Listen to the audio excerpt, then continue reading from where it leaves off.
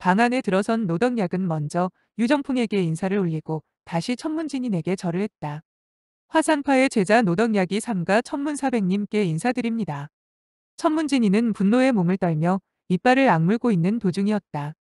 그는 노덕약의 말이 떨어지기가 무섭게 힘주어 발을 구른 후 노가를 터뜨렸다.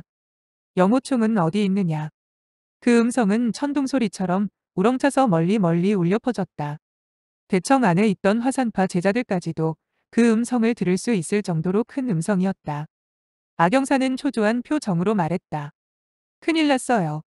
대사형께서 또 무슨 일을 저지르셨나 봐요. 셋째인 양발이 악영산의 등을 토닥거리며 위로의 말을 던졌다. 3회 진정해. 대사형은 결코 못된 짓을 저지르지 않았을 거야. 꼽초는 구석진 자리에서 차를 마시고 있다가 혼자 나직이 중얼거렸다. 그들은 또 영호충을 거론하고 있군. 그 영호충이라는 늙은이는 정말 말썽꾸러기인 모양이다. 노덕약은 얼른 천문진인에게 깊이 허리를 구부리며 말했다. 영호 대사형은 우리와 만나기로 했는데 아직 도착하지 않았습니다. 아마 내일쯤이면 이곳에 도착하여 405화권 팟끼리는 결맹을 맺었으므로 사백이니 사숙이니 사형사제 등으로 서로를 불렀음께 인사를 드릴 것입니다. 천문진이는 다시 발을 힘차게 구르며 노갈을 터뜨렸다. 그놈이 감히 이곳에 얼굴을 내밀어. 그놈은 화산파의 대사형으로서 감히 강간과 강도질을 자행하면서 생마 전백관과 어울렸단 말이다. 오학권파의 망신은 그 녀석이 혼자 다 시키고 다닌단 말이다. 노덕약은 말했다.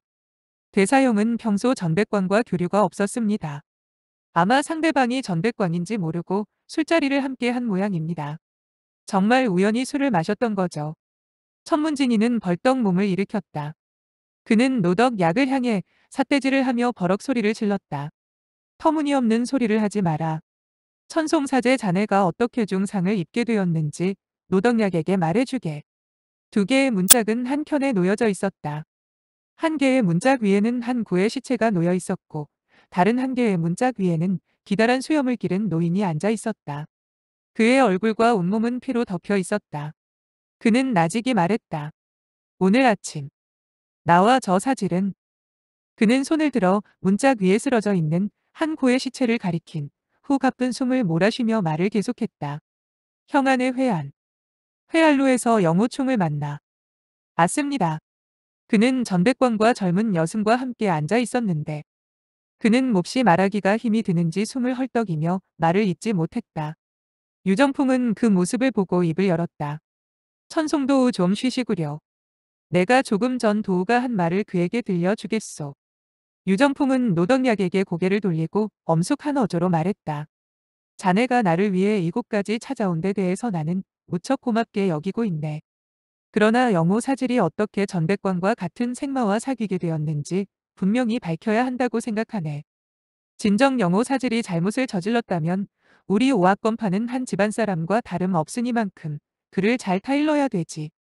천문진인이 버럭 고함을 질렀다. 타이르긴 뭘 타일러. 문호를 정리하고 마. 땅이 그의 목을 잘라야 돼. 유정풍은 말했다. 화산파의 장문인 낙사형은 제자를 엄히 다스리기로 소문난 사람이니 영호충을 알아서 처단할 것입니다. 제 생각에도 이번 일은 영호충이 지나쳤다고 사료됩니다. 천문진이는 차갑게 말했다. 지나칠 뿐 아니라 죽을 죄를 지었다고 하는 게 옳다. 노덕약은 말했다. 유사숙 진상을 듣고 싶으니 말씀해 주시기 바랍니다. 유정품은 말했다. 조금 전 천송도우는 이렇게 말했네. 그가 두 명의 사지를 이끌고 회알로에 올라갔을 때 영호충 전백광 의림 세 사람이 함께 술을 마시는 걸 보았다네. 천송도우는 이 광경을 목격하자 속으로 화가 났다네. 원래 천송도우는 그들을 몰라보았으나 옷차림을 보고 한 사람은 화산파의 제자이고 또 한 사람은 항산파의 여승인지 알 수가 있었다네. 그렇지만 화려한 옷차림을 한 30세가량의 남자가 전백광이라는 사실은 알지 못했네. 영호사질 이 글을 부르는 말을 듣고 비로소 알아차렸다는 거야. 영호사질은 이렇게 말했네. 전형 그대의 경신법이 천하에서 으뜸 간다고는 하나 죄수 옹 붙으면 경신법이 아무리 탁월하다고 해도 도망칠 수가 없을 것이오. 전시성을 가지고 경신법이 천하에서 으뜸 가는 사람이라면 누구나 만리독행 전백광임을 알 수가 있지 않겠는가. 천송도우는 낙을 원수처럼 미워하는 협사로서 그들의 술 마시는 꼴을 보자 치미는 울화를 억제하지 못했다네. 노덕약은 허리를 굽신하며 조심스럽게 말했다. 누가 봐도 울화가 치밀었을 겁니다. 생마와 여승 그리고도 사세 사람이 어울려 술을 마시는 모습은 생각만 해도 꼴불견일 것입니다. 유정풍은 말을 계속했다. 이때 전백광이 말했네. 이 전백광은 언제나 홀로 강호를 횡행했네. 이 젊은 여승을 만난 이상 억지로라도 술을 먹입시다. 이 말을 들은 청송도 우와 두 명의 사질은 크게 호통을 쳤다네. 내가 바로 그 죽어 마땅한 생마 전백광이구나. 누구나 너를 보면 죽이려고 벼르고 있는데 이곳에서 감히 쓸데없는 소리를 짓걸려. 살기가 싫다면 죽여주지. 그리고 무기를 뽑아 들고 전백광을 향해 공격했네. 그러다가 전백광에게 죽임을 당하고 중상을 입게 되었던 거라네. 영호총은 그 옆에 있으면서도 천송도호를 돕기는 고사하고 술만 마시고 있더라는 게야. 이야말로 우리 오악건파의 결맹에 커다란 금을 그어놓은 일이지. 천문진님께서 화를 내는 것도 바로 이 점 때문이라네. 천문진이는 싸늘히 코웃음을 쳤다. 흥. 결맹은 무슨 결맹이야. 생마와 어울리는 화산파는 결맹을 우습게 여긴 게 아니고 뭐냔 말이다. 이때 밖에서 부르는 소리가 들려왔다. 사부님 제자가 들을 말씀이 있습니다. 천무진이는 그 음성이 귀에 익은 것을 알고 잘라 말했다. 들어와. 서른 가량의 연기발랄한 사내가 천천히 걸어 들어오더니 유정풍에게 먼저 인사를 올린 후 천문진인에게 말했다. 사부님 천백 사수께서는 본문의 제자를 이끌고 생마 영호충과 전백광을 잡으러 떠났습니다. 아직까지는 생마의 종적을 발견하지 못했지만 머지않아 사로잡아 오겠다고 전갈이 왔습니다. 천문진이는 고개를 끄덕였다. 좋다. 그 생마들이 반항한다면 사로잡을 필요도 없이 죽여서 수급을 가져와도 상관없다고 전해라. 예. 사내는 읍을 하고 다시 말했다. 그리고 형양성 밖에서 한 구의 시체를 발견했는데 그 시체의 배에는 한 자루의 검이 박혀 있다고 합니다. 그 칼은 바로 영호충 그 생마의 칼이었다고 합니다. 천문진이는 깜짝 놀라 물었다. 뭐라고? 죽은 사람은 누구더냐? 또 우리 태산파의 제자이냐? 다행히 우리 파의 제자는 아닙니다. 그 시체는 바로 청성파의 나인걸. 이때 여창애가 소스라쳐 놀라며 자리에서 벌떡 일어났다. 뭐라고? 나인걸 그 애가. 시체는? 시체는 어디에 있지? 그러자 문 밖에서 한 사람의 음성이 들려왔다. 여기 있습니다. 가지고 들어오너라.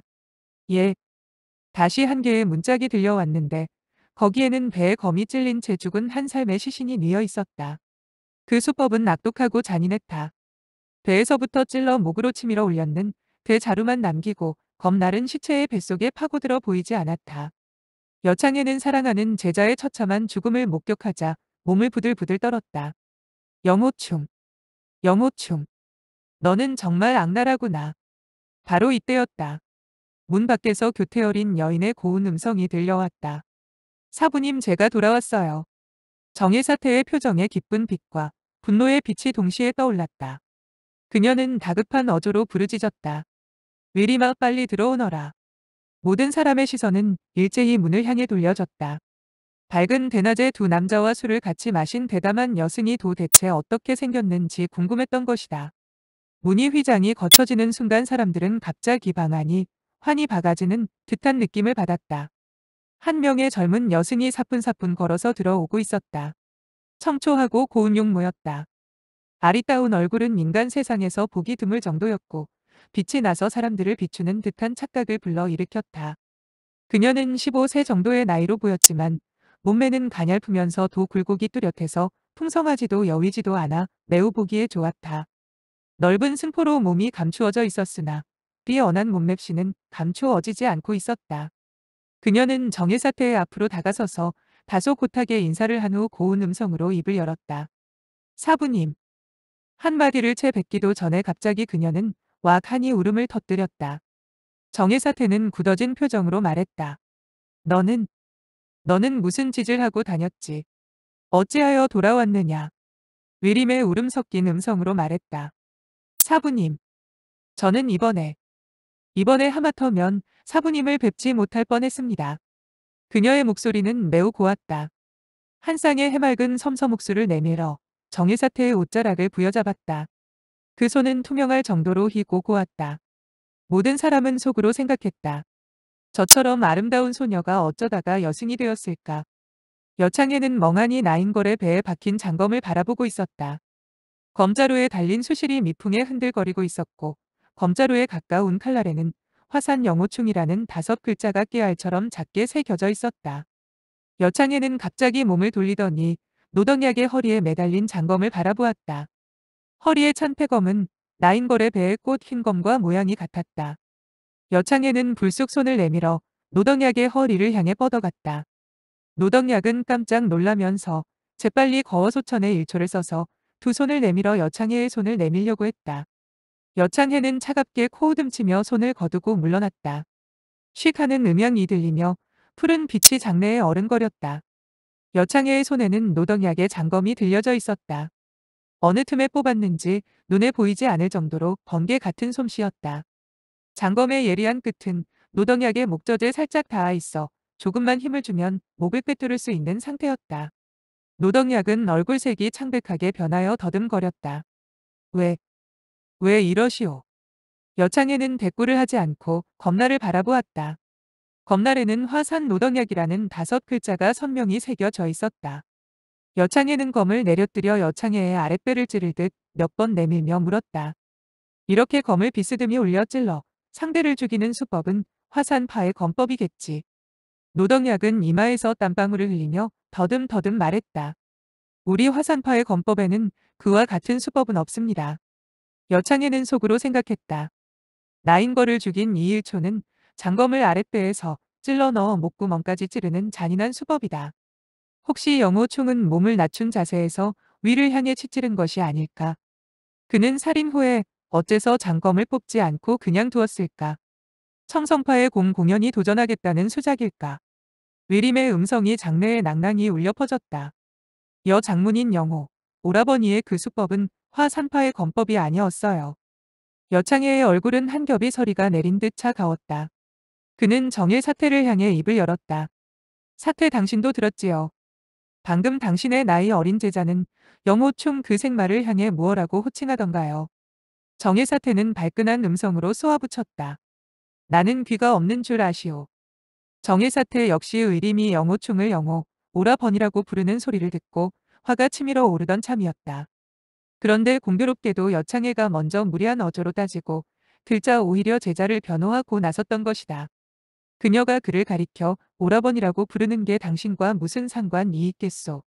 오학권파는 의리로 결맹을 맺어두니까 모두 사형 또는 사매라고 불러도 괜찮은 것이오. 여창애는 급히 말했다. 좋소. 좋아. 말과 함께 여창애는 장검을 거두어들이면서 왼손으로 노덕약의 가슴을 힘껏 떠밀었다.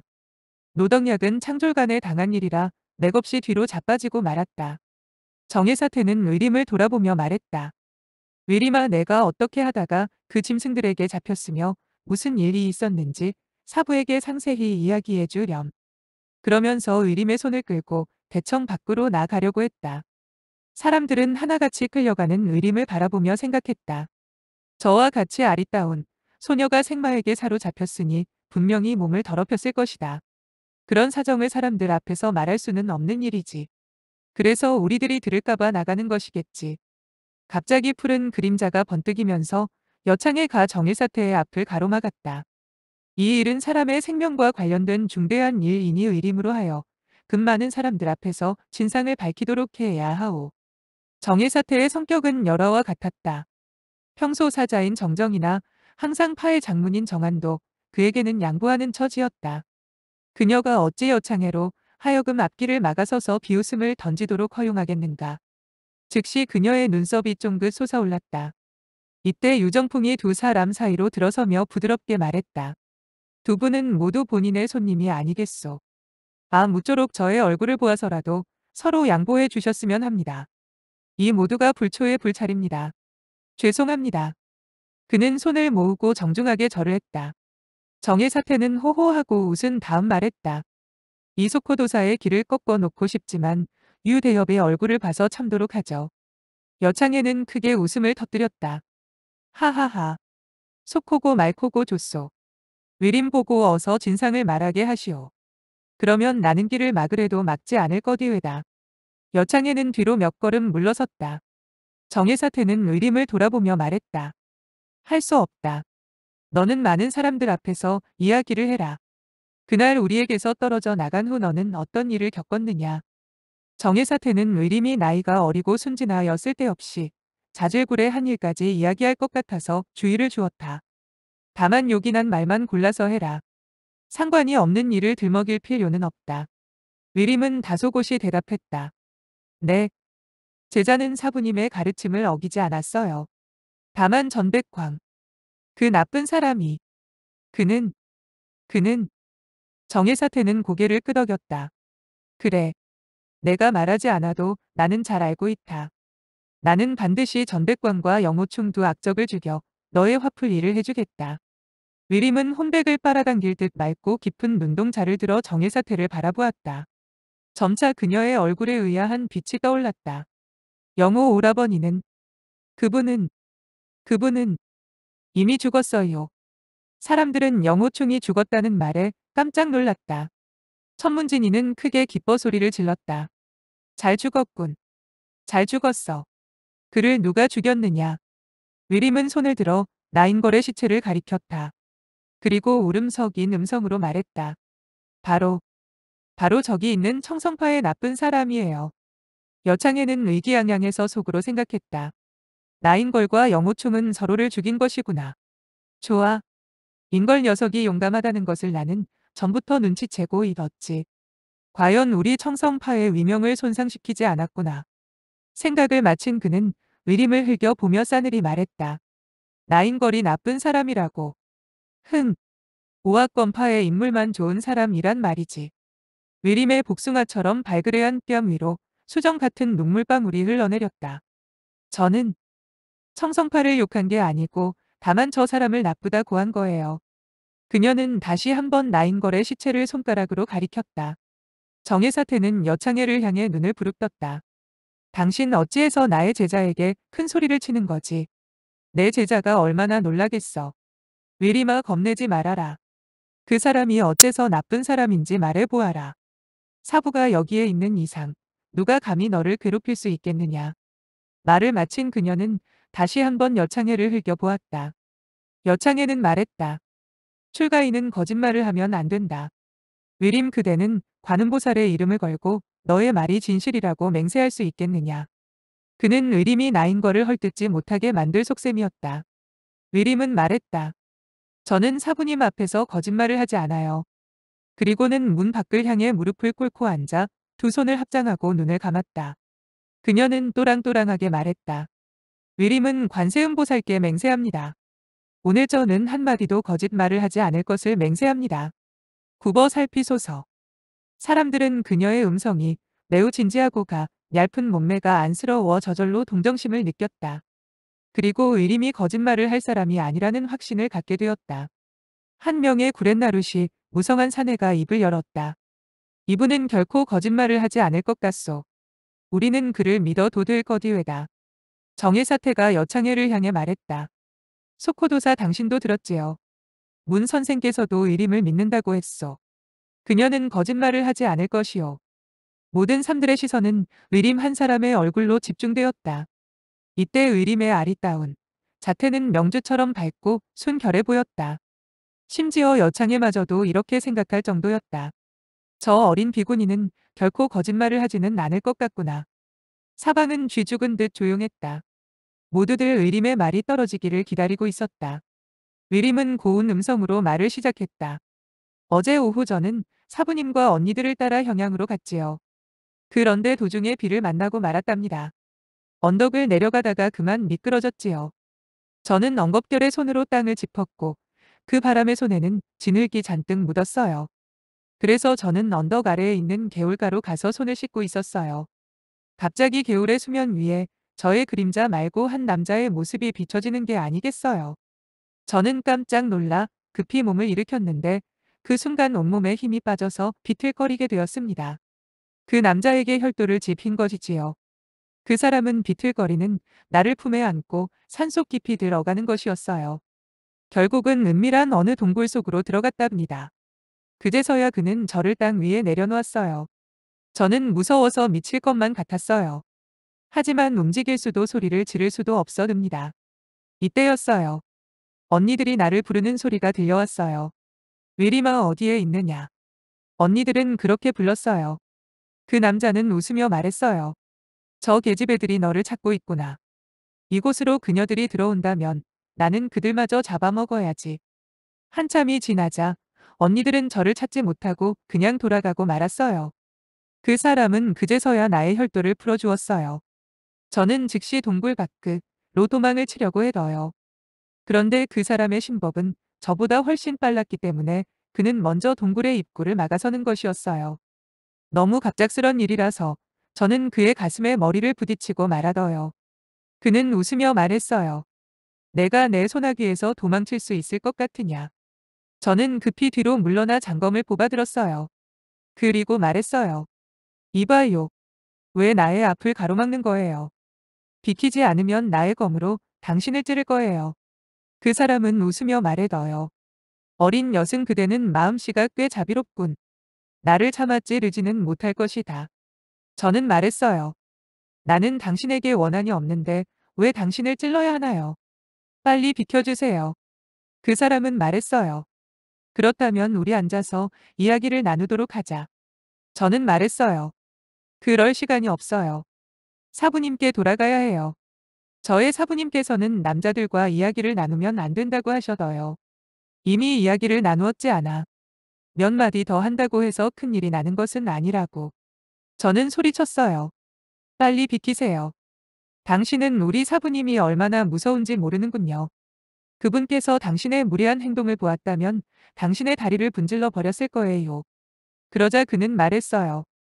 그대가 나의 다리를 분질러 버린다면 나는 반항하지 않겠소. 하지만 그대의 사부는 늙은이가 아닌가. 쭈그렁 바가지를 위해 다리를 맡길 수는 없지. 정의 사태가 호통을 쳤다. 바보 같으니라고. 그런 말까지 하면 어떡해. 위림은 말했다. 그는 그렇게 말했어요. 사부님을 쭈그렁 박아. 됐다. 그와 같은 말은 욕이난 것이 아니니 앞으로는 들먹이지 말아라.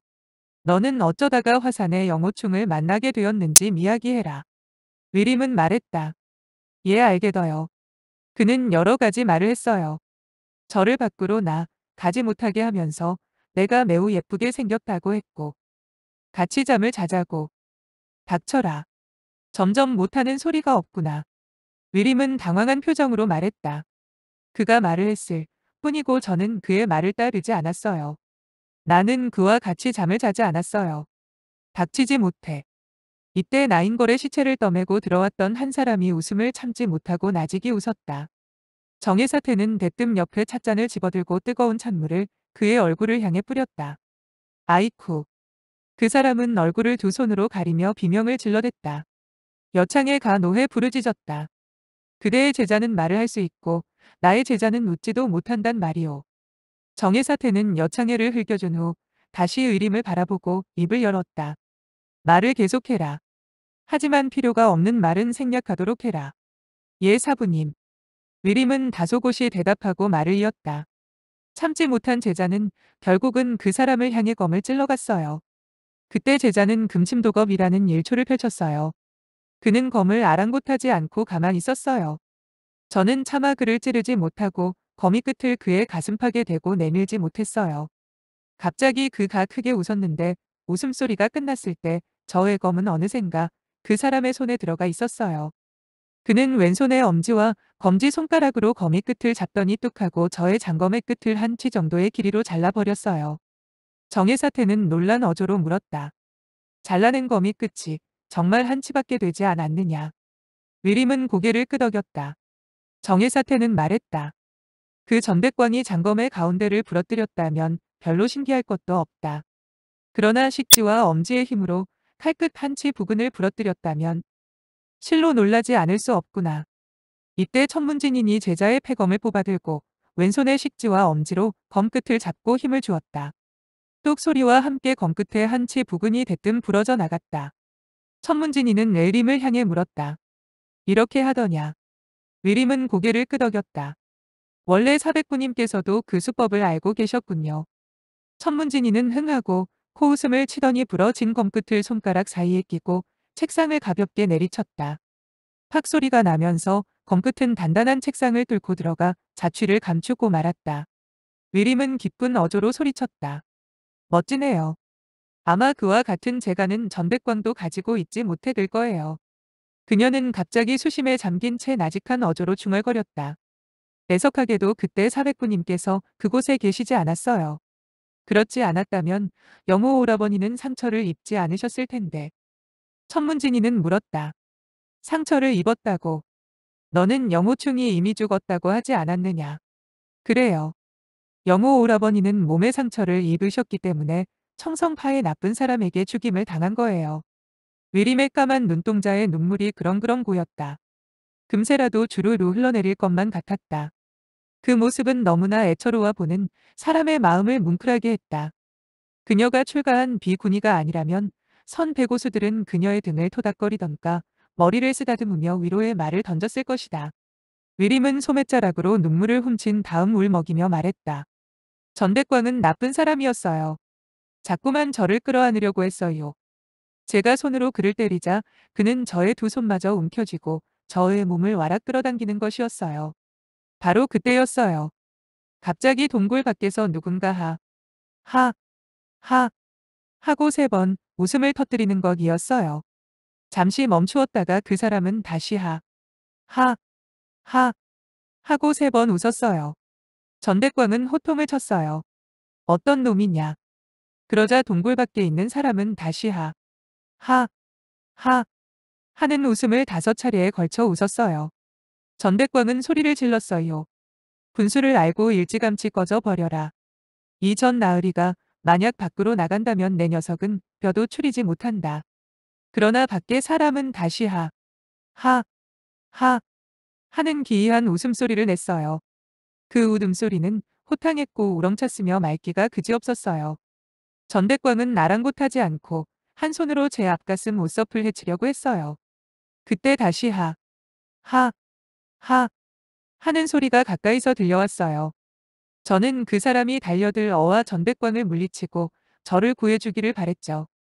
하지만 그 역시 전백광이 무서운지 감히 동굴 안으로 들어오지는 못했어요. 다만 하, 하, 하 하는 웃음소리만 계속되어 될 뿐이었죠. 전백광은 화가 나는지 다시 저의 혈도를 짚은 후휙하니 동굴 밖으로 달려나갔어요. 하지만 밖에 있던 사람의 종적은 발견할 수 없었죠. 전백광은 동굴 안으로 들어오자 나를 거칠게 일으켜 세우고 입맞춤을 하려고 했어요. 바로 이때 동굴 밖에서 다시 하, 하, 하 하는 웃음소리가 들려왔어요. 저는 그만 크게 우스워서 웃음을 터뜨리고 말았어요. 정의 사태는 의림을 흘겨보며 말했다. 내 자신의 몸이 더럽혀지는 긴급한 순간인데도 웃음이 나오더냐. 위림의 두 뺨이 진달래꽃처럼 새빨갛게 달아올랐다. 그녀는 고개를 숙이며 나직이 대답했다. 우스운 걸 어떡해요. 이때 전백광은 살며시 나를 내려놓고 살금살금 소리를 죽여 동굴 있는 쪽으로 다가갔어요. 기습을 하여 사로잡으려고 했던 거예요. 그러나 동굴 밖으로 사람은 대단히 눈치가 빨라서 다시는 웃지를 않더군요. 전 백광이 막 동굴 입구로 뛰어나갈 때 저는 소리를 쳤어요. 조심하세요. 그가 나가요. 이때 멀리서 그 사람의 웃음소리가 들려왔어요. 하, 하, 하. 알려주어서 고맙소. 하지만 나는 잡히지 않는다오. 그의 경신법은 나의 발바닥에는 미치지 못한다오. 모든 사람들은 전백광의 별명이 만리독행으로서 경신법 몸을 빨리 이동하는 기술이 독보적이라는 사실을 잘 알고 있었다. 그러므로 그의 경신법은 나의 발바닥에도 미치지 못한다라는 말은 전백광을 충동질하기 위해 일부러 꾸며낸 말일 거라고 짐작했다. 전백광은 나에게로 번개같이 달려와 나의 얼굴을 힘껏 비틀어 넣어요. 내가 아파서 비명을 지를 때 그는 밖으로 뛰쳐나가며 큰 소리로 부르짖었어요. 이 도두가 나와 경신법을 겨루어 보자. 전백광은 속은 거예요. 원래 그 사람은 동굴 바로 옆에 몸을 숨기고 있었거든요. 전백광이 멀리 뛰어가자 그는 살그머니 동굴 안으로 들어왔어요. 그는 말했죠. 두려워 마오. 나는 그대를 구하러 왔소. 그는 그대의 어느 혈도를 짚었소. 나는 얼른 대답해둬요. 견정과 대추를 짚였어요. 당신은 누구신가요? 그는 말했어요. 혈도를 푼 이후에 다시 이야기합시다. 그리고 손을 뻗어 저의 견정과 대추 두 혈도를 초공과혈 의수법을 써서 풀어주려 했어요. 이때 전백광이 되돌아오는 기척이 들렸어요. 저는 말했죠. 그대는 빨리 도망치세요. 그가 돌아오면 당신을 죽이고 말 거예요. 그는 말했답니다. 오학권파는 의리로 맺어진 만큼 한 집안이 아니겠소. 사매의 어려움을 보고도 구하지 않는다면 그건 말이 안 되지. 정의 사태는 물었다. 그가 오학권파의 사람이었느냐. 위림은 고개를 끄덕였다. 그래요. 그가 바로 영호충 영호 오라번이었어요. 모든 사람은 의림의 말이 떨어지자 모두 아하는 신음소리를 냈다. 한문 확장팩을 사면 한자를 쓰려고 했는데 있는 글자만이라도 쓰고 없는 글자는 로 쓰기로 했으니 양해해 주십시오. 위림은 말을 계속했다. 전백광은 점점 가까이 다가왔어요. 영호 오라버니는 말했죠. 실례하오. 그리고 저를 품 안에 안고 동굴 밖으로 뛰어가서 주변의 풀더미 속에 몸을 숨겨서요. 우리가 숨 자마자 전백광은 동굴로 돌아왔어요. 그는 동굴 속에서 나를 찾지 못하자 별이별 육설을 퍼부었어요. 그는 장검을 휘둘러 동굴 주변의 풀더미를 마구 찌르고 베었어요. 다행히 그날 밤은 비가 오고 난 뒤라서 달도 별도 없이 캄캄했기 때문에 전백광은 우리를 찾아내지 못. 어여. 그는 우리가 멀리 달아나지 못했을 거라고 내다보고 풀더미를 난도질하기 시작했죠. 한 번은 정말 아슬아슬하게 검이 저의 머리 위를 스쳐 지나갔어요. 전백광은 칼을 휘둘러 풀을 베며 우리를 지나쳐 갔어요. 저는 갑자기 뜨끈뜨끈한 액체가 저의 얼굴에 떨어지고 있다는 걸 깨달았어요. 동시에 짙은 피비린내를 맡았어요. 바로 영호 오라버니가 전백광의 칼의 상처를 입었던 거예요. 저는 깜짝 놀라서 물었죠. 그대는 상처를 입었나요? 영호 오라버니는 손을 뻗쳐 저의 입을 막았어. 큰 상처는 아니오. 그러나 저의 얼굴 위로 떨어지는 뜨거운 피는 점점 더 많아지기 시작했어요. 그대는 큰 상처를 입었으므로 얼른 지혈을 해야 돼요. 저에게 천양단속교라는 약이 있어요. 그때 영호 오라버니는 말씀하셨어요. 소리내지도 말고 움직이지도 마시오. 전백광은 귀가 밝은 녀석이외다. 한참 후 전백광이 다시 달려오며 부르짖었어요. 하하하. 너희들은 알고 보니 그곳에 숨어 있었구나. 나는 보았다. 냉큼 나오지 못해. 저는 전백광이 우리를 발견한 줄 알고 정말 사몸을 일으키려고 했죠. 그때 영호 오라버니가 저를 꽉 눌렀죠. 이때 저는 풀더미 속에 들어누운 상태였고 영호 오라버니는 제 몸 위에 엎드린 상태여어요. 그분이 몸을 일으키지 않으니까 저도 몸을 일으킬 수가 없더군요. 정일사태는 말했다. 전백광은 너희들을 발견하지 못했어. 그냥 상대방의 허를 찔러 스스로 정체를 드러내도록 흉계를 꾸민 것이지. 위림은 눈을 동그랗게 뜨고 말했다. 사부님은 거기에 계시지도 않았는데 어떻게 알고 있죠. 그 정도는 강호 경험이 풍부한 사람이 누구나 알 수 있는 것이야. 그가 정말 너희들을 발견했다면 일검으로 영호충을 찔러 죽일 일이지 무엇 때문에 소리를 지르겠느냐. 영호 오라버니는 이때 일어나려는 저를 내리누르고 손으로 나의 입을 막았어요. 그분 역시 전백광의 교활한 생각을 꿰뚫어 보신 거지요. 영호 오라버니는 그가 다시 멀리 간 후 나직이 말해둬요. 전백광은 다시 와서 칼을 휘두를 것이오. 그러니 우리는 나의 동굴 안으로 들어가 숨어 있기로 합시다. 그 녀석은 우리가 동굴 속에 들어갔으리라고는 생각하지 못할 것이. 하삼칠은 갑자기 손뼉을 쳤다. 좋아. 정말 영호총은 용기가 있고 견식이 풍부하구나. 위림은 하삼치를 바라보고 방긋 웃으며 말했다. 당신도 영호 오라버니가 용감하다는 사실을 알고 있군요. 우리 두 사람은 동굴 속으로 들어왔어요. 그분은 저를 땅바닥에 내려놓았어요. 저는 그분의 머리와 어깨에서 여전히 피가 흐르는 것을 보고 말했죠. 저의 품 안에 천양단속교라는 약이 있어요. 그걸 바르면 피가 곪어질 거예요. 저는 팔을 움직이지 못하는 상태이니까 오라버니께서 제 속에 있는 약을 꺼내도록 하세요. 그는 말했어요. 지금 꺼내기가 불편하니 그대가 손을 움직일 수 있을 때 그대가 꺼내 주시오. 그분은 허리에 검을 뽑아 옷자락을 잘라 왼쪽 어깨를 싸맸어요. 상처는 몹시 깊었어요. 그분은 저를 위해 그처럼 큰 상처를 입었는데도 신음소리 한 번 내뱉지 않았어요. 저는 몹시 미안했어요. 그리고 약을 왜 꺼내지 않고 나 보고 꺼내달라고 하는지 이해가 되지 않더군요. 정의 사태는 흥하고 코웃음친 후 말했다. 채. 그렇다면 영호충은 정인군자 사로군. 정의 사태는 영호충이 의림의 품속에 손을 넣을 수 없어서 의림의 혈도가 풀리기를 기다리고 있었다는 사실을 상기한 것이다. 의림의 맑고 커다란 눈동자에 기쁜 빛이 떠올랐다. 맞아요. 영호 오라버니는 세상에서 제일 좋은 사람이에요. 그분은 저와는 아무 상관도 없는데 놀랍게도 자신의 안위를 돌보지 않고 저를 구하려고 했어요. 여창에는 냉랭이 말했다.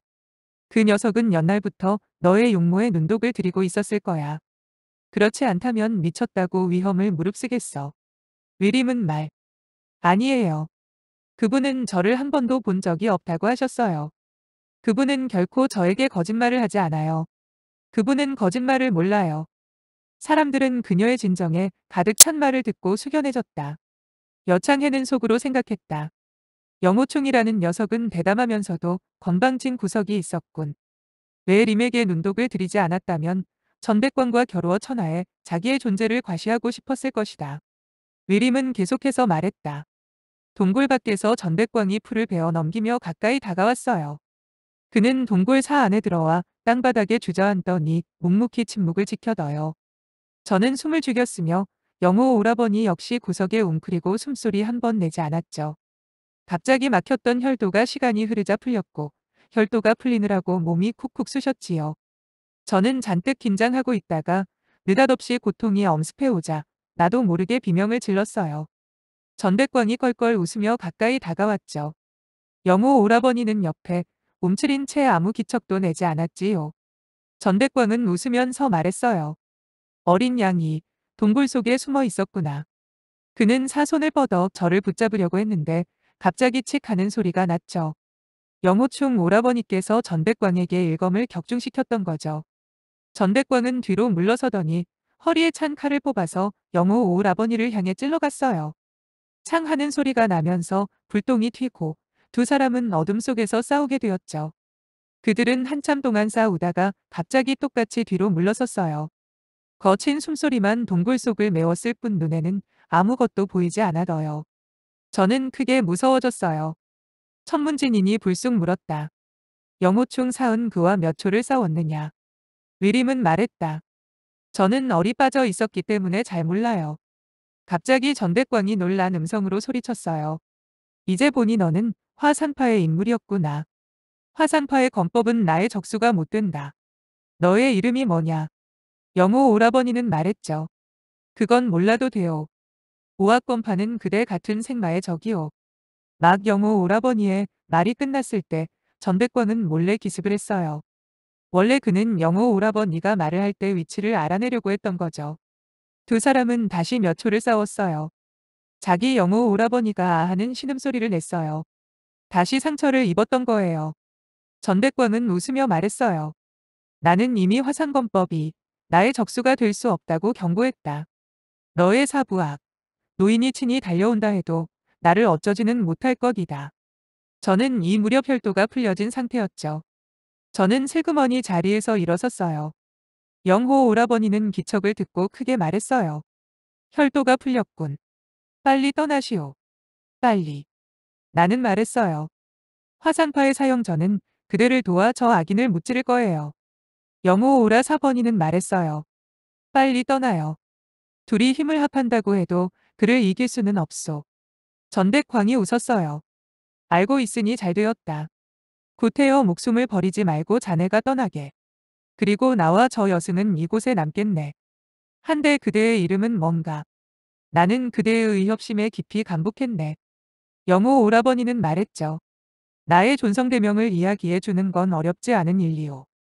이 늙은이는 그대보다 나이가 많은데 그대가 반말을 하므로 기분이 나빠서 내 이름을 알려주지 않겠소. 사부님 우습죠.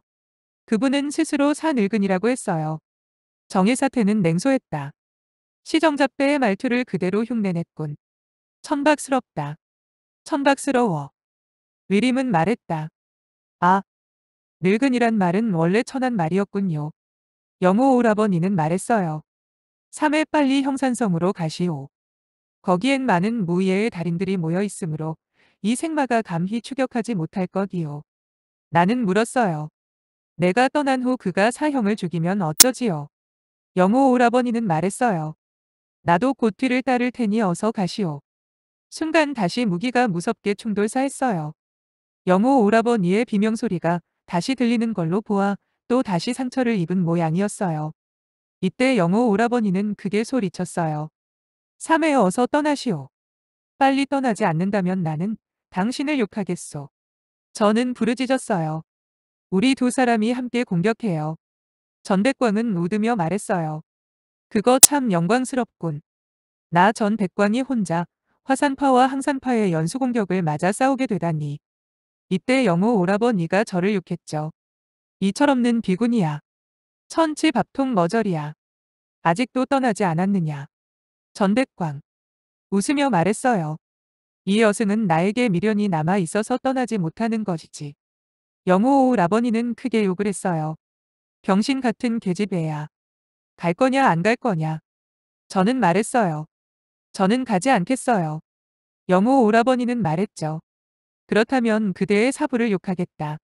정한 그 늙은 중대가리는 멍청이라서 너 같은 어린 멍청이를 배출했구나. 저는 말했어요. 정한 사백구님은 저의 사부님이 아니에요. 그분은 다시 말했어요. 좋아. 그렇다면 정정사태를 욕하겠다. 저는 말했어요.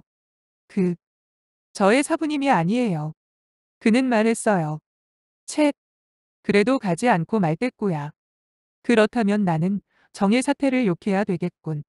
정일 그 병신 멍청이는 이야기를 듣고 있던 정일 사태의 안색이 참 혹하게 일그러졌다.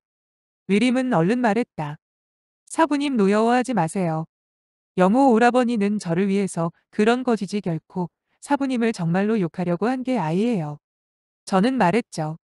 저 자신이 멍청한 거지지 사부님을 닮아서 멍청한 것은 아니에요. 갑자기 전백광이 제 곁으로 날아오며 손가락 뻗어 저를 찌르려고 했어요. 저는 어둠 속에서 마 구검을 휘둘러 간신히 그를 퇴치했어요. 영호 오라버니가 큰 소리로 외쳤어요. 나에게는 무수한 욕설이 있다. 그대의 사부에게 써먹어도 좋단 말인가. 왜 안 가지? 저는 말했어요. 욕을 하시면 안 돼요. 우리 함께 도망쳐요. 영호 오라버니가 소리쳤어요. 내가 내 곁에 이르면 내가 화산검법을 펼칠 수가 없게 돼. 그러면 나는 전백광을 죽일 수 없어. 빨리 나가라고. 나는 화산검법을 펼쳐 전백광을 죽일 테니까. 전백광은 소리내어 웃었어요. 사하하. 그대는 젊은 여승에 대해서 정말 다정하구만. 그러나 애석하게도 그녀는 그대의 성명조차 모르고 있네. 저는 그 말을 듣고 말했어요. 화산파의 사형 그대의 이름은 무엇인가요? 제가 형산으로 가서 사부님께 그대가 저의 생명을 구해 주었다는 사실을 말씀드리겠어요. 영호 오라버니는 외쳤어요. 빨리 꺼져라. 귀찮아 죽을 지경이다.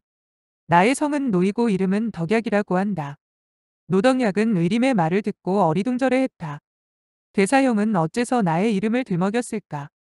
문 선생이 고 내게를 끄덕이며 말했다. 영호충은 착한 일을 하면서도 이름을 드러내지 않으니 정말 우리 협의지사들의 모범이라고 할 것이외다. 정의 사태는 노덕약의 희끗희끗한 반백의 머리칼을 바라보며 좀 얼거렸다. 흥, 나를 욕했으니 겁이 났겠지. 나중에 내가 따질까봐 남에게 죄를 전가시킨 것이겠지. 그녀는 노덕약을 노려보며 앙칼찌게 물었다. 이봐 노덕약 자네가 동굴 속에서 나를 욕했다는데 사실인가? 노덕약은 재빨리 허리를 굽혔다. 저는 아닙니다. 제가 어찌 감히. 사. 유정풍은 미소를 지었다. 정의사태 영호충이 그의 사제의 이름을 사칭한 데는 이유가 있다오. 노덕약으로 말하면 나이가 들어 화산파에 입문한 자로서 배분은 비록 낮으나 나이는 가장 많지요. 수염도 저렇게 무성하니 좋기 의림의 할아버지 뻘이 될 수 있을 것 이외다. 정의 사태는 깨달아지는 바가 있었다. 그녀는 영호충이의 의림을 생각하여 그렇게 말했다는 사실을 깨달은 것이다. 동굴 안은 칠흑처럼 어두웠다. 남녀가 한 동굴 속에서 익었다면 자연히 어떤 관계가 있을 것이라고 누구 생각할 것 이외다. 하지만 의림이 노덕약 같은 늙은이와 있었다고 한다면 누구도 할아버지와 손녀 딸 같은 두 사람이 동굴 속에서 엉뚱한 짓을 하지 않으리라. 정혜사태는 부드러운 미소를 띠고 고개를 끄덕였다. 그 녀석은 정말 용의주도하구나. 위림아 그 다음을 이야기해 보아라. 위림은 말을 이었다. 저는 말했어요. 노덕약 오라버니 그대가 저 때문에 위험에 처했는데 제가 어떻게 혼자 도망칠 수가 있겠어요. 사부님께서도 그와 같은 일은 바라지 않으실 거예요. 사부님께서는 평소 사우리 항산파의 제자들은 모두 여인으로 구성되어 있지만 행협에 있어 결코 남자들보다 뒤떨어지지 않는다고 하셨어요. 정혜사태는 흐뭇해져서 손뼉을 쳤다. 좋아. 나는 언제나 여자가 남자보다 못한 게 없다고 말했었지. 여자라고 해서 의로운 일에 발벗고 나서지 말라는 법은 없다. 사람들은 정일 사태의 표정이 호탕한 것을 보고 하나같이 생각했다. 저 늙은 여승의 기백은 수염을 기른 남자에 못지않구나. 위림은 계속해서 말했다. 영호 오라버니는 큰 소리로 욕을 퍼붓기 시작했어요. 이 빌 어먹을 어린 중대가리야. 내가 내 곁에 있으니 내가 어떻게 화산 파의 천하무적권법을 펼칠 수 있겠느냐. 이 늙은 이는 전백광에게 죽고 말겠구나. 이제 보니 너와 전백광은 한통 속이 되어 내가 화산파의 건법을 펼치지 못하게 하고 있구나. 이 노동약은 오늘 정말 재수가 없느라고 여자 중대가리를 만난 거야. 전백광 자네는 한 칼로 나를 쳐 죽이게. 이 늙은이는 삶의 미련을 느끼지 않는다. 여러 사람들은 의림의 고운 목소리가 영호 충의 그처럼 거칠고 무리한 말을 되풀이하는 소리를 듣자 빙그레 웃고 말았다. 의림은 말을 계속했다. 저는 영호 오라버니의 말을 듣고 내가 동굴 속에 있어 봤자 그분이 천하무적의 화상검법을 펼치는데 지장이 될 뿐이라고 생각했어요. 흥. 그 녀석은 허풍이 너무 세서 탈이라니까. 화산파의 검법은 그저 그렇지. 천하무적이라니 무슨 빌어먹을 소리야. 정의사태가 싸늘히 말했다. 위림은 억울하다는 듯 말했다. 사부님 그분을 욕하지 마세요. 그분은 거만해서 그런 말을 한 게 아니에요. 다만 전백광에게 겁을 주어 스스로 물러가게 만들려고 했던 거지요. 저는 말했어요. 노덕약 오라버니 저는 이만 가겠어요. 다음에 만나요. 영호 오라버니는 소리를 버럭 질렀어요. 빨리 꺼지기나 해. 그리고 다음에 만나지 않는 게 좋다. 나는 여자 중대가리만 보면 몇 년 동안 재수가 없더라. 싸움을 하건 노름을 하건 재수가 없어서 언제나 지고 말지. 정혜사태는 크게 화가 났다. 발을 힘껏 구르며 날카롭게 소리쳤다. 그 녀석은 정말 못됐구나. 그런 모욕적인 말을 듣고도 너는 그곳을 떠나지 않았더냐. 위림은 말했다. 저는 그분이 재수가 없게 되어 싸움에서 질까봐 얼른 동굴을 나왔어요. 저는 있는 힘을 다해 사부님 계신 곳을 향해 뛰어갔어요. 사부님 영호 오라버니는 저를 만나서 재수가 없어졌고 그래서 상처를 입은 거예요. 정일은 노회 부르짖었다.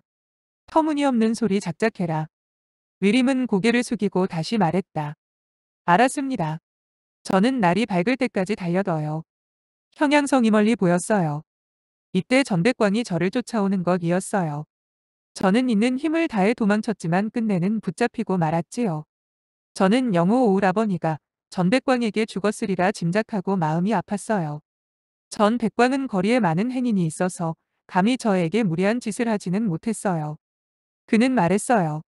내가 순순히 나를 따라온다면 너를 때려주지 않겠다. 말을 듣지 않는다면 나는 즉시 너의 옷을 홀랑 벗겨 모든 사람이 볼 수 있도록 만들겠다. 저는 놀랍기 짝이 없어서 감히 반항하지 못하고 그를 따라 성 안으로 들어가더요. 전백광은 저를 데리고 회알로라는 술집 앞으로 데려갔어요. 그는 나에게 말했어요. 이봐 너는 치머나간 여인이 너무 아름다워서 그 모습을 본 물고기가 놀라 물속에 가라앉고 날아가던 기러기가 놀라서 땅에 떨어짐이라는 말이 실감날 정도로 아름답구나. 나는 그대 같은 미녀와 취하도록 술을 마시고 싶다. 우리 함께 즐겨보도록 하자꾸나. 저는 말했어요. 출가인은 비린 고기와 술을 입에 대지 않는 법이에요. 이는 우리 배구남의 규칙이에요. 그는 말해더요. 그런 엉터리 규칙은 지킬 필요가 없다. 나는 너를 파괴승으로 만들고 말 테다. 너의 사부는 사부는 위림은 당혹한 표정으로 정혜사태를 바라보고 말을 잇지 못한다. 정혜사태는 말했다. 그 악인이 나를 헐뜯은 모양이구나. 그 말은 하지 않아도 된다. 그 다음을 얘기해라. 예 저는 그에게 말했어요. 당신은 거짓말 하지 말아요. 저의 사부님은 숨어서 몰래 개고기와 술을 먹은 적이 없었어요. 여러 사람들은 그 말을 듣고 웃음을 터뜨렸다. 위림은 전백광이 한 말을 직접 옮기지는 나았으나 전백광이 무슨 말을 했는지 알 수 있었다. 전백광은 정혜사태가 술림어서 술과 개고기를 먹었다 고 한 것이 틀림없었다. 이런 멍청이. 정혜사태는 의림을 쏘아보았다. 의림은 사부가 왜 화를 내는지 눈치를 채지 못하고 의아한 표정을 지었다. 정혜사태는 순진하기만 한 그녀에게 더 이상 화를 낼 수가 없는 형편이었다. 그녀는 얼굴을 부드럽게 고치고 말했다. 위림아 그 다음을 이야기해라. 위림은 사부의 얼굴이 풀어지자 마음이 놓이는지 한번 빙그레 웃고 말을 계속했다. 저는 그와 함께 회알로에 올라갔어요. 그 악한 사람은 술과 고기를 시켰어요. 쇠고기와 돼지고기, 오리고기, 닭고기, 새우 같은 음식을 시킨 거예요. 그는 말했어요. 내가 이 음식을 먹지 않는다면 나는 너의 옷을 벗겨 버리겠다. 사부님 저는 한사코 먹기를 거절했어요. 불문의 제자는 비린 음식을 먹으면 안 되니까요. 그래서 나쁜 사람이 저의 옷을 벗긴다고 하더라도 그건 그가 벗긴 것이지 내가 스스로 벗은 게 아니니까 나에게는 책임이 없다고 생각했어요. 바로 이때였어요. 한 사람이 2층으로 올라왔죠. 허리엔 장검을 차고 있었고 안색은 창백했으며 온몸은 피투성이었어요. 그는 나와 전백광이 있는 탁자 옆으로 다가오더니 아무 소리도 하지 않고 의자에 털썩 주저 앉아서 전백광이 나에게 마시라고 따라 놓은 그 술잔을 집어들고 단숨에 비웠어요. 그리고 스스로 한 잔을 따라 들고 전백광에게 말했어요. 드시오. 그리고 저에게 말했어요. 듭시다. 말을 마치자 다시 그 술잔에 술을 들이켰어요. 저는 그 음성을 듣고 깜짝 놀랐어요. 원래 그는 동굴에서 저를 구해 주었던 바로 노덕약 오라버니였던 거예요. 나는 그분이 죽지 않은 것을 알고 너무너무 기뻤어요. 하지만 그의 온몸은 상처투성이었어요. 모두 저를 구하려고 입은 상처였어요. 전백광은 말했어요. 그대였군. 영호 오라버니는 대답했어요. 그렇소 바로 나외다. 전백광은 영호 오라버니를 향해 엄지손가락을 축혀 세우며 칭찬의 말을 던졌죠. 훌륭하오. 영호 오라버니도 전백광에게 엄지손가락을 치켜들고 칭찬했죠. 훌륭한 도법이었소이다. 두 사람은 껄껄 호탕하게 웃어지었지요. 그리고 연거푸 몇 잔의 술을 마시더군요. 저는 이상하기 짝이 없었어요. 그들은 어젯밤 무섭게 생명을 걸고 싸웠는데 어째서 갑자기 친구로 변했는지 의아하게 생각했던 거죠. 이때 전백광이 말했어요. 그대는 노덕약이 아니군. 노덕약은 늙은이야. 그대처럼 점지가 않단 말이야. 저는 놀라서 나타난 그 사람을 바라보았죠. 과연 그는 20세 남짓해 보였으며 얼굴이 아주 잘생겼더군요. 그 사람은 웃으며 말했어요. 맞소이다. 나는 노덕약이 아니오. 전백광은 탁자를 손으로 탁 치며 부르짖었어요. 알았소. 그대는 바로 화산의 영호충. 강호에서 으뜸가는 인물이군. 영호 오라버니는 빙긋 웃었죠. 감당할 수 없는 칭찬이 외다. 영호충은 그대에게 패배한 인물이 아니겠소. 전백광은 말했어요. 싸우지 않고는 서로를 알지 못한다는 말이 있소. 우리 친구로 사귀는 게 어떻소? 영호 형이 이 아름다운 비구니를 좋아한다면 나는 기꺼이 양보해드리리다. 나는 여색을 밝히는 사람이지만 친구 간의 신의를 더욱 높이 평가한다오. 정혜사태는 서슬이 펄에 가지고 중얼거렸다. 그 악적은 죽어 마땅하다. 감히 내 사랑하는 제자를 주고받으려고 하다니. 위림이 갑자기 눈물을 떨구며 말했다. 사부님. 영호 오라버니는 갑자기 저를 욕하기 시작했어요. 이 젊은 비구니는 얼굴에 핏기라고는 한 점도 찾아볼 수가 없이 창백하오. 마치 시체의 얼굴을 보는 듯 징그럽단 말이 외다. 저녁 나는 여승을 보기만 해도 재수가 없소. 생각 같아서는 천하의 여승을 모조리 때려 죽이고 싶은 심정이라오. 전백광은 웃으며 물었어요. 여승이 어째서 재수가 없을까? 난 처음 듣는 얘기군요. 영호 오라버니는 말했어요. 솔직히 말하리다. 나는 좋아하는 것이 있는데 바로 도박이지요. 골패와 주사위를 보면 사죽을 쓰지 못한다오. 그런데 일단 여승을 보면 그날은 재수가 더럽게 없어서 노름을 하는 족족 털리기만 한다오. 비단 나 혼자만 그런 것이 아니고 화산파의 모든 사제들도 여승만 보았다 하면 재수 옴붙게 된다오. 우리 화산파의 제자들은 그래서 항산파의 냄새나는 계집애들을 보기만 하면 멀리 피해 버린다오. 정일사태는 크게 화를 내며 철석하니 노덕약의 따귀를 후려쳤다. 노덕약은 호되게 한 대 얻어맞자 잠시 비틀거렸다. 머리가 띵하며 온몸에서 힘이 빠졌다. 유정풍은 웃으며 말했다. 사태께서는 화를 푸시구려. 영호 사질은 의림을 구하기 위해서 그런 말을 한 것이라오. 그 말을 정말로 믿으시면 아니 되오. 의림은 고개를 숙이고 말했다. 영호 오라버니는 좋은 사람이에요. 다만 말을 함부로 하는 게 탈이죠. 사부님께서 화를 내시니 저는 이야기를 계속할 수가 없네요. 정일사태는 호통을 내질렀다. 말해라. 한자도 빠짐없이 사실 그대로 말해보라고. 나는 그가 도대체 얼마나 대담하게 짓거렸는지 알아내야겠다. 위림은 녹이 등등한 사부의 모습을 보자 감히 입을 열지 못하고 머뭇거렸다. 정일사태는 소리쳤다. 어서 말하라니까. 이 애가 갑자기 벙어리가 된다. 내가 영호충 이 나중에 혼날까봐 사실대로 이야기하지 않는다면 이 사부를 무시한 것이 되고 사부보다 그 녀석을 더 중요시한다는 증거가 된다. 그러니 숨김없이 말을 하라고. 위림은 풀죽은 음성으로 말했다. 말씀드릴게요. 영호 오라버니는 다시 말했어요. 전형 우리 무예계의 인사들은 한 자루검을 의지하여 강호를 횡행하고 있어. 운수가 불길하면 남의 칼에 맞아 죽기가 일숙가 아니겠소. 이 젊은 여승은 마른 동태처럼 비쩍 여위어서 매우 꼴불견이구려. 척보아하니 아주 재수없게 생겨 먹었단 말이 왜다. 그러니 당신도 이 젊은 비구니를 건드리지 않은 게 좋을 듯 하군요. 전백광은 웃으며 말했어요. 영호형 나는 그대를 기계가 하늘을 찌르는 영웅호걸인 줄 알았는데 한낱 여승 때문에 의기소침하여 몸을 사리는 걸 보니 저절로 실망을 느끼게 되는구려. 영호 오라버니가 말했어요. 나는 여승을 만나고 너무 많은 피해를 입었소. 생각해 보시오. 어젯밤만 해도 나는 멀쩡했는데 이 젊은 여승을 만난 후 당신에게 중상을 입지 않았소. 이것이 재수 없는 일이 아니라면 뭐가 재수 없는 일이겠소. 전백광은 소리내 어 웃으며 말했어요. 하하하. 그 말에도 일리가 있소. 영호 오라 버니는 말했어요. 전형 우리 사내 대장부는 모름지기 술을 마 실 때 통쾌히 마셔야 하오. 옆에 여승이 있으니 어디 술맛이 나겠소. 어서 꺼지라고 하는 게 좋을 것 같군요. 내가 충고하는데 만약 당신이 이 비쩍 마르고 볼품없는 비구니를 품게 된다면 이후 평생 동안 그대는 재수가 없게 될 거디외다. 천하삼독을 그대는 어찌하여 가까이 하는 것이오. 전백광은 물었어요. 천하삼독이라니. 그게 뭐요? 영호 오라버니는 말했죠. 어이쿠. 전형은 강호를 주유한 지 오래되었는데 아직 천하삼독이 뭔지도 모르오. 천하삼독이란 비군이 비상, 그리고 금전사 세 가지를 일컫는 말 이외다. 용기가 있건 없건 천하삼독을 가까이 할 필요는 없는 일이라오. 이 비군이는 천하삼독 중에서 으뜸 가는 독 이외다. 우리 오학권파의 남자 제자들은 종종 그와 같은 이야기를 한다오.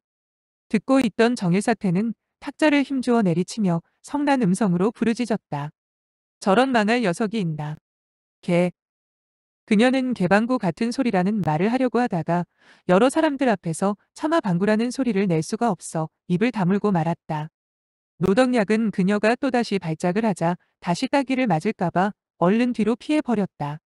유정풍은 한숨을 내쉬며 말했다. 영호 사질은 좋은 일을 위해 말을 했겠지만 좀 지나쳤다고 생각하오.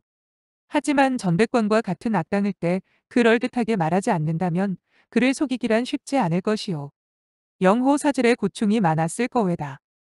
위림은 그 말을 듣고 마음속의 고민이 말끔히 사라지는지 기쁜 어조로 물었다. 유사숙님 영호 오라버니는 일부러 그와 같은 말을 꾸며내어 그 전백광을 속이려고 한 것이었군요. 유정풍은 고개를 끄덕였다. 물론이지. 오학권파의 협사들은 결코 그와 같이 항산파를 비난하지 않는다. 내일 나는 은퇴식을 갖게 되는데 항산파를 업수히 여겼다면 항산파의 초청장을 보내지도 않아 들게다. 정일 사태는 유정풍의 말을 듣고 안색이 약간 풀어졌다. 흥. 영호충이란 녀석은 입버릇이 없어. 그 녀석이 어디서 그따 위 주둥이 놀리는 법을 배웠는지 모르겠군. 그녀의 말은 은근히 영호충의 사부를 빗대 어욕한 것이기도 했다. 유정풍이 말했다. 사태 너무 복잡하게 생각할 필요는 없소이다. 전백광은 무공은 매우 무섭소이다. 영호 사질이 그를 이길 수가 없고 의림이 커다란 위험에 처해 있었기 때문에 부득이 그와 같은 말을 꾸며대어 그 악적으로 하여금 그녀를 포기하게끔 유도했던 거디외다. 더구나 전백광 같은 노련한 여우를 속이려면 평범한 방법은 통하지 않을 것이고 그래서 영호 사질은 그러한 말을 꾸며댄 것이라고 할 수가 있어. 우리는 강호의 몸을 담고 있는 사람으로 때때가로 속 임수를 쓰지 않으면 안 되는 어려움에 처할 때가 많지 않겠소. 영호 사질이 만약 항산파를 업수히 여겼다면 그가 생명의 위험을 무릅쓰고 항산파의 제자를 구하려고 했겠소. 정의사태는 고개를 끄덕이며 말했다. 유대엽의 말씀을 듣고 보니 그런 것 같군요. 그녀는 고개를 돌리고 의림에게 말했다. 영호충의 말을 듣고 전백광이 너를 놓아주더냐. 위림은 고개를 가로저었다. 아니에요. 영호 오라버니는 말했어요. 전형 그대의 경신법이 천하에서 제일 간다고는 하지만 재수가 없으면 경신법이 아무리고 강해도 도망칠 수 없는 경우도 생기는 법이 외다. 이 비적 말은 비군이를 가까이 한다면 재수가 없어서 전형은 오래 살지 못하게 될 거디외다. 전백광은 그 말을 듣고 몇 번이나 저를 바라보다가 결심한 듯 말했어요. 나 전백광은 언제나 홀로 천하를 종횡한 몸 그런 미신의 구애를 받지 않소이다. 이 비군 이는 이미 얼굴을 보았으니 같이 놀도록 합시다. 바로 이때였어요. 옆에 탁자에 앉아있던 젊은 무사가 갑자기 장검을 뽑아들고 갑자기 전백광에게 덮치며 호통을 질렀어요. 당신이 바로 전백광인가? 전백광은 말에 더요. 그렇소. 왜 묻는 거요? 그 젊은 무사는 말했어요. 너 같은 생마는 죽어야 한다. 강호의 몸을 담고 있는 사람은 모두 너를 죽이고 싶어 하는데 너는 겁도 없이 여기서 정체를 밝혔다. 살고 싶지 않다면 죽여주겠다. 말을 마치자 그는 검을 휘두르며 전 백광을 공격했어요. 태산파의 검법이었어요. 그 젊은 무사는 바로 저기 죽어 있는 사형이었어요. 그녀는 문짝 위에 눕혀져 있는 태산파의 제자를 손가락질했다. 천문진이는 고개를 끄덕였다. 지백성. 너는 진정 용감했다. 정말 훌륭한 영웅이었다. 위림은 계속해서 말했다.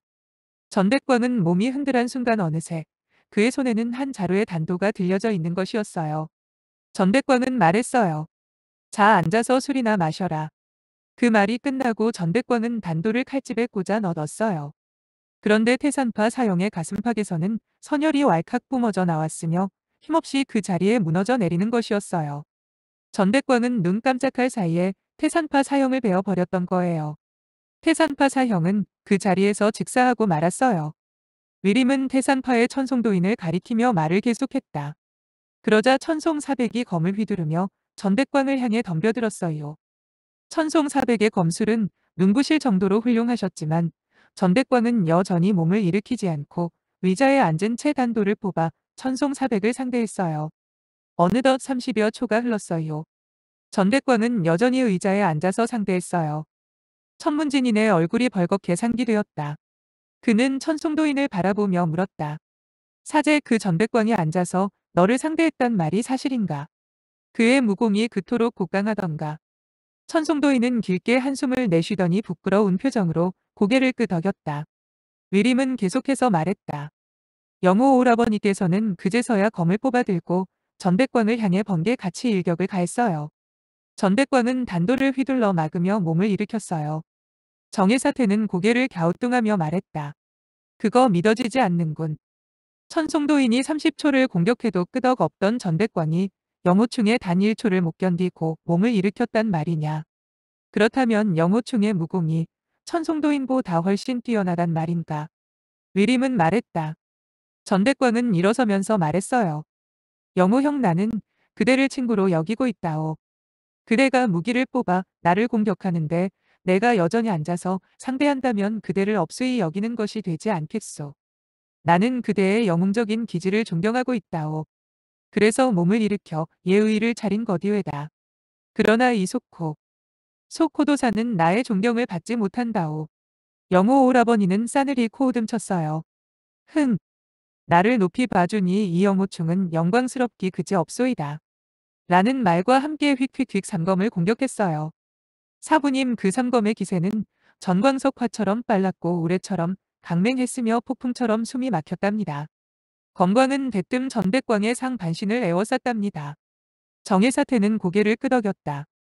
그 검법은 바로 악, 늙은이가 자랑하는 태학삼천공이라고 부르는 수법이란다. 제2검이 제1검보다 무섭고 제3검은 제2검보다 빨리 상대방의 몸에 닿는다고 하더구나. 전백광은 어떻게 막아내더냐. 위림은 말했어요. 전백광은 1초가 펼쳐질 때마다 한 걸음씩 물러섰어요. 그는 잇따라 세 걸음을 물러서더니 갈채를 보내더요. 훌륭한 검법이오. 전백광은 고개를 돌려 천송 사백부님을 보며 말했어요. 소코도사 그대는 어째서 공격을 멈추었지. 영호 오라버니가 검을 쓰자마자 천송 사백님은 한쪽으로 물러서서 관망하고 계셨어요. 천송 사백은 냉랭히 말했어요. 우리 태산파 제자는 정인군자이다. 어찌 사악하고 음란한 저 녀석과 힘을 합치겠느냐. 저는 참지 못하고 말했어요. 영호 오라버니를 헐뜯지 마세요. 그분은 좋은 사람이란 말이에요. 천송사백은 냉소를 날렸어요. 그가 좋은 사람이라고. 흐흐흐. 그는 전백광과 함께 어울려서 술을 마시고 형님 아우하는 사이가 아니냐. 그런데도 좋은 사람이라면 세상에 나쁜 사람은 단 한 사람도 없을 것이다. 말을 하던 천송사백은 갑자기 악하는 비명을 지르며 두 손으로 가슴팍을 얼싸안아둬요. 얼굴은 잔뜩 일그러졌으며 손가락 사이로 붉은 피가 흘러나왔어요. 전백광은 천천히 단도를 칼집에 꽂으며 이렇게 말했어요. 자 앉아서 술이나 마셔. 전백광의 칼 쓰는 솜씨는 정말 신속해서 저는 언제 어떻게 천송사백을 배웠는지 보지 못했어요. 저는 놀라 부르짖었어요. 죽이지. 죽이지 마세요. 전백광은 웃으며 말했어요. 미인이 죽이지 말라고 하니 죽이지 않겠다. 천송사백은 상처를 감싸쥔 채 아래층으로 비틀거리며 내려갔어요. 영호 오라버니는 뒤따라가서 부축하려고 했어요. 그때 전백광이 영호 오라버니를 말렸어요. 영호 형 저 소 코도사는 자존심으로 똘똘 뭉친 자로서 죽으면 죽었지 그대의 도움을 받으려고 하지 않을 것이오. 영호 오라버니는 쓸쓸한 표정으로 자리에 주저앉더니 잇따라 세 잔의 술을 마셨어요. 사부님 그때 영호, 오라버니의 모습은 한없이 외로워 보였답니다. 그래서 저는 마음이 매우 아팠어요. 정혜사태는 눈을 흘기며 말했다. 쓸데없는 소리는 집어치워. 다음엔 어떻게 됐느냐. 위림은 말했다.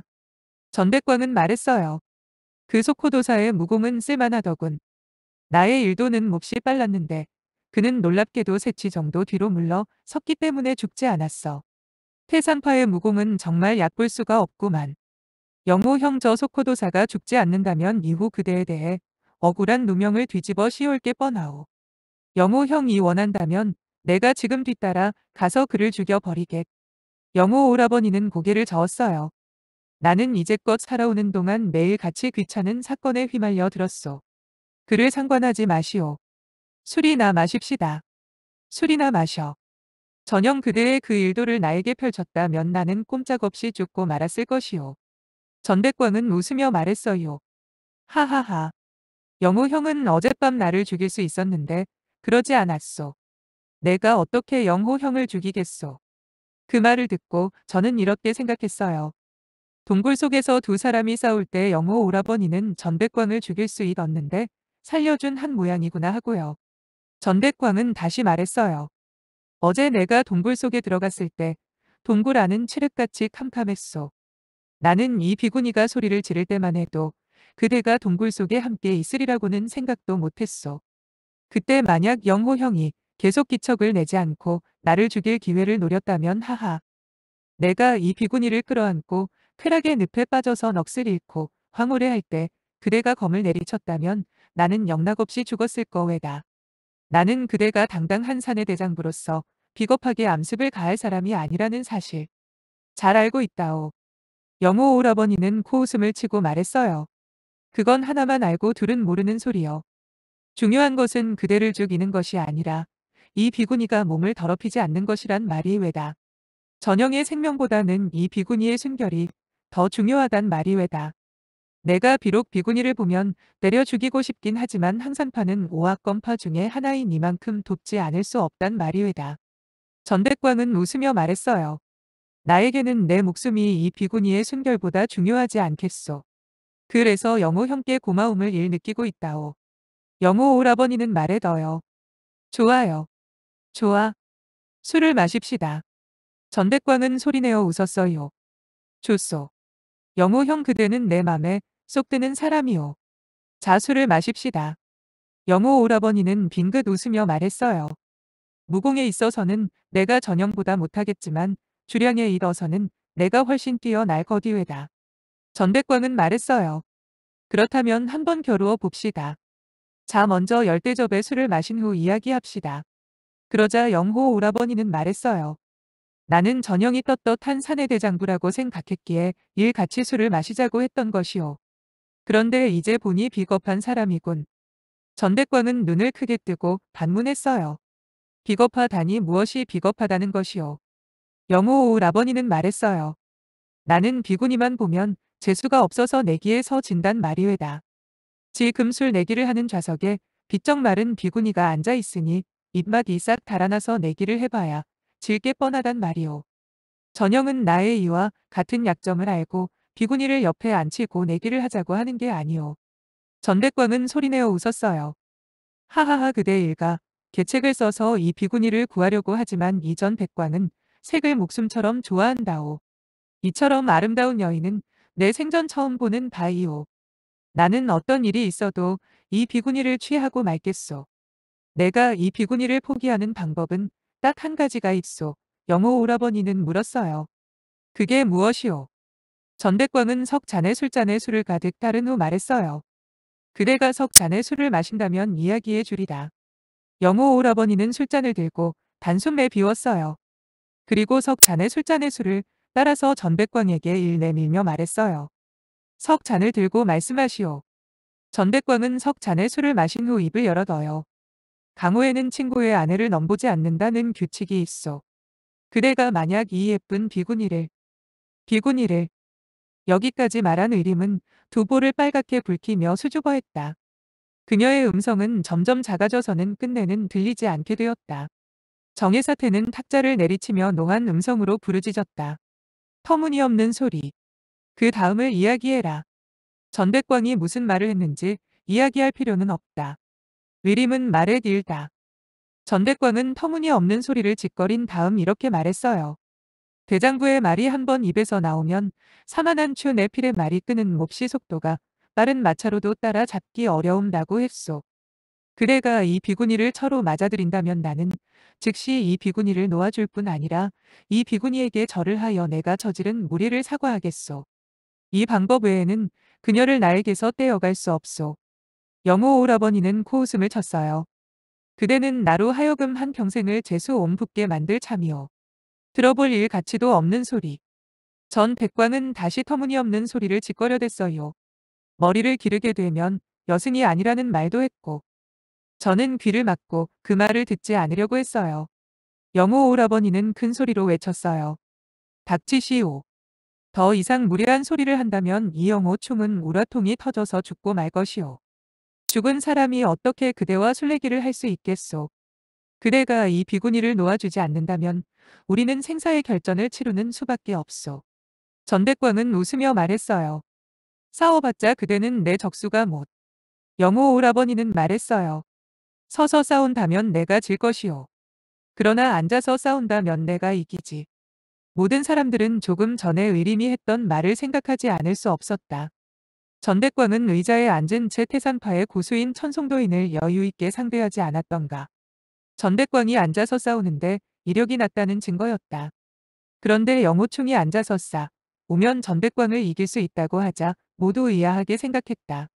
위림은 계속해서 말했다. 전백광은 웃으며 말했어요. 나 전백광이 탄복한 것은 그대의 호. 용기이지 그대의 무공은 아니오. 영호 오라버니는 말했죠. 이 영호충이 탄복한 것은 그대가 서서 싸우는 궤도이지. 그대가 앉아서 싸우는 수법은 아니외다. 전백광은 그 말을 듣고 웃었어요. 그건 그대가 모르고 하는 소리요. 나는 소년 시절에 다리에 한지를 앓은 적이 있었소. 따라서 나는 2년 동안이나 앉은 자세에서 칼 쓰는 방법을 연마했소. 앉아서 싸우는 재간은 나의 자랑스런 특기란 말이오.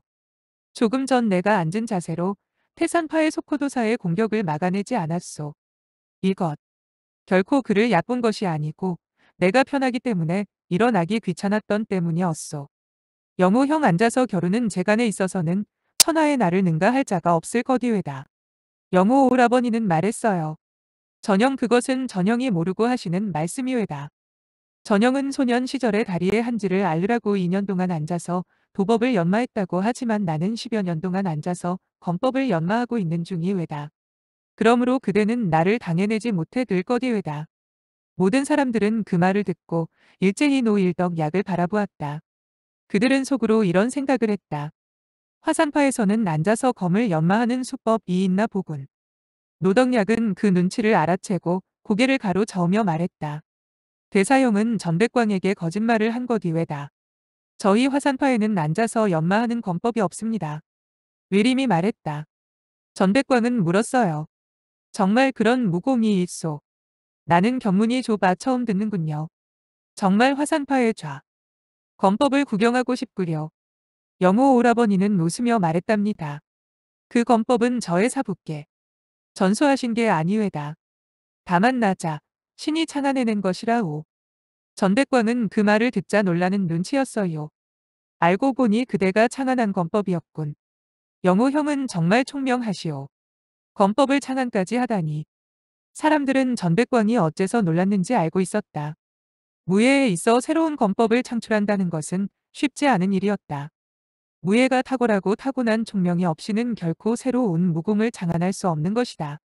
화산파같이 문파가 창립된 지 수백 년이나 되는 명문 대파의 권법은 일초일식 일마다 수많은 각고의 노력 끝에 탄생한 것들로서 이 가운데 단 한 초라도 변화시키기 힘든 노릇인데 새로운 권법을 창안한다는 것은 더 말할 나위가 없는 일이었다. 노덕약은 속으로 생각했다. 대사형은 원래 한 가지 권법을 창안한 모양이구나. 그런데 어째서 사부님께 말씀을 드리지 않았을까? 이때 의림이 말했다. 영호 오라버니는 웃으며 말했어요. 이 권법은 구린내가 충천하는 권법인데 무얼 그리 탄복하시오. 전 백광은 크게 의아하여 물었어요. 냄새가 나는 권법도 있소. 해괴한 일이 다 있군. 저 역시 이상하게 생각했어요. 권법이란 기껏 해야 뛰어나거나 형편없을 뿐이지 어떻게 냄새를 풍긴단 말이에요. 영호 오라버니는 말해둬요. 사실대로 말해주리다. 나는 매일아 침 변소에 앉아서 대변을 본다오. 이때 파리들이 오락가락하기 때문에 매우 번거롭소. 그리하여 나는 검을 들고 파리를 찔러 떨어뜨리기 시작했다오. 처음에는 잘 되지 않았으나 몇 년을 연습하니 가 익숙해질 대로 익숙해졌소. 그리하여 일검에 10여 마리의 파리를 떨어뜨릴 수 있게 되었고 뜻과 정신 이 하나로 융합되어 파리를 잡는 검초를 연결시켜 하나의 검법을 터득하게 된 거디외다. 따라서 대변을 볼 때 이 검법을 펼쳤으니 구린내가 난다고 해서 틀린 말은 아닐 것이오. 이 말을 듣고 저는 웃음을 터뜨렸어요. 영호 오라 버니는 정말 우스운 분이에요. 저는 대변을 보면서 검법을 연마한다는 말은 처음 들었어요. 전백광은 안색이 새파래지더니 노해 부르짖었죠. 영호 형 나는 그대를 친구로 여기고 있는데 그와 같은 말을 하다니. 나를 우습게 보는 게 아니오. 그대는 이전 백광을 변소해서 오락가락하는 파리로 여긴 단말이오. 좋소. 나는 즉시 그대의 냄새나는 검법과 겨루어 보겠소. 모든 사람은 거기까지 듣고 모두 고개를 끄덕였다. 고수 들끼리의 겨룸에서 조금이라도 마음이 들뜨게 된다면 불리하게 마련이다. 영호충이 그와 같은 말로 상대방을 경로하게 만들었으니 일단은 계책이 성공한 셈이라고 생각한 것이다. 정일사태는 말했어요. 좋아. 그 후엔 어찌 되었느냐. 위림은 말했다. 영호 오라버니는 빙긋 웃고 말했어요. 불초는 결코 전형을 변소에 있는 파리처럼 여기고 있지는 않소. 언짢아 마시구려. 나는 참을 수 없어서 웃었어요. 전백광은 더욱 화를 내며 단도를 뽑아 탁자에 콱 꽂고 말했어요. 좋소. 앉아서 겨루어 봅시다. 이때 전 백광의 두 눈에는 흉악한 살기가 감돌고 있었어요. 분명히 영호 오라버니를 죽이려고 결심했던 거예요. 영호 오라버니는 웃으며 말했어요. 앉아서 겨룬다면 그대는 나를 이길 수 없소. 영호총은 오늘 새로 사귄 전형을 해치고 싶지 않구려. 나 영호총은 당당한 사내 대장부로서 나의 특기를 가지고 친구를 굴복시키고 싶지는 않구려. 전백광은 싸늘히 말했어요. 잔말 말고 겨루자고. 영호 오라버니는 말했어요. 전형은 꼭 겨루어야 되겠소. 물론이지. 반드시 앉아서 겨루고 싶소. 맞아. 우리 안아서 겨루자고. 좋소. 그렇다면 우리는 조건을 미리 정합시다. 승부가 결정되기 전에 먼저 일어나는 쪽이 지는 것으로 하는 게 어떻겠소. 맞아. 먼저 일어나는 자가 지는 것으로 하자고. 영호 오라버니는 물었어요. 지게 된다면 어떻게 할까요? 전백광은 말했어요. 내가 진다면 그대가 하라는 대로 따르겠소. 좋소. 이렇게 합시다. 진 사람은 금후 이 젊은 비구니를 보게 되어들 때 어떤 무례한 말이나 행동을 하면 안 될 뿐 아니라 그녀를 보는 즉시 그녀에게 큰 절을 올리면서 사부님 제자 전백광이 인사드립니다. 하고 인사를 올리기로 합시다. 전백광은 화를 냈어요. 채. 내가 반드시 진다는 보장이 없는데 왜 전백광을 찍어다 붙이는 거지. 만약 그대가 진다면 영호 오라버니는 말했어요. 나도 마찬가지요. 그 누가 지던 간에 항산파 문화의 제자로 들어가야 하며 정일사태의 사손이 되어야 하고 젊은 여승의 제자가 되어야 하오.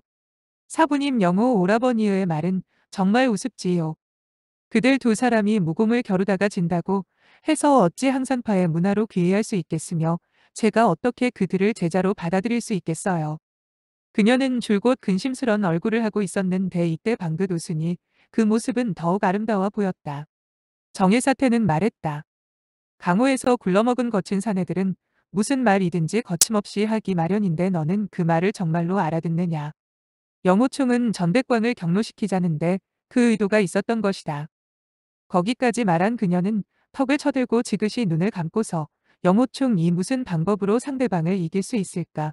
만약 그가 진다면 자기가 한 말을 어떻게 취소할 수 있을까 하는 문제를 골똘히 생각해 보았다. 잠시 생각해 본 그녀는 자기의 머리로서는 도저히 영호충의 속셈을 알아낼 수 없다고 생각하고 쓸데없는 일에 신경을 쓸 필요가 없다는 표정으로 물었다. 그래 전백광은 어떻게 대답하던. 위림은 말했다. 전백광은 영호 오라버니가 믿는 데가 있는 듯이 말을 하자 주저하는 빛을 띄웠어요.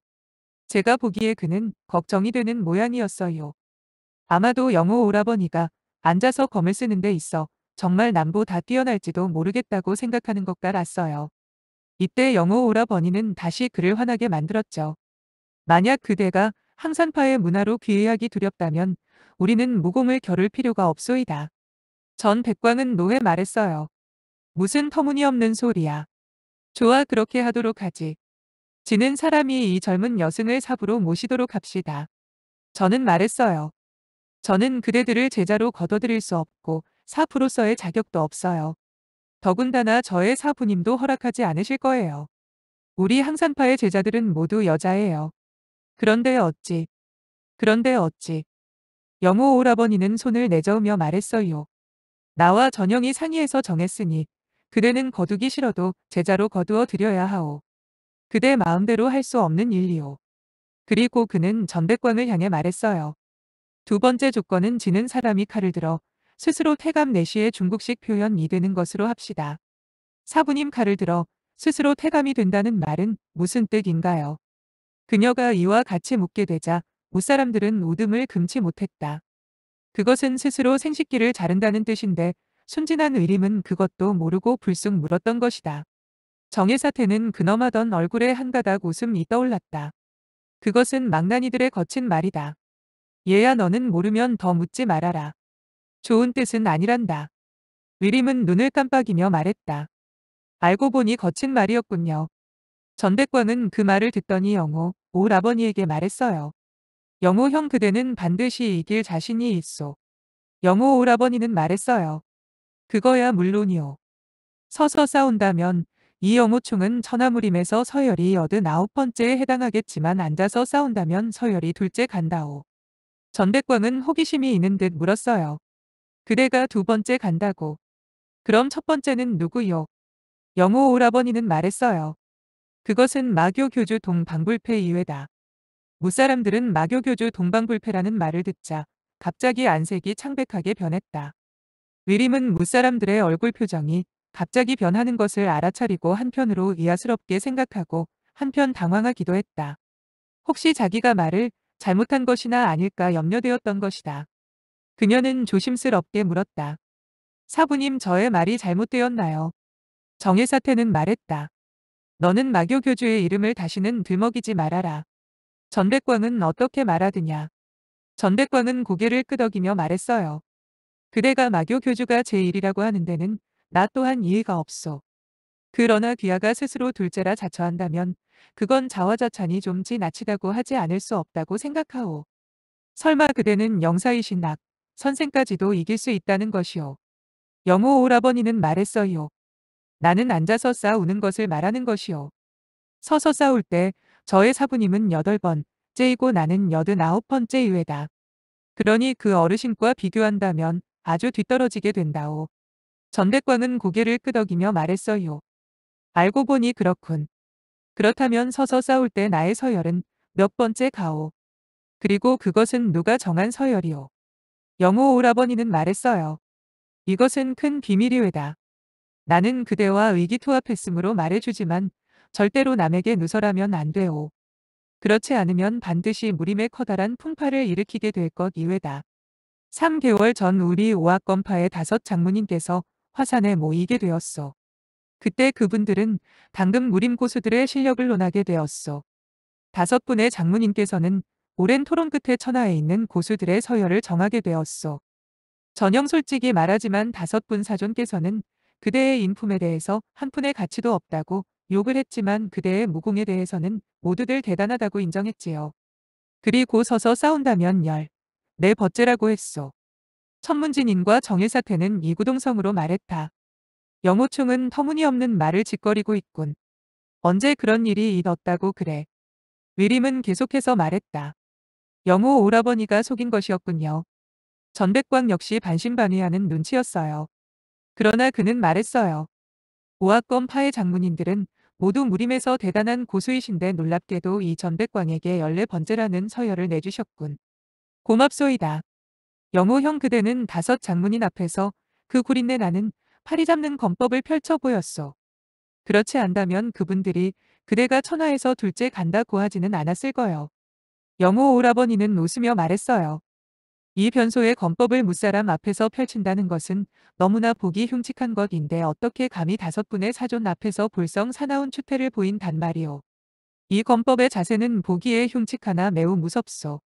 나 영호충은 몇 명의 방문 좌도의 고수와 무공을 토론한 바가 있는데 모두들 마교 교주를 제외하고는 천하에 필적할 고수가 없다고 인정했다오.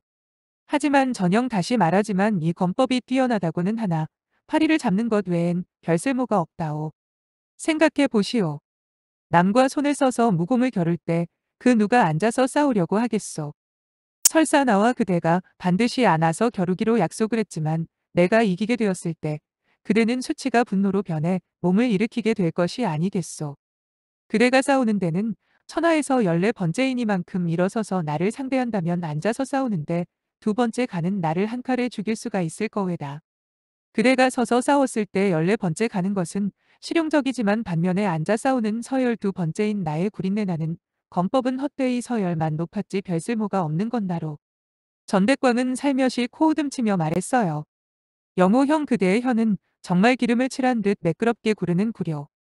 그대는 내가 앉아서 싸울 때 반드시 그대에게 진다는 것을 어떻게 알고 있으며 또 내가 수치가 분노로 변해서 몸을 일으켜 그대를 죽인다는 것을 어떻게 알고 있소. 영호 오라버니는 말했어요. 그대가 진 이후에 나를 죽이지 않는다면 태감이 될 게 아니겠소. 나를 죽여야만 그대는 태감이 되어 자손이 끊어지는 불상사를 막을 수 있을 것이 아니겠소. 좋소. 이제 쓸데없는 소리는 그만두고 손을 쓰도록 합시다.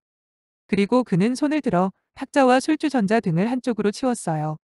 그리고 두 사람은 서로 마주본 채 앉았어요. 한 사람은 손에 칼을 들고 한 사람은 검을 들었어요. 영호 오라버니는 말했어요. 공격하시오. 먼저 일어나거나 먼저 의자에서 엉덩이를 떼는 사람이 지게 되는 거디외다. 전 백광은 말했어요. 조소 누가 먼저 몸을 일으키는지 두고 봅시다. 두 사람이 막 손을 쓰려는 찰나 전백광은 나를 쳐다보더니 갑자기 웃음을 터뜨렸어요. 영호 형 나는 그대에게 단복했소. 알고 보니 그대는 사람을 매복하였다가 이 전백광을 난처한 처지에 빠뜨리려고 했구려. 내가 그대와 싸우게 되고 그 누구도 먼저 일어나선 안 된다고 했을 때 그대의 협조자들이 와락 달려든다면 말할 것도 없이 나는 몸을 일으키지 않을 수 없을 게 아니오. 흥. 영호 오라버니 역시 소리내어 웃었어요. 다른 사람이 끼어든다면 이 영호충이 진 것으로 합시다. 젊은 여승 그대는 내가 이기기를 바라오. 아니면 내가 지는 것을 바라오. 저는 말했어요. 물론 그대가 이기는 것을 바라죠. 앉아서 싸울 때 그대가 천하에서 둘째라니 결코 저 사람에게 뒤지지 않을 거예요. 영호 오라버니는 말했어요. 좋소 그렇다면 그대는 가시오. 가능한 한 멀리 빨리 갈수록 좋소. 그대와 같은 못생긴 여승이 내 앞에 서 있으면 재수 옹붓게 되어 이 영호총은 싸울 것도 없이 지게 마련이외다. 그는 전백광이 무슨 말을 하기도 전에 일검을 찔러갔어요. 전백광은 칼을 들어 막으며 말했어요. 탄복했소이다. 탄복했어. 젊은 여승을 구해주려는 멋진 계책이었군. 영호 형정령 다정종자 이외다. 그러나 이 같은 일에 지나친 모험을 하는 것 같구려. 그제서야 저는 영호 오라버니가 먼저 일어나는 사람이 진다고 한 것은 바로 저에게 도망갈 기회를 주기 위해서였음을 깨달았죠. 전백광은 의자에서 일어날 수 없으니 자연 저를 잡을 수 없을 것이 아니에요. 무사람들은 거기까지 듣게 되었을 때 영호충의 계책에 대해 찬탄을 금치 못했다. 사실 영호충의 무공이 전 백광에게 뒤지는 것이 사실이니 그 방법 외에는 확실히 의림을 그곳에서 벗어나게 할 뾰족할 방법이 없었을 거라고 생각했다. 정의사태는 말했다. 다정종자라는 말은 거친 말이다. 이후 절대로 입에 담아서는 안 되며 마음속으로 생각해서도 안 된다. 의림은 고개를 떨구며 말했다. 네 알고 보니 그 말 역시 거친 말이었군요. 제자는 알았습니다. 정의사태는 말했어요. 그렇다면 너는 뒤로 돌아 길을 떠나야 하지 않았느냐. 만약 전 백광이 영호충을 죽인다면 너는 그의 독수에서 벗어날 수 없게 될 것이다. 그래요 영호 오라버니가 두 번세번 말하기에 저는 인사를 하고 말했어요. 영호 사형이 목숨을 구해준 은혜에 감사를 드립니다. 그리고 몸을 돌려 아래층으로 내려왔어요. 계단 쪽으로 등을 돌렸을 때 전백광의 호통 소리가 들려왔어요. 바다랏. 제가 고개를 돌려 바라보는데 두 방울의 피가 저의 얼굴에 튀었어요. 영호 오라버니가 어깨를 맞은 거예요. 전백광은 웃으며 말했어요. 하하. 앉아서 싸우는데 천하에서 둘째 가는 건 법도 내가 보기엔 시시하기만 하군. 영호 오라버니는 말했어요. 저 젊은 여승이야. 집까지 않았는데 어찌 내가 이길 수 있겠소. 이것은 재수가 없어서 벌어진 일이란 말이오. 저는 영호 오라버니가 여승을 미워하는데 계속 남아있다가는 그의 목숨을 해할지도 모른다고 생각해둬요. 그래서 급히 아래층으로 내려왔어요. 계단을 내려오게 되어들 때 2층에선 칼과 검이 부딪히는 소리가 끊임없이 들려왔고 곧이어 전백광의 호통 소리가 들려왔어요. 바다랏. 저는 깜짝 놀라고 말았어요. 영호 오라버니가 그의 칼에 맞았다고 생각했어요. 그러나 감히 2층으로 올라갈 수 없었어요. 저는 주루에 담장을 끼고 지붕 위로 올라가게 되었어요. 저는 지붕 위에 납작 엎드려 방안을 엿보게 되었어요. 그러고 보니 영호 오라버니는 여전히 검을 들고 무섭게 싸우고 있었는데 온몸이 피투성이었어요. 반면에 전백광은 조금도 상처를 입지 않았어요. 다시 한동안 싸우다가 전 백광이 호통을 내질렀어요. 바다랏. 영호 오라버니의 왼팔을 찌른 전백광은 칼을 거두며 웃었어요. 영호 형 나의 이 일초는 사정을 둔 것이오. 영호 오라버니는 웃으며 말했어요. 나도 알고 있소. 그대가 손에 조금만 더 힘을 줬다면 나의 이 팔은 잘라지게 되었을 것이오. 사부님 그와 같은 상황에서도 그이는 웃고 있어더요. 전백광은 말했어요. 그래도 싸우겠소. 영호 오라버니는 말했어요. 물론 싸워야지. 내가 언제 몸을 일으켰소. 전백광은 말했어요. 충고하건대 일어나도록 하시오. 우리가 정했던 조건은 없었던 것으로 하고 그 젊은 여승을 삽으로 모시는 것도 없었던 것으로 해주겠소. 영호 오라버니는 말했어요. 대장부 일원은 사만한추라고 했소이다. 그 말을 어떻게 없었던 것으로 할 수 있겠소. 전백광은 말했어요. 천하에 적지 않은 호거를 만나보았지만 영호 형과 같은 사람은 오늘 처음 만나보는 바이오. 조소 모든 것은 없었던 것으로 하고 손을 멈춥시다. 영호 오라버니는 빙긋 웃을 뿐 아무 말도 하지 않았어요. 몸에 입은 상처에서는 끊임없이 피가 흘러 마루를 적셨어요. 그때 전백광은 칼을 칼집에 꽂으며 몸을 일으키려 했어요. 갑자기 그는 몸을 일으키면 진다는 점을 상기하고 즉시 자리를 잡고 앉았어요. 어쨌든 의자에서 엉덩이를 떨구지는 않았어요. 영호 오라버니는 웃으며 말했죠. 저녁 매우 재빠르군요. 무사람들은 의림의 말을 듣고 전백광이 일 어서 써야 하는 건데 하고 애석하게 여겼다. 의림은 눈을 깜빡거리며 말했다. 전백광은 칼을 뽑아들며 말했어요. 나는 쾌도를 펼칠 작정이오. 조금만 더 지체하면 그 젊은 여승이 어디로 갔는지 몰라 쫓아 잡을 수 없으니 말이오. 저는 그가 나를 쫓아잡는다는 말을 듣자 전신이 떨려왔어요. 그리고 영호 오라버니가 그의 독수에 당하게 될까봐 두렵기도 했어요. 벼랑간 영호 오라버니가 힘을 들여 그와 싸운 것은 단지 저를 구하기 위한 거라는 생각이 퍼뜩 머리에 떠올랐어요. 제가 두 사람 앞에서 자결을 하게 된다면 영호 오라버니가 죽지 않으리라 생각했어요. 그래서 저는 허리에 찬 단검을 들고 집 안으로 뛰어내리려고 했어요. 벼랑 간 영호, 오라버니가 몸을 흔들하더니 의자와 함께 땅바닥에 쓰러졌어요. 그는 두 손으로 땅을 짚고서 천천히 몸을 일으키는데 의자는 그의 엉덩이에 붙은 채 쓰러져 있었어요. 그는 상처가 매우 심해 일시 버둥거렸을 뿐 일어나지를 못했어요. 전백광은 의기양양한 빛을 띄운 채 웃으며 말했어요. 앉아서 싸운다면 천하에서 둘째 가고 누워서 싸운다면 몇 번째 서열에 해당돼요. 그러면서 그는 몸을 일으켰어요. 영호 오라버니 역시 소리내어 웃으며 말했어요. 그대가 졌소. 전백광은 웃으며 말했어요. 그대가 낭패를 했는데도 내가 졌다는 것이오. 영호 오라버니는 땅바닥에 쓰러진 자세로 물었어요. 우리는 처음 어떻게 정했소? 전백광은 말했어요. 우리는 앉아서 싸우기로 했지. 누가 먼저 일어나 의자에서 엉덩이가 떨어지느냐. 떨어지느냐. 전백광은 말을 더듬거렸어요. 그리고 왼손으로 영호 오라버니를 가리키고 있었어요. 그제서야 속임수에 넘어갔다는 것을 깨달은 것이에요. 그는 이미 일어섰고 영호 오라버니는 일어나지 않은 상태이기 때문에 엉덩이가 의자에서 떨어지지 않은 상태였죠. 전백광은 매우 난처했으나 약속대로라면 영호 오라버니가 이긴 거죠. 무사람들은 참을 수 없다는 듯 손뼉을 치며 잇따라 잘했다고 탄성을 질렀다. 그런데 여창해만이 코웃음치며 입을 열었다. 무례한 녀석이 전대광과 같은 악적을 상대로 속임수를 썼으니 명문정파의 체면을 깎는 것이 아니겠소. 정의 사태는 노에서 말했다. 무엇이 속임수란 말이오. 사내대장부는 지혜로 싸우는 것이지 힘으로 싸우는 것이 아니오. 당신의 말을 듣건데 그대의 청성파에는 의리를 위해 용감히 나서는 소년 영엽이 없음을 알 수 있소.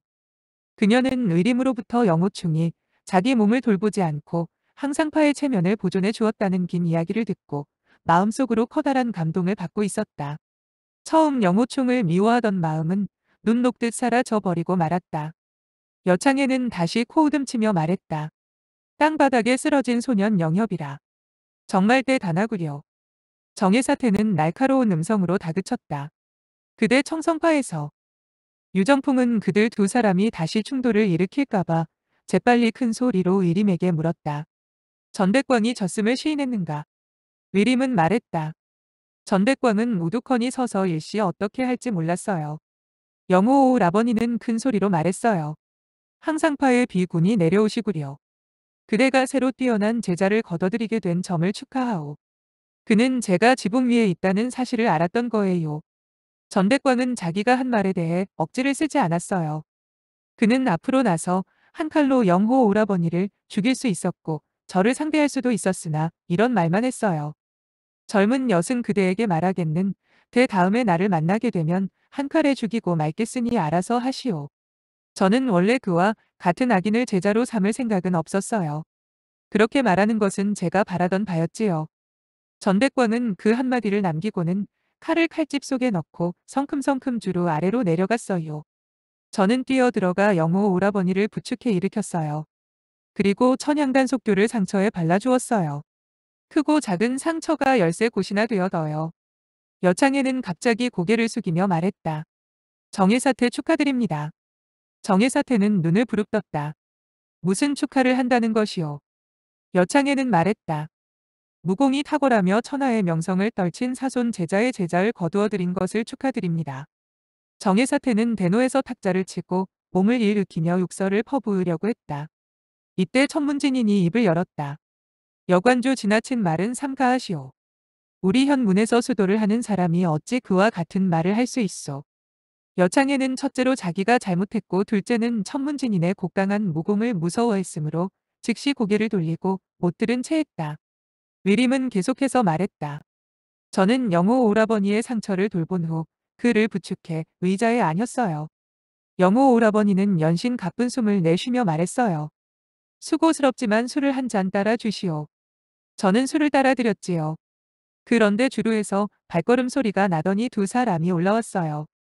한 사람은 바로 저 사람이었어요. 그녀는 나인걸의 시체를 메고 온 청성파의 제자를 가리켰다. 그리고 다시 말을 이었다. 다른 사람은 낙인 나인걸이었어요. 두 사람은 저와 영호 오라 버니를 번갈아 바라보는데 그 표정은 오만 무리했어요. 무사람들은 나인걸이 온몸에 피치를 한 영호충과 아름다운 여승 이주로에 앉아 있을 뿐 아니라 젊은 여승이 영호충에게 술을 따라 먹이는 것을 보고 자연히 못마땅하게 생각하게 되었고 무리한 얼굴빛을 띄우게 되었을 것이라고 생각했다. 위림은 계속해서 말했다. 영호 오라버니는 나인걸 등을 한번 쓸어보더니 제게 물었어요. 3회 그대는 청성파에서 가장 자랑하는 제주가 무엇인지 아시오? 저는 말했어요. 모르겠어요. 청성파에는 고명한 재간이 많다고 하더군요. 영호 오라버니는 말했어요. 맞았소. 청성파에는 고명한 재간이 많이 있어. 그 가운데 으뜸은 하, 하, 하, 서로의 감정을 위해서 말하지 않는 게 낫겠군. 그러고 나서 나인걸을 한번 쏘아보았어요. 나인걸은 앞으로 나서며 말했어요. 가장 고명한 것이 무엇이오? 이야기해 보시오. 영호 오라버니는 웃으며 말했어요. 나는 이야기하고 싶지 않은데 그대는 나보고 꼭 밝히란 것이오. 말해주겠소. 그것은 엉덩이를 뒤로 내밀고 나가 떨어지는 평산화간이라는 신법이외다. 나인걸은 탁자를 내리치며 큰 소리를 쳤어요. 터무니없는 소리. 무엇이 엉덩이를 뒤로 내밀고 날아가는 평산화간식이란 말이오. 나는 한 번도 들어본 적이 없소. 영호 오라버니는 웃으며 말했어요. 이것은 귀파에 자랑하는 초식인데 그대는 어찌 들어보지 못했소. 그대는 몸을 돌리시오. 내가 펼쳐 보이리다. 나인걸은 몇 마디 욕을 하고 영호 오라버니를 향해 주먹을 날렸어요. 오라버니는 몸을 피하려고 해드나 피를 많이 흘려서 기운이 전혀 없었어요. 오라버니는 몸을 흔들었을 뿐 즉시 주저앉게 되고 나인걸의 주먹에 코를 맞고 코피를 마구 쏟게 되었어요. 나인걸이 또다시 때리려고 했을 때 나는 재빨리 손을 내밀며 말했어요. 때려선 안 돼요. 이분은 몸에 중 상을 입고 있단 말이에요. 그대가 상처 입은 사람을 못살게 굴다니 어찌 영웅모걸이라 할 수 있겠어요. 나 인걸이 욕을 했어요. 젊은 여승이 이 녀석의 반반한 얼굴을 보고 속세에 뛰어들고 싶은 괴로군. 비키시오. 비키지 않는다면 그대 마저 때려주겠소. 저는 말했어요. 그대가 나를 때린다면 나는 그대의 사부 여관주에게 일러 바칠 거예요. 그는 말했죠. 하하하. 그대가 계율을 지키지 않았을 뿐 아니라 음란한 죄마저 범했 으니만큼 천하의 모든 사람들은 그대를 때릴 수 있어. 사부님 이것은 억울하게 누명을 씌우는 것이 아니겠어요. 그는 왼손으로 저를 잡으려고 했어요. 제가 막으려 했을 때 뜻밖의 그의 한 손은 허초였어요. 벼랑간 그의 오른손이 뻗어 나오면서 저의 왼쪽 뺨을 고집고 껄껄 웃지 않게 넣어요. 저는 화도 나고 다급해져 잇따라 삼장을 후려쳤지만 그는 모두 피해냈어요. 영호 오라버니는 말해서요. 3회 그대는 손을 세지 마시오. 내가 운기행공을 하고 나서 곧 저 녀석을 혼내주겠소. 저는 고개를 돌리고 그 이를 바라보았어요. 그 이의 얼굴은 핏기라곤 전혀 없고 창백했어요. 이때 나인 걸이 다가서더니 다시 주먹을 들고 때리려고 했어요. 영호 오라버니는 왼손으로 슬쩍 원을 그리며 그를 잡아당겼어요. 곧이어 다리를 들어 그의 그의 엉덩이를 걷어찼어요. 그 발길질은 참 빠르고 교묘하게 이를 벗어요. 나인걸은 그대로 서 있지 못하고 곧장 아래층으로 날아가 떨어졌어요. 영호 오라버니는 걸걸 웃으며 말했어요. 3회 이것이 청성파에서 가장 유명한 초식으로서 엉덩이를 뒤로 한 채로 날아가는 병사나간식이라는 신법이외다. 엉덩이를 뒤로 하는 것은 전문적으로 남의 발길질을 당하려고 것. 이고 그것은 모래벌판을 기러기가 날아내리듯 매우 우아한 자태를 보여주게 되는 것이오. 하, 하, 하. 그대가 볼 때 과연 근사하지 않소. 저는 웃고 싶었으나 그의 얼굴 빛이 점점 창백해지는 것을 보고 걱정이 되어 웃지도 못하고 말했어요. 좀 쉬도록 하세요. 말씀은 하지 마세요. 저는 상처에서 또 피가 흘러내리는 것을 보았어요. 아마도 지금 그가 발길질을 하느라고 힘을 주었기 때문에 상처가 재차 터진 모양이었어요. 나인 걸은 주로 아래로 떨어졌으나 곧 달려왔어요. 그의 손엔 이미 한 자루의 검이 쥐어져 있었어요. 그는 말했죠. 너는 화산의 영호충이지. 그렇지. 영호 오라 버니는 웃으며 말했어요. 귀파의 고수들 가운데 나에게 엉덩이를 뒤로 한 평사나간식을 펼쳐 보인 사람은 귀하가 세 번째요. 그러니, 그러니. 말을 하다가 끊임없이 기침을 했어요. 저는 나인걸이 그분을 해할까봐 검을 뽑아 옆을 지켰어요. 나인걸은 사제에게 말했어요. 여사제 그대가 이 젊은 여승을 상대하게. 그 여가라는 아기는 대답을 하더니 장검을 뽑고 제게 공격을 해왔어요. 저는 검을 써서 상대하지 않을 수 없었어요. 그런데 나인걸은 일검을 휘두르며 영호 오라버니에게 다가갔어요. 영호 오라버니는 간신히 검을 들어 막았으나 그 형세는 무척 다급해 보였어요. 다시 몇 초를 싸우게 되었을 때 영호 오라버니의 장검이 떨어지고 말하더요. 나인걸은 장검을 뻗어내서는 그의 가슴을 겨누고 웃으며 말했어요. 그대가 나를 거룩하신 할아버지라고 세 번 부른다면 그대의 목숨을 살려주도록 하지. 영호 오라버니는 웃으며 말했죠. 좋아. 내가 부르지 부르고 말고 내가 부른다면 그대는 귀파의 엉덩이를 뒤로 한 평사나간식을 나에게 전수해 주겠소. 그의 말을 듣자 나인걸은 장검을 앞으로 내질렀어요. 검은 영호 오라버니의 가슴을 깊숙이 찌르고 말았어요. 나인걸은 너무 악랄했어요. 그녀가 여기까지 말했을 때 그녀의 뺨을 타고 두 줄기 맑은 눈물이 흘러내렸다. 그녀는 흐느끼며 말을 계속했다. 저는, 저는 그와 같은 광경을 보고 달려가 막으려고 했으나 나인걸의 일검은 이미 영호 오라 버니의 가슴을 찌른 이후였어요. 일시의 화청 안은 조용해졌다. 여창에는 갑자기 자기의 얼굴에 많은 시선이 쏟아지는 것을 느꼈다. 그 눈동자는 하나같이 멸시와 분노 그리고 미움의 빛이 서려 있었다. 여창에는 그대로 있을 수 없다고 생각하고 입을 열었다. 그대의 말은 진실성이 없군. 그대는 나인걸이 영호충을 죽였다고 했는데 어떻게 나인걸이 그의 검에 죽게 되었지. 위림은 말했다. 영호 오라버니는 검에 찔린 이후 빙그레 웃으며 저에게 말했어요. 소삼의 나에게. 나에게 커다란 비밀이 있어. 그대에게 들려드리지. 그 보기표국의 벽사. 벽사건보는 저기. 저기. 그의 음성은 갈수록 낮아져서 전 무엇이라고 하는지 알아들을 수가 없었어요. 다만 그의 입술이 달짝거리는 것만 보였을 뿐이에요. 여창에는 그녀가 보기표국의 벽사건보를 들먹이자 마음속에 큰 충격을 받아 자기도 모르게 표정이 굳어져 물었다. 어디에? 그는 어디에 있었냐고 물으려고 했으나 그와 같은 말을 많은 사람 앞에서 물어서는 안 된다는 것을 상기하고 말을 멈추고 말았다. 그러나 그의 가슴은 쿵쿵거렸으며 마음이 안정되지 않았다. 이때 의림은 계속해서 말했다. 나인걸은 그 건보에 대해 관심이 매우 많은 것 같았어요.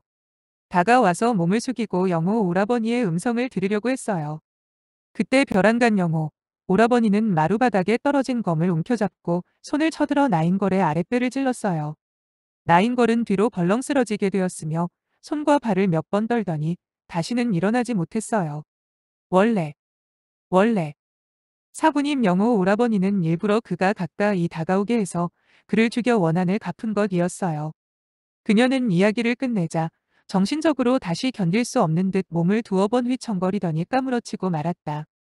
정혜사태는 손을 뻗어 그를 안고 여창해를 녹이 띈 눈으로 바라보았다. 무사람들은 아무 말도 하지 않았다.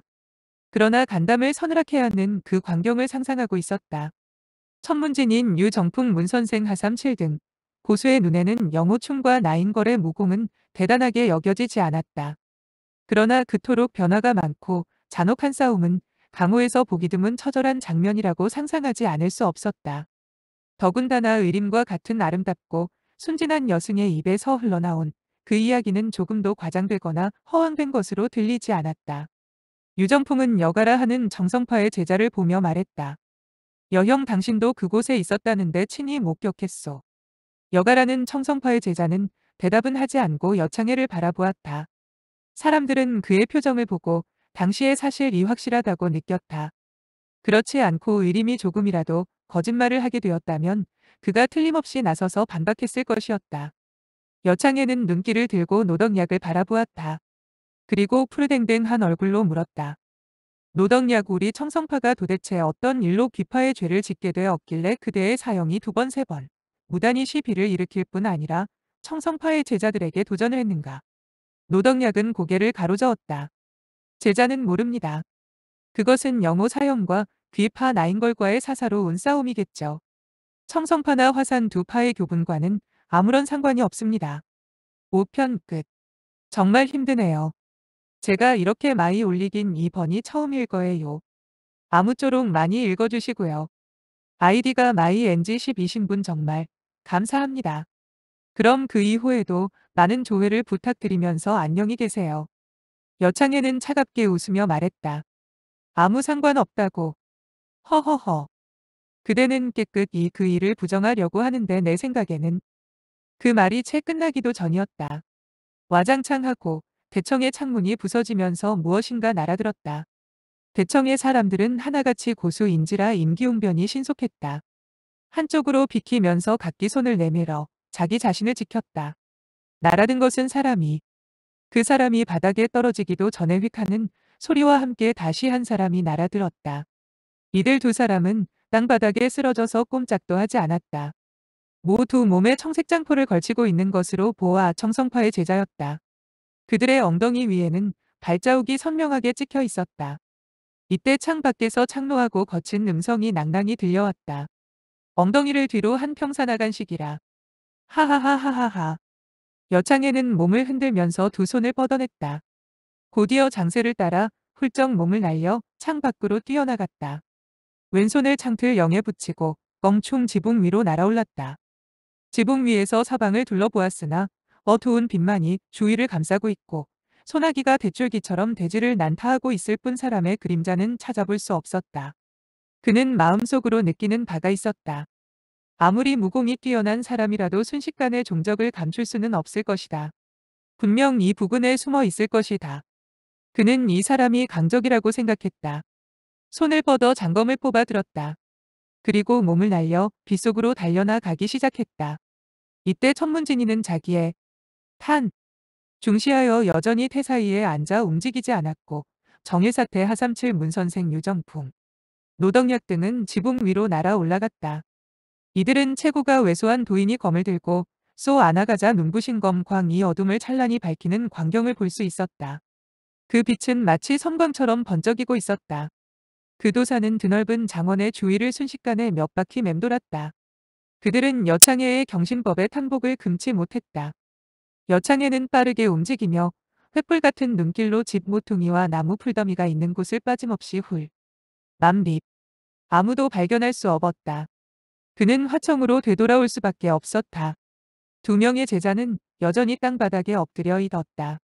엉덩이에 똑똑히 찍힌 발자국은 이제부터 수많은 무술인들의 비웃음거리가 될 터였다. 청성파의 명예가 와르르 무너져 내리는 듯한 환상을 여창해는 보았다. 여창해는 한 명의 제자를 뒤집어 보았다. 그 제자는 신인준이었다.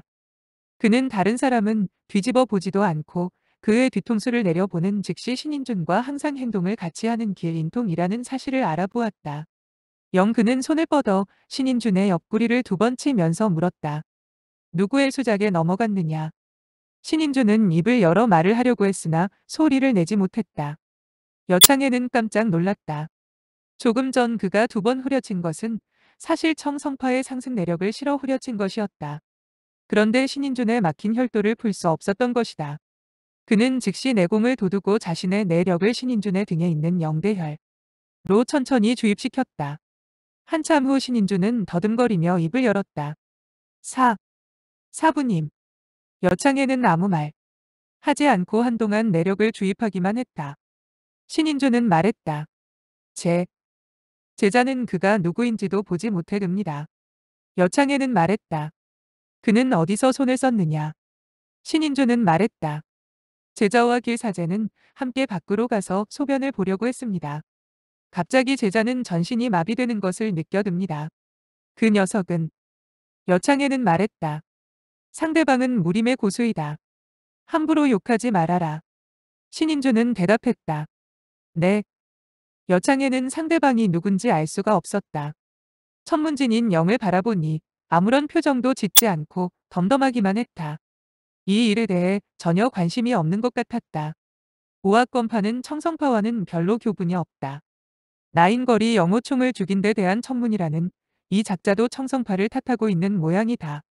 그는 갑자기 떠오르는 생각이 있었다. 하수인은 어쩌면 대청에 있는 사람들 틈에 숨어 있는지도 모른다. 그는 재빠른 걸음으로 대청으로 나갔다.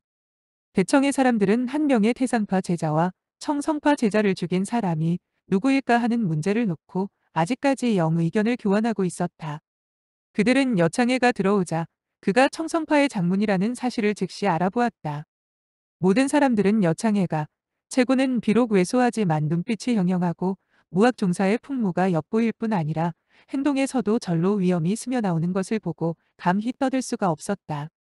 여창해는 눈을 들어 한 사람 한 사람을 훑어보았다. 대청의 사람들은 모두 무림의 인물이었다. 그는 알고 있는 사람이 많지는 않았으나 옷차림을 보고 어느 문파에 속하는가를 알 수 있었다. 그는 어떤 문파에 하더라도 그들과 운대는 내력이 심오한 고수가 없으리라고 생각했다. 따라서 그 사람이 대청에 있다면 반드시 보통 사람들과는 다를 것이라고 생각했다. 이윽고 그의 눈길 이 한 사람에게 고정되었다. 그 사람은 얼굴이 흉측하게 일그러졌고 근육은 비틀어졌으며 등 이 낙타처럼 불룩했다. 바로 찻집에서 군웅들의 뒤를 따라온 젊은 꼽추였다. 여창에는 갑자기 떠오르는 생각에 가슴이 서늘해졌다. 혹시 그가 아닐까? 소문에 듣건대 세북명타 목고봉은 평소 세회에서 활, 오 하고 있으며 중원 땅에 발을 들여놓은 일이 없다고 했다. 도대체 오악건파와 어떤 교분이 있길래 유정풍의 은퇴식에 그가 참석하게 된 것일까? 만약 그가 아니라면 무림에서 모습이 저토록 추악한 꼽추를 어디서 찾아볼 수 있겠는가? 대청에 있던 모든 사람들도 여창의 눈길을 따라 그 꼽추에게 쏠렸다. 무림의 사정을 잘 알고 있는 나이 많은 사람들은 모두 놀라워 하는 소리를 냈다. 유정풍은 앞으로 나가 깊이 읍을 하고 말했다. 귀하가 방문한 것을 모르고 대접이 소홀해 근이정. 신뢰가 많았소이다. 꼽추는 무림의 이인이 아니었다. 바로 납치된 부모의 행방을 알아내려고 은퇴식에 잠입한 보기표국 임진남의 아들 임평지라는 청년이었다. 그는 남에게 알려질까봐 줄곧 고개를 숙이고 몸을 돌린 채 대청 한 모퉁이에 우크리고 있었다. 만약 여창해가 한 사람 한 사람 훑어보지 않았다면 아무도 그에게 주의를 기울이지 않았을 것이다. 무사람들은 일제히 그를 바라보았다. 임평진은 겸연쩍은지 유정풍의 인사를 받고 재빨리 일어서서 읍을 하고 말을 했다. 그와 영 같은 말씀은 감당할 수 없습니다. 유정풍은 목고봉이 어떤 사람인지 대강 알고 있었다. 그런데 눈앞에 이 사람이 쓰는 말씨는 남쪽 지방의 말씨가 아닌가. 나이도 차이가 많았다. 그는 의심이 일었다. 그러나 평소 목고봉의 행동이 신출귀물하다는 사실을 상기하고 여전히 공손하게 말했다. 불초는 유정풍이라고 합니다. 실례이지만 귀하의 존성대명은 어떻게 되시는지요? 임평진은 집안을 멸망시킨 여창에 앞에서 정체를 드러낼 수가 없는 처지였다. 그가 꼽추로 변장하고 얼굴 모습을 봐. 이유도 청성파 사람들에게 정체가 드러나면 안 되기 때문이었다. 그는 유정풍의 말에 대답하지 못하고 머뭇거렸다. 유정풍은 말했다. 귀하는 목대엽과 임평진은 떠오르는 생각이 있었다. 나의 성은 임시이나 이를 둘로 나누어 반쪽만 사용해도 될 것이니 몫시로 해두자. 그는 생각이 끝나자 불쑥 말했다. 저의 성은 몫시입니다. 유정품은 말했다. 목 선생이 형상까지 왕님의 주신 전 불초는 크나큰 영광으로 생각합니다. 그런데 세북명타 목 대엽과는 너. 백 되시는가요? 그는 임평지의 나이가 젊고 얼굴에 붙어 있는 고약은 자기 본래 모습을 감추려고 붙였다고 추측하였다. 분명히 명성을 떨친 지 수십 년이나 되는 세북명타 목고봉은 아닐 것이라고 판단했다. 임평진은 세북명타 목고봉이라는 이름은 들어본 적이 없었다. 그러나 유정풍의 어조에는 목과 성을 가진 사람을 매우 존경하는 듯했고 여창애가 옆에서 노기등등한 눈초리로 자기를 쏘아보고 있는 모습을 대하자 자기가 만약 조금이라도 정체를 드러내게 된다면 당장 그의 손에 죽음을 당하고 영말 것이라고 생각했다. 정세가 급박하니만큼 아무렇게나 얼버무려야 되겠다고 생각했다. 세북명타 목대여 말씀입니까? 그는 불초의 위서른이 됩니다. 여창에는 대청에 또 다른 이상한 사람이 없으므로 제 자 신인 준과 기린통 두 사람을 걷어찬 사람이 임평지라고 확신하게 되었다. 만약 세북명타 목고봉이 친히 나섰다면 상당히 꺼렸을 것이다. 그런데 이 사람은 목고봉의 후손에 불과하지 않은가. 그는 자신이 만만해졌다. 그가 먼저 청성파에 도전을 한 셈이니 어찌 참고 견딜 수가 영겠는가 하는 생각이 들었다. 그는 냉랭한 어조로 입을 열었다. 청성파는 세북의 목선생과는 아물라 관계가 없소. 그런데 어떤 점이 귀하의 눈에 거슬렸는지요. 임평진은 이 왜소한 도사를 마주 바라보게 되자 두렵기도 했고 증오심이 부글부글 끓어오르기도 했다. 며칠 전 여창에 의해 집안이 멸망되었을 뿐 아니라 가족들은 뿔뿔이 흩어지게 되지 않았던가. 그의 부모는 사로잡혀 아직까지 생사를 모르는데 이 모든 것은 왜소한 도사로부터 비롯된 것이었다. 비록 여창해의 무공이 자기보 뛰어나다는 사실을 알고 있었지만 끓어오르는 분노를 주체하기 힘들었다. 그는 무기를 뽑아 찔러 죽이고 싶은 충동에 사로잡혔다. 하지만 이 며칠 동안 많은 고초를 겪은 그는 이미 닭싸움이나 시키고 말을 달리던 부잣집 도련님은 아니었다. 그는 즉시 노기를 억누르고 말했다. 청성파에서 비위에 거슬리는 일을 일으키게 되었다면 목대협 이 자연 손을 쓰게 되지 않겠소. 목대협께서는 의협심이 탁월하 신 분으로서 포악한 자를 치고 약한 자를 도우시는 성미인이 귀하가 그분에게 죄를 지었다. 그분이 응분의 대가를 치룰 게 아니겠소. 유정풍은 그 말을 듣자 속으로 웃음을 금치 못했다. 세북명타 목고봉은 무공은 곡강하나 인품은 퍽포악한 편이었다. 그가 목대협이라 부른 것도 예의상 그렇게 부른 것일 뿐이었다.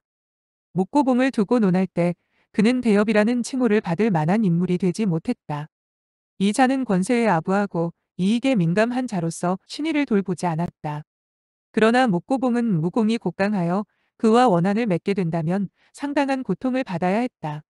그렇기 때문에 무림의 몸담 연고 있는 사람들은 그를 매우 두려워한 것은 사실이지만 진정 그를 존경하는 사람은 하나도 없었다. 유정풍은 임평지의 말을 듣고 그가 목고봉의 아들이거나 조카일 것이라고 짐작했다. 그렇지 않고서야 목고봉을 좋게 말할 이유가 없었다.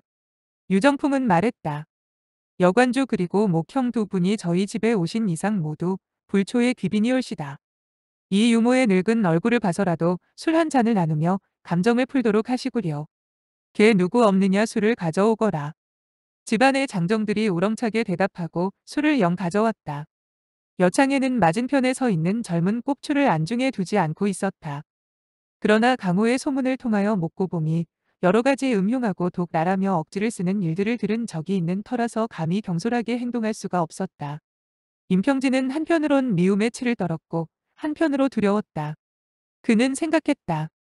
어쩌면 우리 아버님과 어머님은 이미 이 악독한 도사의 독수를 맞고 돌아가셨는지도 모른다. 나는 그의 일장에 맞아 죽는 한이 있어도 그와 함께 술을 마실 수는 없다. 그는 두 눈에 녹이 영의 빛을 가득 띄우고 여창해를 노려보았을 뿐 술잔을 받으려고 하지 않았다. 여창해는 임평지가 자기를 노려보고 있자 노기가 끌어올라 손을 뻗어 금나수법으로 임평지의 손목을 움켜쥐며 말했다. 좋아 좋아 유대협의 체면을 보아서 너에게 무례한 행동을 하지는 않겠다. 우리 잘 사귀어 보자고. 임평지는 힘을 주었으나 손을 빼낼 수가 없었다. 손목에 격렬한 아픔이 밀려왔다. 손목뼈가 우두둑하며 금방이라도 부서지고 말 것 같았다. 여창에는 내력을 모아 내쏟지 않고 임평지로 하여금 영용서를 빌도록 할 속셈이었다. 그런데 임평지는 그에게 깊은 원한을 품고 있었기 때문에 손목뼈 마디마디가 부서지는 듯 아파왔으나 신음소리 한 번 내지 않았다. 유정풍은 임평지가 이마에서 콩알 같은 땀 방울이 맺혀 떨어지는 대도 얼굴에는 여전히 의연한 빛을 띄우고 조금도 굴복하지 않는 것을 보고 이 젊은이의 굳굳함에 탕복하는 마음이 생겼다. 이 보시오 여관주. 그러면서 그는 쌍방을 화해시키려고 했다. 그런데 벼랑간 날카로운 음성이 들려왔다. 여관주 어찌 염치가 이토록 조경소. 묵고 봉의 손자를 못살게 굴다니. 무사람들은 일제히 고개를 돌렸다. 대청 입구에 뚱뚱한 꼽추가 서 있었다. 이 사람의 얼굴은 하얀 버짐이 잔뜩 나 있었고 또 양쪽 뺨에는 커다란 검은 사마귀가 하나씩 나 있었다. 그 모습은 기괴하고도 흉측해 보였다. 대청의 무사람들은 대부분 목고봉의 참모습을 본 적이 없었다. 이때 그가 스스로 자기의 성명을 들먹이고 기이한 모습을 나타내자 하나같이 얼굴 표정이 굳어졌다. 이 꼭주의 몸은 비대했으나 행동은 민첩하기 이를 데 없었다. 번쩍 몸을 역날려 어느새 임평지 곁으로 다가와 그의 어깨를 툭툭 치면서 말했다. 착한 손자 녀석 정말 착하지. 너는 너의 할 아버지가 위협의 길을 가며 강한 자를 무찌르고 약한 자를 도왔다고 말했지. 이 할아비는 그와 같은 말을 듣고 정말 기분이 좋구나. 그는 다시 임평지의 어깨를 툭툭 쳤다. 그가 처음 어깨를 툭 치게 되었을 때 임평지는 전신이 짜릿해지는 것을 느꼈다. 여창에 또한 손에 화끈한 기운이 전해져 하마터면 손을 놓을 뻔했다. 그러나 급히 공력을 돋우고 손을 더욱 힘주어 움켜쥐었다. 영 목고봉은 여창애를 뿌리칠 수 없자 임평지에게 말을 걸면서 한편으론 내력을 돋우었다. 그리하여 두 번째로 임평지의 어깨를 치게 되었을 때는 이미 온몸의 공력을 돋우게 되었다. 임평지는 두 번째로 어깨를 맞고 눈앞이 캄캄해지고 목 안이 달콤해지는 것을 느꼈으며 한 모금의 선혈이 입안까지 올라옴을 느꼈다. 그러나 그는 힘들여 참고 꿀꺽하며 선혈을 되삼켰다. 여창에는 이때 소나귀가 찢어지는 듯해서 더 잡고 있지 못하고 손을 놓고 말았다. 그는 한 걸음 물러서며 생각했다. 이 꼽추는 악날. 인물이라고 하더니 정말 명불허전이로구나. 그는 나의 손을 떨치기 위해 자기의 손자가 내상을 입는 것도 아랑곳하지 않는군. 임평진은 억지로 껄껄 웃으며 여창애에게 말했다. 하하 여관주 청성파의 무공은 너무나 힘이 없구요. 세북명타 목대엽과 비교한다면 차이가 많이 나는구려. 내가 보기에 당신은 차라리 목대엽의 제자가 되어 그의 가르침을 몇 수 받는다면 약간의 진보가 있을 것 같구려. 그는 내상을 입고 있는지라 그와 같은 말을 할 때 가슴인 크게 울렁덩거렸다. 오장육부가 뒤집히는 것 같았다. 억지로 말을 끝냈으. 나 몸은 쓰러질 듯 휘청거렸다. 여창에는 말했다.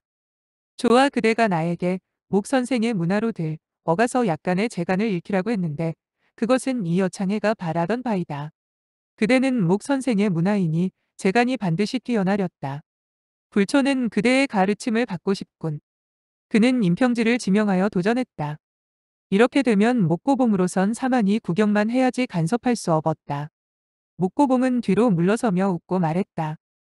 손자 녀석아 아직 영너의 조에는 낮아서 청성파 장문인의 적수가 되지 못할 것이며 덤벼들었다간 일장의 죽음을 당하게 될 것이다. 꼽추 녀석이 죽음을 당하는 것은 안타깝다고 아니할 수 없는 일. 너는 차라리 무릎을 꿇고 이 할아비에게 큰 절을 올리고 이 할아버지가 대신 손을 써달라고 간청하는 것이 어떻겠느냐. 임평진은 여창애를 한번 바라보더니 생각했다. 내가 경솔하게 나서서 여가와 손을 쓰게 된다면 분노에 휩싸인 그는 정말 나를 죽이고 말 것이다. 목숨을 부지 못한다면 어떻게 부모의 원수를 갚영을 수 있겠는가. 그러나 임평진은 사내 대장부이다. 어찌 처음 보는 꼭추를 할아버지라고 부를 수 인간 말이냐. 내 자신이 모욕을 당하는 것은 상관없지만 아버지까지도 큰 욕을 당하게 되는 것이다. 그런 짓을 하고서야 강호에서 어떻게 얼굴을 들고 다닐 수 있겠는가. 내가 그에게 무릎을 꿇는다면 이것은 새 북명타의 보호를 받겠다는 의미가 되고 다시는 자립할 수 없게 될 것이다. 여창에는 말했다. 내가 보기에 너는 사내다운 데가 없군. 저를 몇 번 하고 남에게 대신 싸워달라고 하는 것이 뭐 그리 대수로운 일인가. 그는 이미 임평지와 목고봉 사이의 관계를 이상하다고 생각하고 있었다. 목고봉이 그의 할아버지가 아닌 것 이 분명하다고 짐작했다. 그렇지 않다면 왜 임평진은 그를 대엽이라 불렀을 뿐 시종할 아버지라고 부르지 않겠는가. 그리고 목고봉 역시 그 순간에 자기 손자에게 절을 하라고 하지는 않았을 것이다. 여창에는 충동질을 하여 임평지로 하여금 성질을 이기지 못하고 스스로 손을 쓰도록 유도하려고 했다. 임평지는 머릿속에 여러 가지 생각이 스쳐갔다. 대장부가 일시 영의 기분에 좌우되어 함부로 날뛴다면 큰일을 그르치기 쉽다. 내가 이후에 정말 위세를 떨치게 된다면 오늘 약간의 치욕을 당한다 해도 설욕할 기회가 있을 것이다. 그는 즉시 몸을 돌려 무릎을 꿇고 목고봉을 향해 절을 했다. 할아버지 저 여창에는 무고한 사람을 함부로 죽이며 재물을 빼앗았습니다. 무림의 모든 사람들은 그를 죽이고자 합니다. 할아버지께서 무림의 정의를 위해 강호의 저 큰 해충을 제거해 주십시오. 목고봉과 여창해로서는 정말 뜻밖의 일이었다. 이 젊은 꼽추는 조금 영전 여창해에게 잡혀서 내력으로 핍박을 해도 시종 굴복하지 않았는데 지금은 머리를 조아리며 애걸을 하지 않는가. 많은 사람들 앞에서 이처럼 굴욕적인 절을 한다는 사실에 놀라지 않을 수 없었다. 무사람들은 이 젊은 꼽추가 목고봉의 손자쯤 되는 줄 알았다. 목고봉만이 이 젊은 꼽추가 자기와 아무런 관계가 없다는 사실을 알 뿐이었다. 그런데 여창에는 그 가운데 빈틈을 어느 정도 간파하긴 했으나 두 사람 사이에 참된 관계를 짐작할 수 없었다. 목고봉은 소리내어 껄껄 웃었다. 하하하. 정말 영착한 손자다. 착한 손자야. 자, 우리 한번 놀아볼까. 그는 입으로 임평지를 칭찬하고 있었지만 얼굴은 여창해를 향하고 있었다. 착한 손자니 하는 말은 마치 여창해 보고 하는 소리 같았다. 여창해는 더욱 분노가 끌어올랐다. 그는 오늘 이 일전은 비단 자기의 생사존망과 관계 있을 뿐 아니라 청성파의 명예와도 큰 관련이 있다는 사실을 떠올렸다. 그는 정신을 가다듬고 경계하면서도 겉으로는 태연한 표정을 지으며 말했다. 목 선생이 여러 친구들 앞에서 절세의 무예를 선보여 주셔서 영 우리의 시야를 넓혀줄 의도가 있다고 하시니 빈도는 목숨을 걸고 상대해 드릴 수밖에 없겠구려. 조금 전 목고봉이 임평지의 어깨를 쳐 손을 떼지 않을 수 없었던 여창에는 그의 내력이 심오할 뿐 아니라 매우 패도적이라는 사실을 알고 있었다. 일단 정면으로 공격을 해온다면 그 기세는 마치 천둥이 치고 산이 무너지며 바다가 뒤엎어지는 듯한 위협적인 공세가 되리라고 생각했다. 목고봉은 왜소한 도인의 몸이 어린애 같아 손에 든다 해도 몇끝 나가지 않을 것 같았으나 우뚝 버티고서 모습의 태산과 같은 위험이 서려 있어서 절로 일파의 종사다운 풍모가 엿보이는지라 여창해의 내공조회가 퍽 심오할 것이라고 생각했다. 이 작은 도사에게는 정말 약간의 재주가 있는 모양이다. 청성파에서는 대대로 고수를 배출하였는데 이소코 도사는 장문인이니만큼 결코 평범하지는 않을 것이다.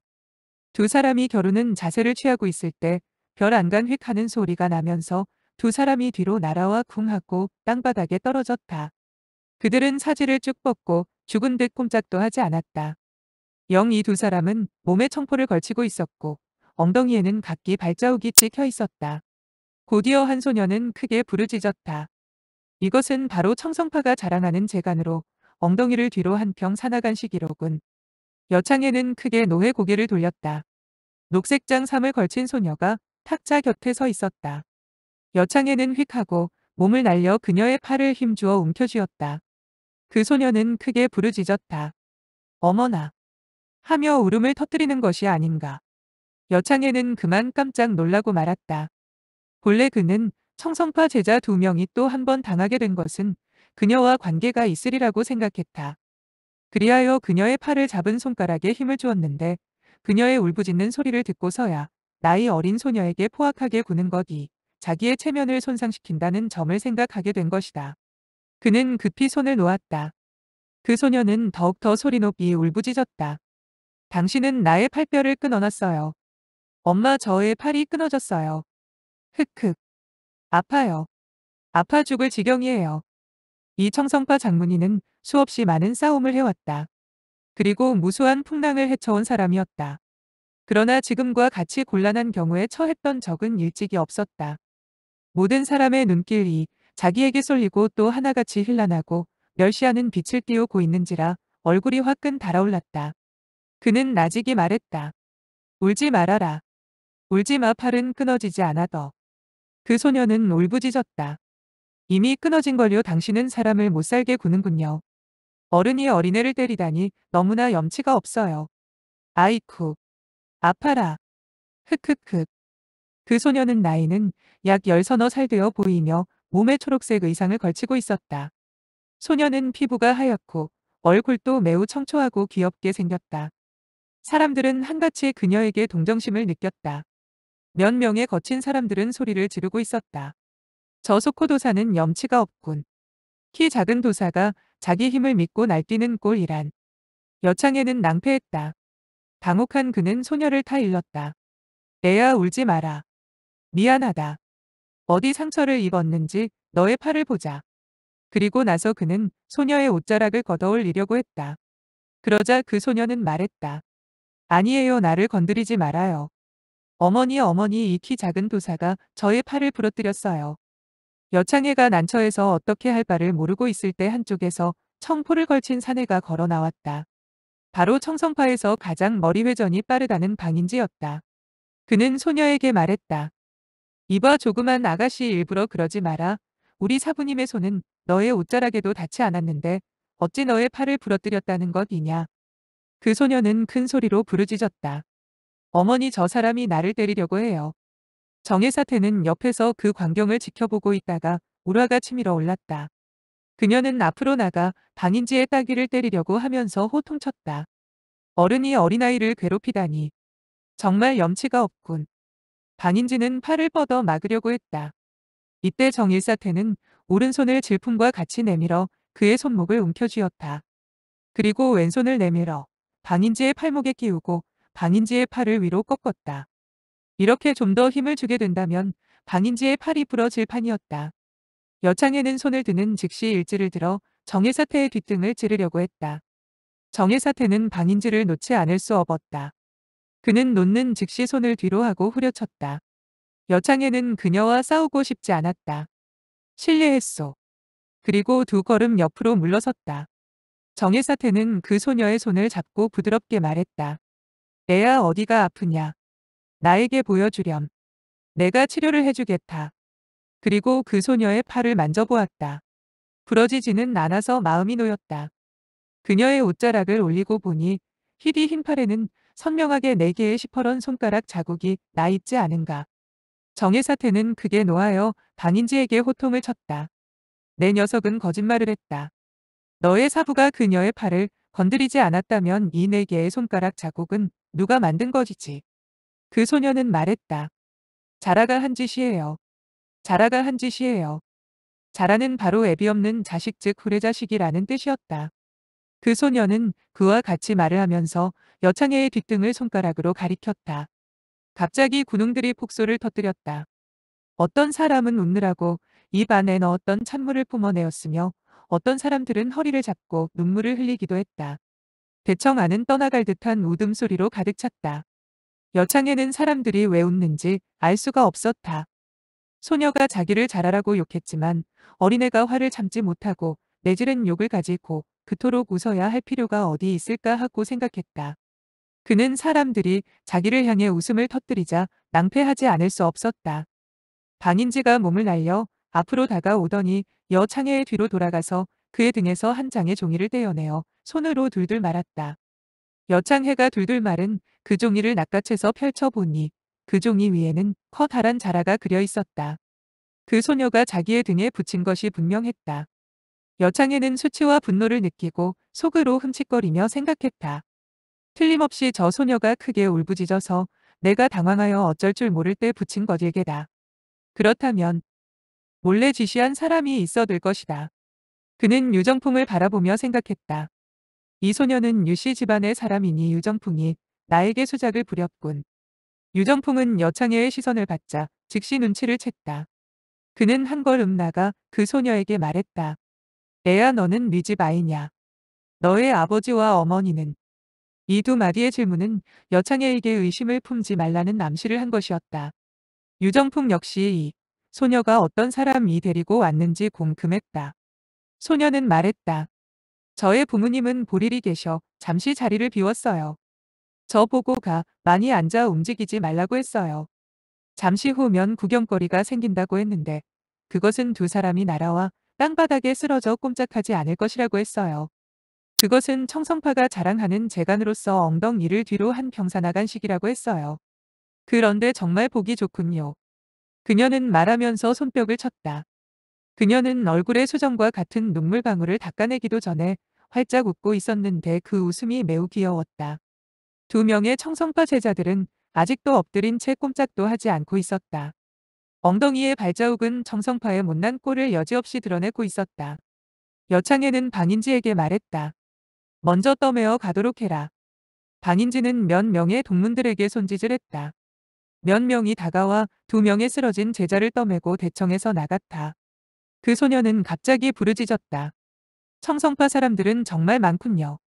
한 사람이 평산악 안식을 펼치면 두 사람이 떠매고 나가고 두 사람이 평산악 안식을 펼치면 네 사람이 달라붙는군요.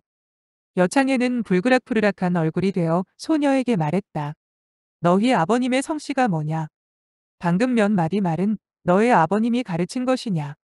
그는 이 소녀의 두 마디는 실로 청성파를 꺼 짚는 말이며 어른이 가르치지 않으면 어린 나이에 그와 같은 말을 할 수는 없을 것이라고 생각했다.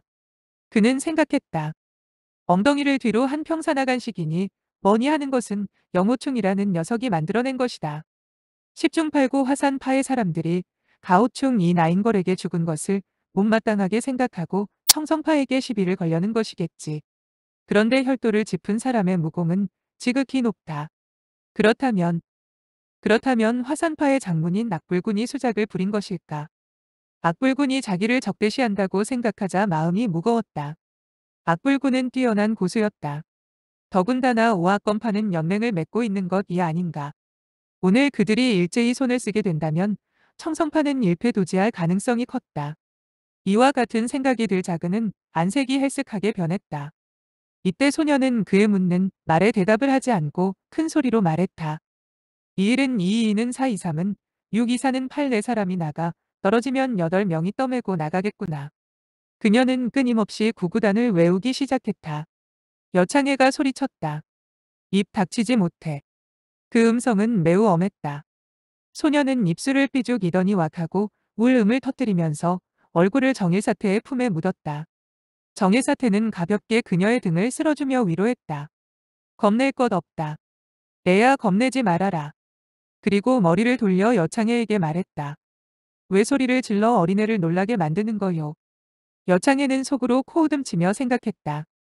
오악권파는 안을 힘을 합쳐 우리 청성파에게 도전할 작정이군. 조심해야지.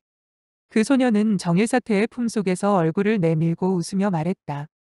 이인은 사라고 청성파의 두 사람이 엉덩이를 뒤로 한 평사나간 식을 펼치자 네 사람이 떠매게 되고 이삼은 6이라고 세 사람이 평사나간식을 펼치자 여섯 사람이 떠매게 되고 이사는 8. 그녀는 더 말하지 않고 갑자기 깔깔거리며 웃었다. 무사람들은 이 소녀가 걸핏하면 울음을 터뜨렸다간 즉시 웃음을 띄우는 것을 보고 이상하게 생각했다. 이와 같이 갑자기 울었다. 웃는 것은 7, 8세 어린애나 하는 짓이었다. 그런데 이 소녀는 열 서너 살은 돼 보였고 기도 꽤 큰 편이었다. 더군다나 한마디 한마디가 여창애를 꼬집는 말이라 천진난만한 어린애의 말이라곤 할 수 없었다. 따라서 바로 누구의 지시를 받고 그렇게 행동하는 모양이로구나 하고 생각하게 되었다. 여창에는 큰 소리로 입을 열었다. 사내 대장부는 공명정대하게 행동해야 하오. 어느 친구가 빈도를 못살게 구는지 모습을 드러내시오. 이와 같이 꼬리를 감추고 한 어린애를 시켜 무례한 말을 하도록 한다면 어디 영웅호거리라고 할 수 있겠소. 그의 몸은 왜소했으나 이 몇 마디 말은 단전에서 울려 퍼진 것이라 매우 우렁찼다. 듣는 사람은 머리가 웅하고 울리 정도였다. 군호들은 자신들도 모르게 그에 대해 두려움을 느끼게 되었고 조금 전까지 경시하던 태도를 고치게 되었다. 그의 말이 끝난 이후 대청. 아는 조용했으며 대답하는 사람이 없었다. 잠시 후 그녀가 입을 열었다. 노사태 그는 어떤 영웅호걸을 가리키는 거예요. 그의 청성파는 영웅호걸들이 아니에요. 정일은 항상 파의 선배 인물이었다. 청성파에 대해 비록 불만을 가지고 있다고 하나 공공연히 청성파의 전체를 비판할 수는 없었다. 그래서 그녀는 애매하게 대답했다. 청성파. 청성파의 윗대에는 많은 영웅호걸들이 있었지. 그 소녀는 다시 물었다. 그럼 지금은 어때요? 지금도 영웅호걸들이 남아있나요? 정일은 입으로 여창애를 가리키고 말했다. 너는 이 청성파의 장문도장님께 물어봐라. 그 소녀는 여창의 쪽으로 고개를 돌렸다. 청성파의 장문도장 만약 그 누가 중상을 입어 꼼짝할 수 없게 되었을 때 그 누가 그 사람을 못살게 굴었다면 어떻게 되는 거예요? 남의 위험한 처지를 노리고 덤벼드는 녀석을 영웅호걸이라고 할 수 있나요? 여창에는 가슴이 쿵 하며 내려앉는 것을 느끼고 속으로 생각했다. 정말 화산파의 지시군. 조금 전 화청에서 나인거리 영호충을 죽인 경과를 의림에게 들은 사람들은 하나같이 흠칫했다. 혹시 이 소녀는 화산파와 관계가 있는 것이 아닐까. 노덕약은 그들 생각과는 달랐다. 이 소녀가 이와 같이 말하는 것은 분명히 대사형을 위해 변호를 하는 것이다. 그렇다면 그녀는 누구일까? 그는 소사매가 슬퍼할까봐 대사형이 죽었다는 소식을 동문들에게 알리지 않았던 것이다. 이때 의림은 전신을 떨고 있었다. 마음속으로 그 소녀에 대해 고마움을 느끼지 않을 수 없었다. 그 한마디로 말하면 그녀가 일찍이 여창애에게 따지고 싶었던 말이었다. 다만 그녀는 성격이 온, 화한 편이었고 평소 윗사람을 존경하는 터였다. 여창애는 어찌되었든 선배이기 때문에 그 말을 묻지 못했는 대 그 소녀가 대신해서 자기 마음속에 접어 두었던 말을 표현하자 고마움을 느끼는 한편 마음이 쓰라려왔다. 그녀는 눈물을 흘렸다. 여창애는 낮고 굵은 목소리로 물었다. 그 한마디는 누가 너에게 가르친 것이지. 소녀는 말했다. 청성파의 나인걸이란 사람은 본파의 제자이지요. 그는 남이 중 상을 입은 것을 보고 상처를 입은 사람이 정말 좋은 사람인데도 그를 구하려 하지 않고 오히려 검으로 찔러넣어요. 그러니 나인거리란 사람이 영웅호거리예요. 아니에요. 그와 같은 짓은 도장께서 그에게 가르친 청성파의 의협심이 아니게더요. 이 같은 몇 마디 말이 한 소녀의 입에서 나오긴 했으나 그녀의 물음은 매우 직선적이어서 사람을 다그치는 기색이 역력했다. 여창에는 소리를 질렀다. 도대체 누구의 지시를 받고 나에게 질문을 던지는 것이지. 너의 아버지는 화산파의 사람이냐. 그 소녀는 무섭다는 듯 몸을 떨더니 정일사 태에게 말했다. 노사태 저 사람이 저에게 겁을 주는데 공 명정대한 사내 대장부가 할 수 있는 것인가요? 저 잘하는 영웅호 거리나요? 정일사 태는 한숨을 내쉬었다. 나로선 말을 할 수 없구나. 무사람들은 들으면 들을수록 이상하게 생각했다. 이 소녀의 먼 저번 말들은 십중팔구 어른이 가르쳐 준 것이 분명했다. 그러나 방금 한 말은 바로 여창애의 말꼬리를 잡고 늘어진 것이 아닌가. 위림은 눈물 때문에 시야가 모호했으나 그 소녀의 잘록한 뒷모습을 대하게 되자 마음속으로 떠오르는 바가 있었다. 저 소녀는 어디서 본 것 같다. 어디서 보아야 될까. 고개를 갸웃하고 한참 생각해보고 고개를 끄덕였다. 그렇군. 어제 회알로의 구석에 그녀가 안아 있었지. 그녀의 뇌리엔 어제의 광경이 점차 뚜렷이 떠오르기 시작했다. 어제 아침 전백광이 그녀를 협박하여 주루 위에 올라가게 되어들 때 주루에는 8개의 탁자 곁에 손님들이 가득 앉아 있었다. 그 후 태산파의 두 사람이 나와 도전을 하게 되고 전백광이 한 사람을 죽이게 되자 손님들이 놀라서 도망쳐 버리고 말았다. 주보 술심부름을 하는 사람마저도 감히 다 가와 음식을 나르지 못했다. 그러나 거리 쪽으로 난 탁자 옆에는 최고가 매우 우람한 화상이 앉아 있었고 다른 조그만 탁자 곁엔 또 두 사람이 앉아 있었다. 영호충이 피살되고 그녀 자신이 영호충의 시체를 안고 주루를 내려가게 되었을 때 화상과 두 사람은 시종 그 자리를 떠나지 않고 있었다. 그 당시 그녀는 놀람과 당황함이 극도로 달해 어찌할 바를 모르고 있던 터라 최고가 우람한 화상과 다른 두 사람을 유의해 보지 않았던 것이다. 그런데 이제 그 소녀의 뒷모습을 보자 뇌리에 남아있던 모습과 대조되어 똑똑히 기억할 수 있게 되었는데 어제 조그만 탁자에 앉아있던 두 사람 가운데 한 사람이 바로 이 소녀였다. 그녀는 등을 보이고 있었기 때문에 뒷모습만 기억할 수 있었다. 어제 그녀는 엷은 황색의 상을 입고 있었으나 지금은 초록색 옷을 입고 있었기에 만약 그녀가 등을 자기 쪽으로 돌리지 않았다면 기억해낼 수 없었을 것이다. 그런데 다른 한 사람은 누구일까? 위림은 그 사람이 남자임에는 틀림이 없지만 늙은인지 젊은인지 옷차림은 어떠했는지 하나도 기억이 나지 않았다. 또 기억이 나는 것은 그 화상은 잔을 들고 술을 마시고 있었는데 전백광이 영호충의 속 임수에 넘어가 졌음을 인정하게 되었을 때 그 화상이 소리내어 웃던 광경이 떠올랐다. 그 당시 이 소녀 역시 웃었는데 그녀의 맑고 고운 웃음소리는지 금도 귓가에 들려오는 것 같았다. 그런데 대화상은 누구일까? 어찌하여 화상 이 술을 마시고 있어들까? 위림의 마음은 어제의 광경을 떠올리느라 고 골물에 있었다. 그녀의 눈앞에는 영호충의 웃는 얼굴이 떠올랐다. 그는 죽을 당시 어떻게 하여 나인걸을 다가오도록 유인했으며 어떻게 검으로 나인걸의 배를 찔렀는가를 되새겨 보았다. 그녀가 영호충의 시체를 안고 휘청거리며 주르를 내려오던 일, 멍해져서 자기가 어디에 있는지도 모르고 무작정 성문을 나서서는 길을 가던 일. 그녀는 품에 안고 있는 시체가 점점 차갑게 식어가는 것을 느껴졌다. 무거운 줄도 몰랐고 슬픈 줄도 몰랐으며 영호충의 시신을 어디로 안고 가는지도 모르고 있었다. 결안간 그녀는 연꽃이 아름답게 자라고 있는 연못가에 이르게 되었다. 연못 가득히 연꽃이 활짝 피어 아름다움을 다투고 있었다. 연꽃을 본 순간 그녀는 가 숨을 커다란 망치에 얻어 맞은 듯한 충격을 느끼고 더 지탱할 수 없어서 영호충의 시체와 함께 쓰러져서 그대로 정신을 잃고 말았다. 그녀가 천천히 정신을 차리게 되었을 때 찬란한 햇빛이 온누리를 밝게 비추고 있었다. 그는 손을 뻗어 시체를 안으려고 했다. 그런데 손에 잡히는 것은 빈 허공뿐이었다. 그녀가 깜짝 놀라 몸을 일으켰다. 그녀 자신은 여전히 연못가에 있었고 연공은 여전히 아름다움을 뽐내고 있었으나 영호충의 시체는 사라지고 보이지 않았다. 그녀는 매우 놀라고 당황하여 연못가를 몇 바퀴나 돌았으나 영호충의 시신은 어디로 갔는지 눈을 씻고 보아도 발견할 수 없었다. 자기의 옷차림을 보니 이곳저곳이 피로 얼룩져 있지 않은가. 영호충의 몸에서 흘러나온 핏자국이었다. 태양의 광채 아래 핏방울은 눈에 선연히 비추어 들었다. 핏자국은 남아있건만 시신은 날개가 달린 듯 종적도 없이 사라지고 없는 것이다. 연못의 물은 얕았다. 그녀는 연꽃 잎을 헤치고 연못 속을 살펴보았으나 영호충은 거기에도 없었다.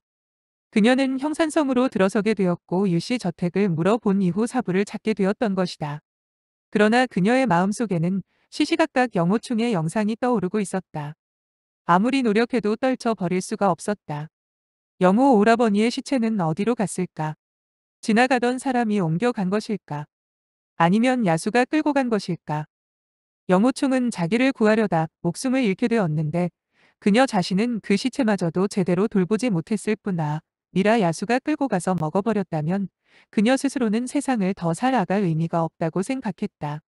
아니 영호충의 시체가 완전 무결하게 그대로 놓여 있었다 해도 그녀는 역시 살고 싶은 생각이 없었을 것이다. 결안간 그녀 마음속 깊은 곳에 불현듯 떠오르는 생각이 있었다. 그것은 예전엔 감히 생각해 보지도 못한 것이었다. 이 생각은 하루 동안 수없이 떠올랐으나 억지로 지워버리곤 했었다. 그녀는 마음속으로 스스로를 꾸짖었다. 내가 어째서 이토록 마음을 가라앉히지 못할까? 어찌하여 이토록 쓸데없는 생각을 할까? 진정 황당무계와 기짝이 없는 노릇이다. 아니다 결코 그런 일은 있을 수 없다. 그러나 이 생각을 억누를 수는 없었다. 그리고 마음속에 똑똑히 떠오르는 것이었다. 내가 영호 오라버니의 시체를 안고 있을 때 나의 마음은 매우 차분했으며 기쁘기까지 했다. 마치 입정하여 영부를 하는 듯 마음속에 아무런 생각도 없었으며 오로지 한평생 그의 몸을 끌어안고 싶다는 생각뿐이었다. 다른 사람이 볼 수 없는 길을 따라서 영원히 걸었으면 하는 생각으로 가득 찼었다. 나는 어찌되었든 그의 시체를 찾아야 된다. 그건 또 무엇 때문일까? 그의 시체가 야수들에게 뜯어먹히는 것을 두고 볼 수 없기 때문일까? 아니다. 결코 아니다. 나는 그의 시체를 끌어안은 채 그저 영원히 있고 싶다. 그리고 연꽃이 핀 연못가에 멍하니 앉아 시간을 보내고 싶다. 내가 어떻게 정신을 잃게 되었을까? 정말 죽어 마땅하다. 빨리 이런 생각을 버려야 한다. 사부님도 허락하지 않을 것이고 보살님도 용납하지 않을 것이다. 이것은 악마의 유혹이다. 나는 악마의 속삭임에 넘어가서는 안 된다. 그러나 영호 오라버니의 시체는 그녀의 마음은 어지러울 대로 어지러워져 있었다. 영호충의 빈 그숨는 모습이 떠올랐다. 모든 근심 걱정을 초월한 듯한 미소. 그녀의 눈앞에 다시 영호충이 재수없는 젊은 여승이라고 욕을 할 때의 멸시의 찬 표정이 떠올랐다. 그녀는 가슴이 아파움을 느꼈다. 마치 칼로 에이는 듯. 여창혜의 음성이 다시 울려 퍼졌다. 노덕약 이 소녀는 화산파의 사람이지. 그렇지. 노덕약은 말했다. 아닙니다. 그 소녀는 제가 오늘 처음 보는 사람입니다. 그녀는 화산파의 사람이 아닙니다. 여창에는 말했다. 좋다. 내가 인정하지 않는다면 그만두지. 벼랑간 그는 손을 쳐들어 획 부리쳤다. 광채가 번쩍이는 가운데 비추가 의림을 향해 쏟아져 갔다. 동시에 그는 호통을 쳤다. 여승 이게 무엇인지 보아라. 그녀는 멍하니 서서 영호총을 생각하고 있었다. 여창애가 자기에게 암기를 던지며 소리치자 고개를 돌렸다. 쉭. 한이 암기가 날 아드는 것을 본 순간 갑자기 일종의 쾌감을 느꼈다. 그가 나를 죽인다면 가장 좋다. 나는 살고 싶지 않다. 빨리 죽는 게 좋겠다. 그녀는 살고 싶은 생각이 초호도 없었다. 그 비추가 빠르게 날 아들자 옆 사람이 소리쳤다. 암기를 조심하시오. 위림은 어찌된 노릇인지 오히려 평안함과 평온함을 느꼈다. 이 세상을 살아간다는 것이 고달프기 이를 데 없는 일처럼 느껴졌고 참을 수 없을 정도로 외롭게 느껴졌다. 비추가 자기를 죽인다면 그것은 자기가 바라던 바라고 생각했다. 이때 정일은 노기 소녀를 가볍게 밀어 젖히더니 나는 듯 다가와 의림의 앞을 막아섰다. 그녀는 이미 늙은 몸이었으나 이번에 몸을 날린 행동은 전광석화처럼 빨랐다. 그 비추가 날아가는 속도는 무척 빨랐다.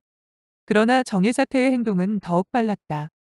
정일은 나중에 몸을 날렸는데도 먼저 다가가서 때 늦지 않게 손을 뻗어 그 암기를 잡으려고 했다. 정일사태가 손을 뻗기만 하면 그 비추를 잡을 것 같았다. 그런데 그 무쇠 비추는 그녀의 몸 앞에 이르게 되었을 때 갑자기 아래로 뚝 떨어졌다. 팍 하는 소리와 함께 땅바닥에 박힌 것이다. 정일사태는 허공을 움켜잡고 말았다. 이렇게 되니 상대방에게 우롱당한 셈이라서 얼굴을 살짝 붉히지 않을 수 없었다.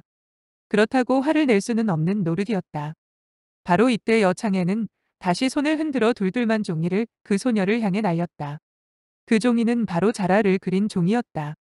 정혜사태는 그 광경을 보고 번개 같은 생각이 떠올랐다. 저 소코도사가 비추를 날린 것은 원래 나를 소녀의 곁에서 끌어내려는 것이었을 뿐 결코 의림을 해치려는 것은 아니었구나. 그 종이 뭉치는 날아가는 기세가 무척 빨랐다. 조금 전에 비추에 비하면 기세가 날카롭기 이를 데 없었으며 그 가운데 실린 내력 또한 엄청나 보였다. 종이 뭉치가 소녀의 얼굴에 맞으면 소녀는 반드시 상처를 입게 될 것이다. 이때 정혜사태는 의림의 곁에 서 있었기 때문에 창졸간에 일어난 변화에 대처할 수 없었고 미처 그녀를 구할 수도 없었다. 그녀는 당황하여 부르짖게 되었을 때 그 소녀가 돌연 땅바닥에 풀썩 주저앉으며 울부짖었다. 어머니 어머니. 저 악인이 나를 때려 죽이려고 해요. 그녀가 주저앉는 행동은 매우 신속했다. 일시에 종이 뭉치를 피한 것이다. 그녀가 몸에 무공을 지니고 있으 면서 순진한 채 어머니를 찾으며 우는 신용을 하는 것이었다. 무사람들은 우스꽝스럽다고 생각했다. 여창에는 더 이상 노기 소녀를 핍박할 염치가 없었다. 다만 가슴까지 끓어오르는 의문을 풀 길이 없어 답답하기만 했다. 정혜사태는 여창애의 안색에 겸연쩍어 하는 표정이 떠오르자 우습기 짝이 없었다. 청성파에서는 정말 적지 않게 못난 꼴을 보인 셈이었다. 정혜사태는 속으로 고소하다고 생각하며 의림에게 말했다. 위리마 저 소녀의 부모가 어디로 갔는지 모르겠구나. 내가 그를 데리고 찾아보도록 해라. 그러면 돌보는 사람이 없다고 남에게 놀림을 당하지 않게 될 것이다. 예. 위림은 다가가서 그 소녀의 손을 잡았다. 그 소녀는 방긋 웃어 보이고 함께 대청을 나갔다. 여창에는 냉소를 한 번 흘렸을 뿐 아랑곳하지 않고 고개를 돌리더니 목고봉을 바라보았다. 위림은 그 소녀를 끌고 대청 밖에 이르자 물었다. 소저 성씨가 무엇이며 이름이 무엇인지. 그 소녀는 히히하고 웃더니 말했다. 저는 복성으로 영우라고 하며 이름은 외자로 충이라 해요. 위림은 가슴이 쿵 내려 앉는 것을 느끼고 안색을 굳혔다. 내가 호의로 묻는데 어째서 농담을 하지. 그 소녀는 웃으며 말했다.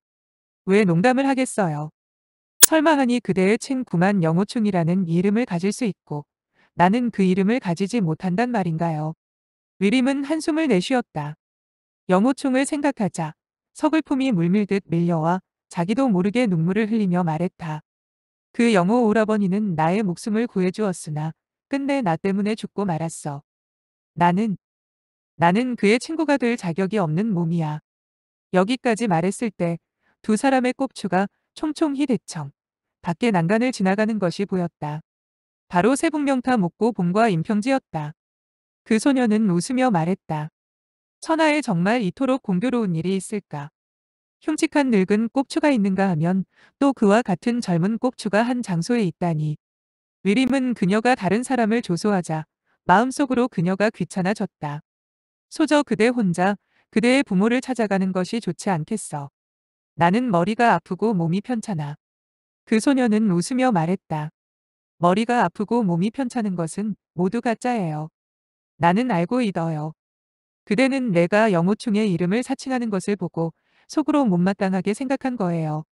언니 그대의 사부가 나를 데리고 이드라고 했는데 어째서 나를 돌보지 않고 곁을 떠나려고 하는 거예요. 내가 나쁜 사람에게 괴로움을 당하게 된다면 그대 사부는 그대를 크게 꾸짖을 거예요. 위림은 말했다. 그대의 재간은 나보다 훨씬 낫고 눈치가 빨라 여관주와 같이 천하의 이름을 떨친 인물도 그대에게 창피를 당하지 않았어. 그대가 다른 사람을 못살게 굴지 않는 것만으로도 다른 사람은 천지신 명께 감사하다고 여길 것인데 누가 감히 그대를 괴롭히겠어요.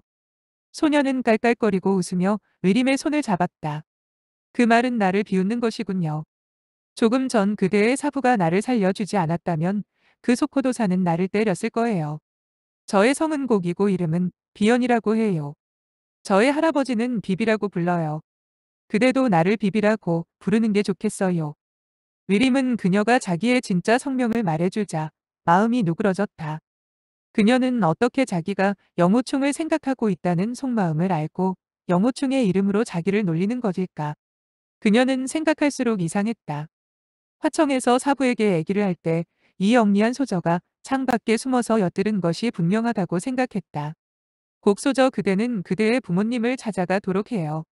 그대는 그분들이 어디로 가셨다고 짐작하죠. 곡비어는 말했다.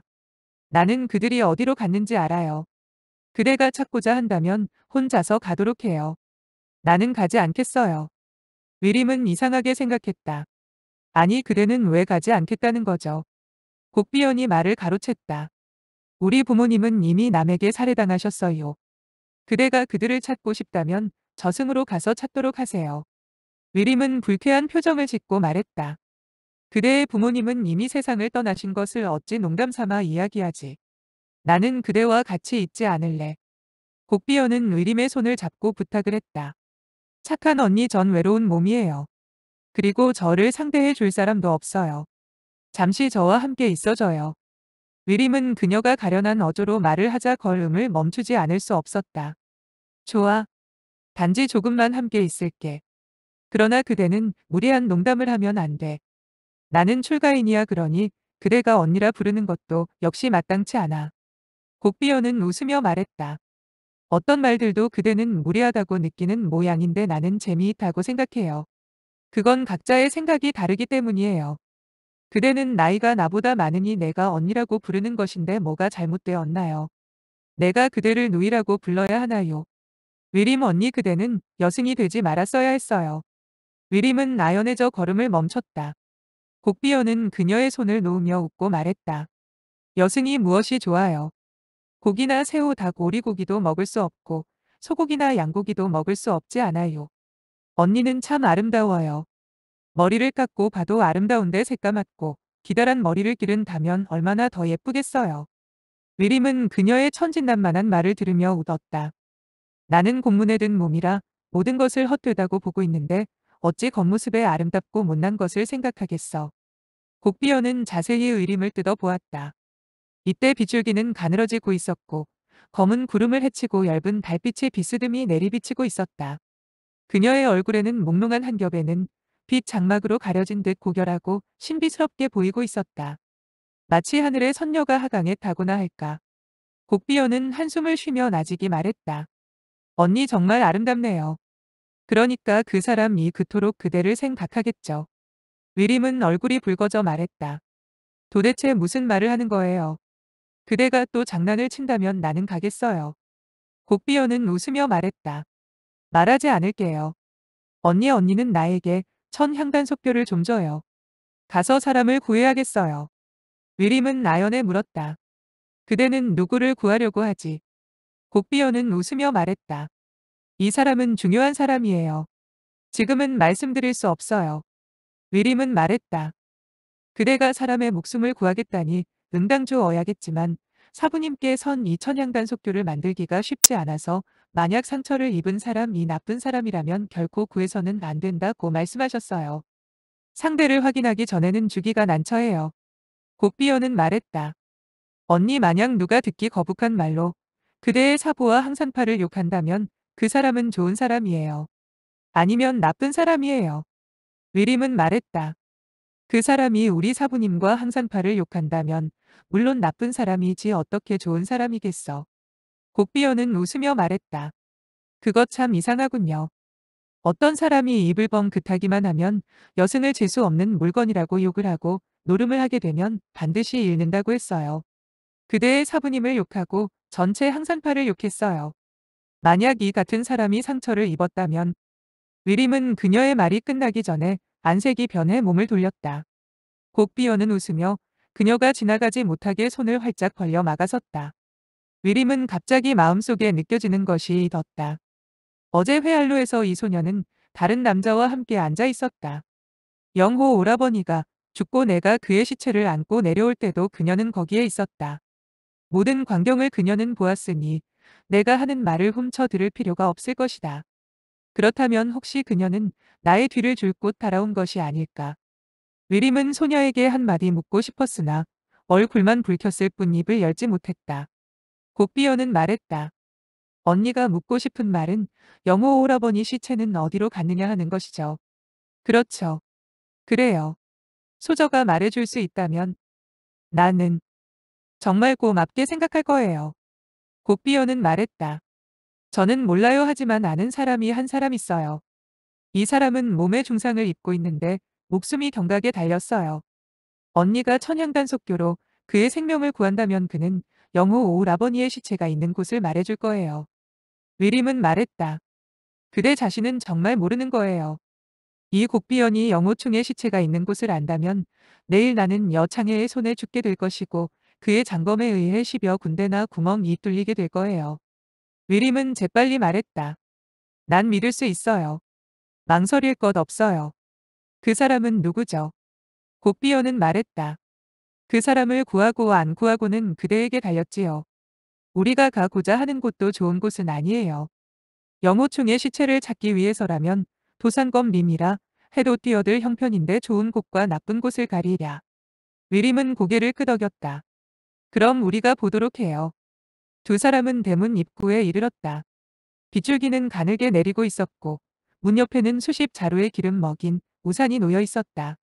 위림과 곡비어는 각기 한 자루씩을 들고 대문을 나서서 동북쪽으로 걸음을 옮겼다. 이때는 이미 깊은 밤이어서 거리엔 행인도 드물었다. 두 사람이 지나가자 깊숙한 골목 안쪽에는 한두 마디의 개짖는 소리가 들려왔다. 위림은 곡비연이 외지고 좁은 길을 따라갔으나 그저 영호 충의 시체가 있는 곳이 궁금하여 곡비연이 자기를 어디로 데려가든 상관치 않고 걸음을 옮길 뿐이었다. 한참 동안 걷게 되었을 때 곡비연은 조그만 골목길로 들어섰다. 홍등 이 문 앞에 걸린 한 채의 장원이 나왔다. 곡비연은 다가서던 이 문을 두드렸다. 안에서 걸어 나오는 발자국 소리가 들리더니 문이 열리고 누군가 고개를 내밀었다. 곡비연이 그 사람의 귀에다 뭐라고 나직이 몇 마디 속삭이고 다시 한 가지 물건을 그의 손에 쥐어 주었다. 그 사람은 말했다. 네네 소전은 안으로 들어오십시오. 곡비어는 고개를 돌리면 손짓을 했다. 위림은 그녀를 따라 문 안으로 들어갔다. 그 사람은 얼굴에 의아한 빛을 띄우고는 앞서 길을 안내했다. 그는 뜨락을 지나 동쪽에 있는 객실의 문 휘장을 걸치더니 말했다. 소저와 스님은 이곳에 앉아 계십시오. 휘장이 거쳐지자 지분 냄새가 코에 와 닿았다. 위림은 문 안으로 들어섰다. 방 안에는 커다란 침대가 놓여 있고 꽃을 쑤놓은 이불과 베개가 놓여 있었다. 붉은 바탕에 이부자, 락 위에 수놓아진 것은 한 쌍의 원앙이었다. 빛깔이 밝았고 생동감이 넘쳐 흘렀다. 위림은 어려서부터 출가하였기 때문에 배구남에서 시퍼런 무명배로 만든 것진 이 불만을 덮고 잠을 잤지 한평생 이처럼 화려한 이불과 요를 본 적이 없었던 터였다. 탁자 위에는 붉은 초가 타고 있었다.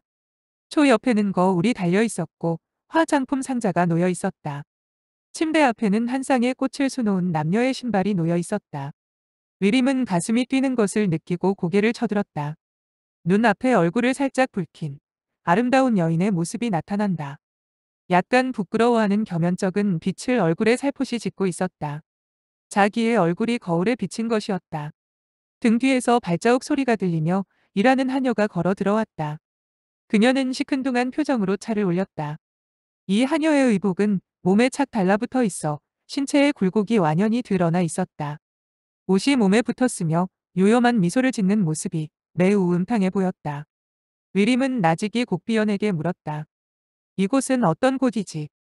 곡비연은 웃으며 몸을 숙이고 그 여인에게 속삭였다. 그 여인은 대답했다. 네. 그리고 손으로 입을 가리더니 웃으며 엉덩이를 흔들고 걸어 나갔다. 위림은 생각했다. 저 여인의 모양을 내는 태도로 보아 반드시 좋은 사람이 아닌 것 같다. 그녀는 곡비연에게 다시 물었다. 이곳에는 왜 데려왔지? 이곳은 무엇하는 곳이지? 이곳은 형산성에서 크게 유명한 곳이에요. 이곳은 군옥원. 이라고 해요. 위림은 다시 물었다. 군원옥이 무엇하는 곳이지? 군원옥은 형산성에서 으뜸가는 기녀원이에요. 위림은 기녀원이라는 말을 듣고 가슴이 쿵쿵 뛰는 것을 느꼈다. 그녀는 방 안의 치장을 보고 은연중 좋지 않다는 것을 느꼈으나 이곳이 기녀원이라고는 전혀 생각지 못했다. 그녀는 기녀원이 무엇을 하는 곳인지 확실히는 몰랐으나 속가의 동문 사제들로부터 기녀원은 천하에서 가장 음탕하고 비천한 여자들이 사는 곳이고 어떤 남자라도 돈만 있으면 기녀와 잠을 잘 수 있다는 말을 들은 적이 있었다. 곡비연이 자기를 기녀원에 데리고 온 것은 바로 자기에게 기녀를 시키려고 그런 것이 아닐까 생각한 그녀는 당황해서 눈물이 나오려고 했다. 바로 이때 옆방에서 남자의 웃음소리가 들렸다. 그 소리는 매 우 귀에 익었다. 바로 전백광의 웃음소리가 아닌가. 위림은 두 다리에 힘이 풀어져서 풀썩 의자에 주저앉았다. 얼굴에는 핏기 한 점 없이 창백했다. 곡비어는 깜짝 놀라 달려와서 그녀에게 물었다. 왜 그러죠? 저. 저 사람은 전. 전백광. 곡비어는 해하고 웃으며 말했다. 맞아요. 나도 그의 웃음소리를 알고 있어요. 그는 그대의 제자 전백광이 아니에요. 전백광이 옆방에서 큰 소리로 물었다. 그 누가 나의 이름을 들먹이는가. 곡비어는 말했다. 이봐 전백광. 당신의 사부가 지금 여기 계시니 이리 와서 큰 절을 올려요. 전백광은 노해 말했다. 무슨 사부야. 계집애가 터무니없는 말을 하고 있군. 내 너의 입을 찢어 놓겠다. 곡비어는 말했다. 그대는 형산성 회알로에서 항산파의 의림을 사부로 모셨지 않았어요.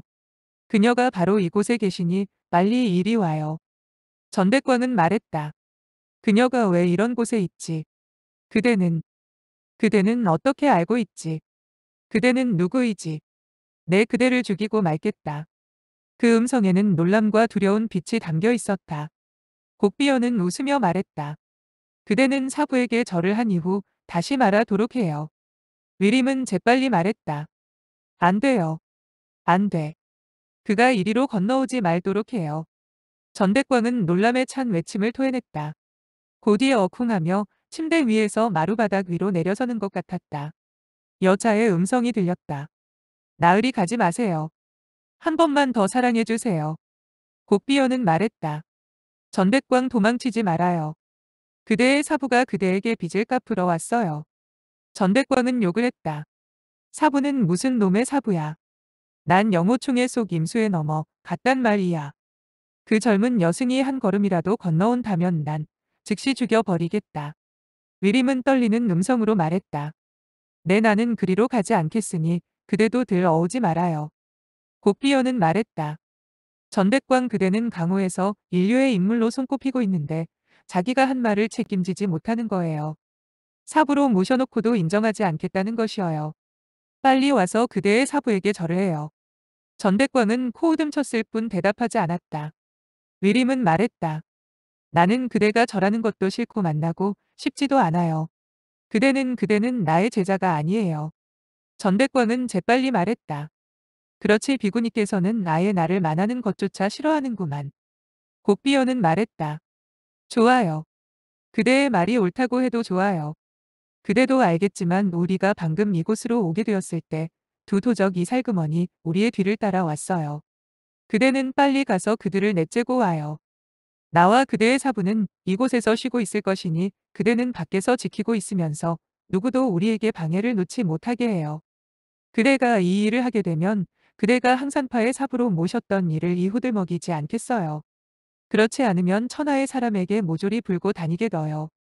전백광은 소리를 돋우며 말했다. 이 좀도적 같으니 대담하구나. 곧이어 창문이 펑 하고 열리는 소리가 났고 지붕 위에서 챙그랑 하는 소리가 뒤이어 울려 퍼졌다. 두 가지, 무기가 지붕 위에 떨어지는 것 같았다. 곧이어 처절한 비명소리가 들리고 다시 도망치는 발걸음 소리가 들렸다. 창문에서 다시 한번 펑 소리가 나는 걸로 보아 전백광이 그 방 안으로 들어온 것 같았다. 하나는 죽였는데 청성파의 좀도둑이었소. 하나는 도망을 쳤소. 곡비어는 말했다. 정말 쓸모없네요. 어찌하여 도망치게 내버려 두었어요. 전백광은 말했다. 그 사람은 내가 죽일 수 없었소. 그는 항산파의 여승이었소. 곡비어는 웃으며 말했다. 원래 그대의 사백구였군. 그렇다면 물론 죽여선 안 되지. 위림은 깜짝 놀란 아직이 말했다. 나의 사저였다고. 어찌하면 좋지. 전백광은 물었다. 소저 그대는 누구지? 곡비어는 웃으며 말했다. 그대는 물을 것 없어요. 그대는 조용히 있기만 하면 돼요. 그대의 사부는 영원히 그대를 찾으러 다니지 않을 거예요. 아니나 다를까 전백광은 아무 소리도 하지 않았다. 위림은 말했다. 곡소저 빨리 돌아갑시다. 상처 입은 사람을 아직 보지도 않았는걸요. 그대는 그에게 할 말이 있다고 하지 않았어요. 그대가 사부의 꾸지람을 듣는 것이 두려우면 즉시 돌아가도록 해요. 위림은 생각해 보고 나서 말했다. 어찌 되었든 여기까지 왔으니 우리는 그 사람을 보러 가요. 곡비어는 빙긋 웃으며 침대가로 가서 손을 뻗어 동쪽의 벽을 밀었다. 그러자 한쪽의 문이 가볍게 열렸다. 벽에는 비밀문이 장치되어 있었던 것이다. 곡비어는 손짓을 하더니 안으로 들어갔다. 위림은 이 기녀원이 더욱더 이상하고 신비스럽게 생각됐다. 다행히 전백광은 서쪽 방에 있으니 그와는 멀 어지면 질수록 좋다는 생각에 대담하게 곡비연을 따라 들어갔다. 한쪽 역시 방이었으나 등불이 없었다. 방 안이 좁으나 침대가 놓여있고 모기장이 나직이 드리워져 있으며 어렴풋이 한 사람이 침대 위에 누워 자고 있는 모습을 볼 수 있었다. 위림은 문 안으로 들어서자 다시는 앞으로 나갈 엄두를 내지 못했다. 곡비연은 말했다. 언니 언니는 천양단속교로 이 사람을 치료해 주도록 하세요. 위림이 부르짖었다. 그는 그는 정말 영호, 오라버니의 시체가 어디 있는지 아나요. 곡비어는 말했다. 어쩌면 알고 어쩌면 모를 거예요. 확정해서 말할 수는 없어요. 위림은 다급히 말했다. 방금 그대는 그가 알고 있다고 했잖아요. 곡비어는 웃으며 말했다. 없었던 말로 하면 되잖아요. 그대가 시험해보고 싶다면 이 사람의 상처를 치료해 주세요. 그러고 싶지 않으면 그대는 이곳을 떠나면 돼요. 그 누구도 그대를 막지 않을 거예요. 위림은 속으로 생각했다. 어찌 되었던 영호, 오라버니의 시체를 찾아야 한다. 기회가 이 번뿐이라면 절대로 놓칠 수가 없지. 그녀는 생각이 여기에 미치자 말했다. 좋아 내가 그의 상처를 치료해 주지. 그녀는 바깥방으로 가 촛대를 가져와 침대 앞에 놓고 모기장을 들추었다. 한 사람이 위를 향해 누워 있었는 대 얼굴엔 녹색의 비단 손수건이 덮여 있었다. 숨을 쉬고 들이마실 때마다 비단 수건이 미미하게 떨렸다. 위림은 그의 얼굴을 볼 수 없게 되자 고개를 돌리며 물었다. 이 사람은 어디에 상처를 입었지? 곡비어는 말했다. 가슴에 상처를 입었어요. 상처가 매우 깊어 하마터면 심장을 건드릴 뻔했어요. 위림은 그 사람이 덮고 있는 엷은 이부자락을 들추었다. 그 사람의 가슴이 드러나게 되었다. 가슴 한복판에 커다란 상처가 나이었는데 피는 멎었으나 상처가 매우 깊었다. 생명이 붙어 있다는 사실이 믿어지지 않을 정도였다. 위림은 속으로 생각했다. 어찌 되었던 이 사람의 목숨을 구해놓고 보자. 그녀는 촛대를 콕비어에게 들고 있으라고 주고는 품속에서 천 향단속교가 들어있는 나무 상자를 꺼내 뚜껑을 열고 한 개를 탁자 위에 놓았다. 그리고 손을 뻗어 그 사람의 상처 주위를 가볍게 눌러보았다. 곡비연이 나직이 말했다. 필요로 하는 혈도는 이미 짚었어요. 그렇지 않았다면 벌써 죽었을 거예요. 위림은 고개를 끄덕였다. 그 사람은 사방에 혈도가 봉해져 있었다.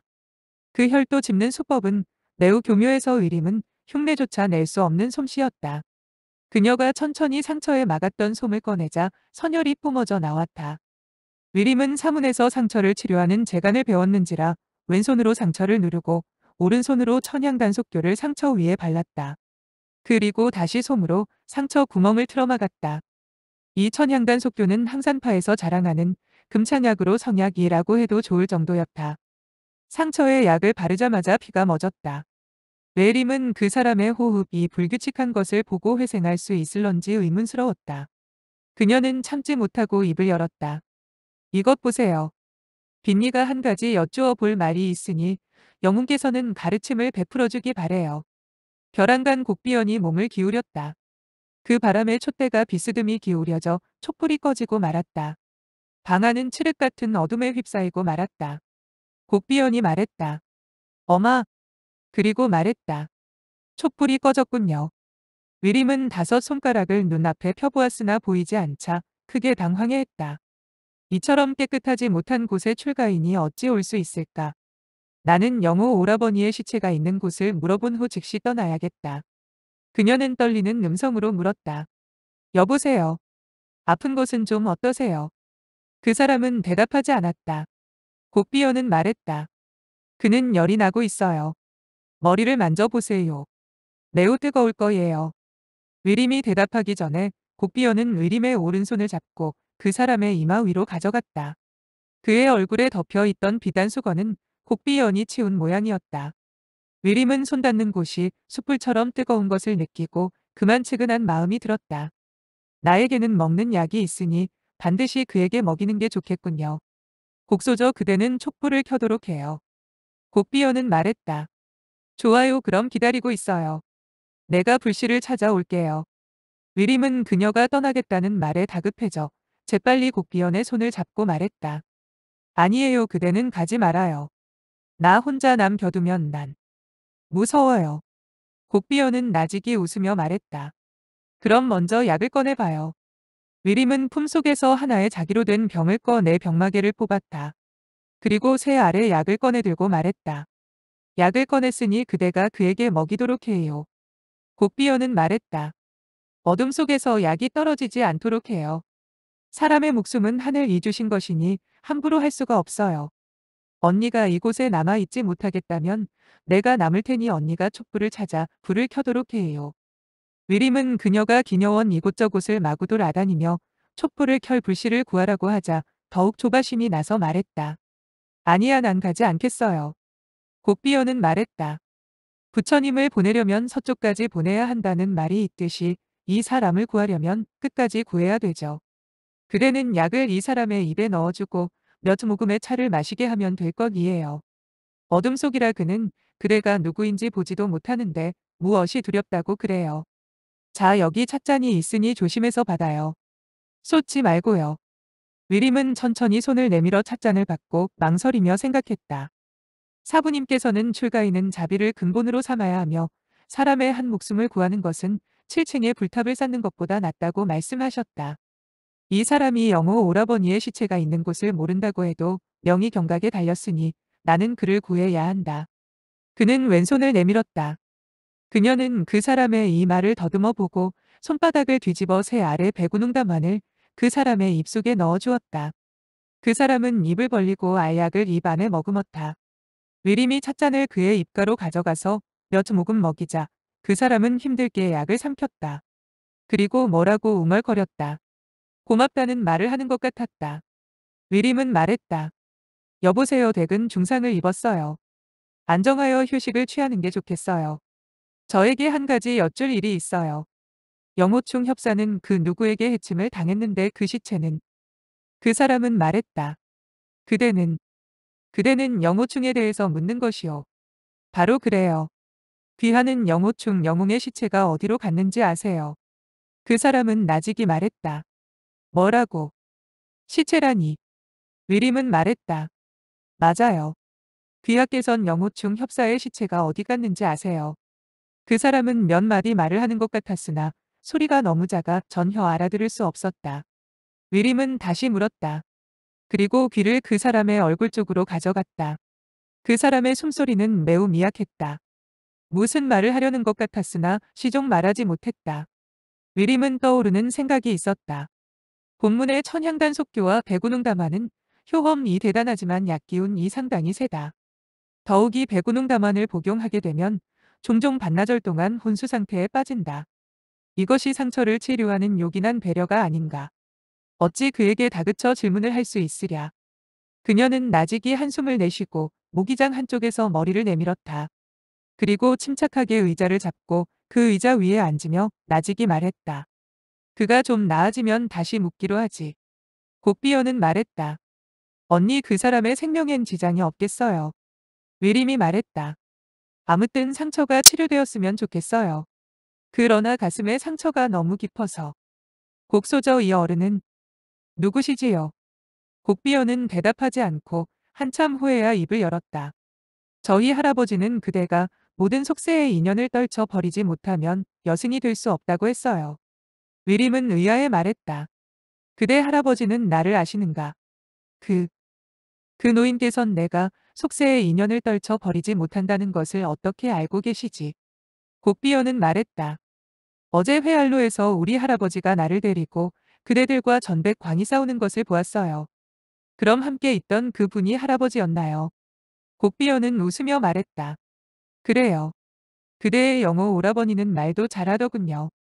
그가 앉아서 싸우는 데는 천하에서 둘째 간다고 말할 때 저희 할아버지도 어느 정도 믿는 것 같았으며 그리고 대변을 볼 때 연마한 권법이 있는 줄 아셨으며 전백광이 그를 이기지 못할 것이라고 생각하는 눈치였어요. 호호호. 어둠 속에서 그녀의 웃는 얼굴을 볼 수 없었지만 얼굴 가득히 웃음을 짓고 있음이 분명했다. 곡비어는 웃을수록 기분이 좋아졌 은하 의림은 마음이 갈수록 아파오기만 했다. 곡비어는 계속해서 말했다. 그 후 전백광은 도망을 쳤어요. 할아버지는 그 녀석에게 못난 놈이라고 욕을 하셨어요. 지게 되면 그대를 삽으로 모시겠다고 한 이상 응당절을 하고 삽으로 모셔야 하는데 어찌 억지를 쓰느냐고 했어요. 위림은 말했다. 영호 오라버니는 나를 구하기 위해서 때를 낸 것에 불과해요. 그리고 전백광을 이겼다고는 할 수 없어요. 곡비어는 말했다. 언니는 정말 마음이 좋은 사람이에요. 전 백광이란 녀석은 그대를 못살게 굴었는데도 그대는 그를 미워하지 않는군요. 영호 오라 버니가 찔려 죽음을 당하게 된 이후 그대가 그 시체를 안고 주루에서 내려올 때 저희 할아버지는 말씀하셔더요.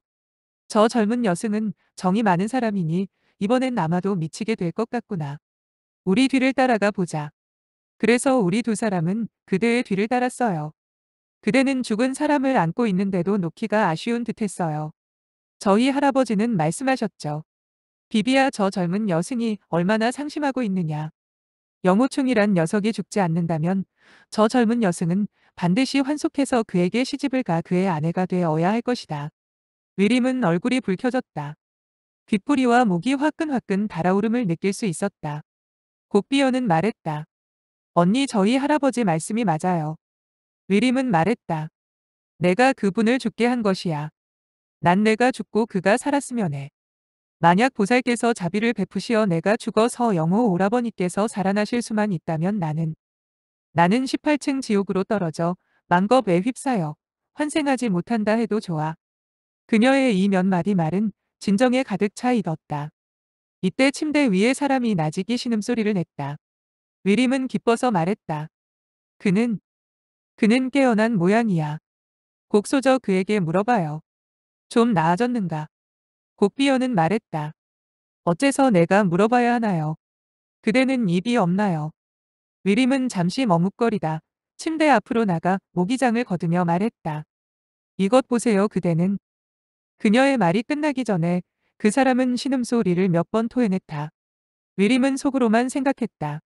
그는 지금 참기 어려운 고통을 당하고 있다. 내가 어찌 그를 번거롭게 할 수 있으랴. 그녀는 잠시 말 없이 서 있었다. 그 사람의 숨소리가 차츰 고르게 되었다. 약기운에 다시 잠이 든 모양이었다. 곡비어는 나직이 말했다. 언니 영호총을 위해서라면 죽어도 좋다고 하셨죠. 정말 그가 그토록 좋으세요. 위림은 말했다. 아냐 아냐. 곡소저 나는 출가인이야.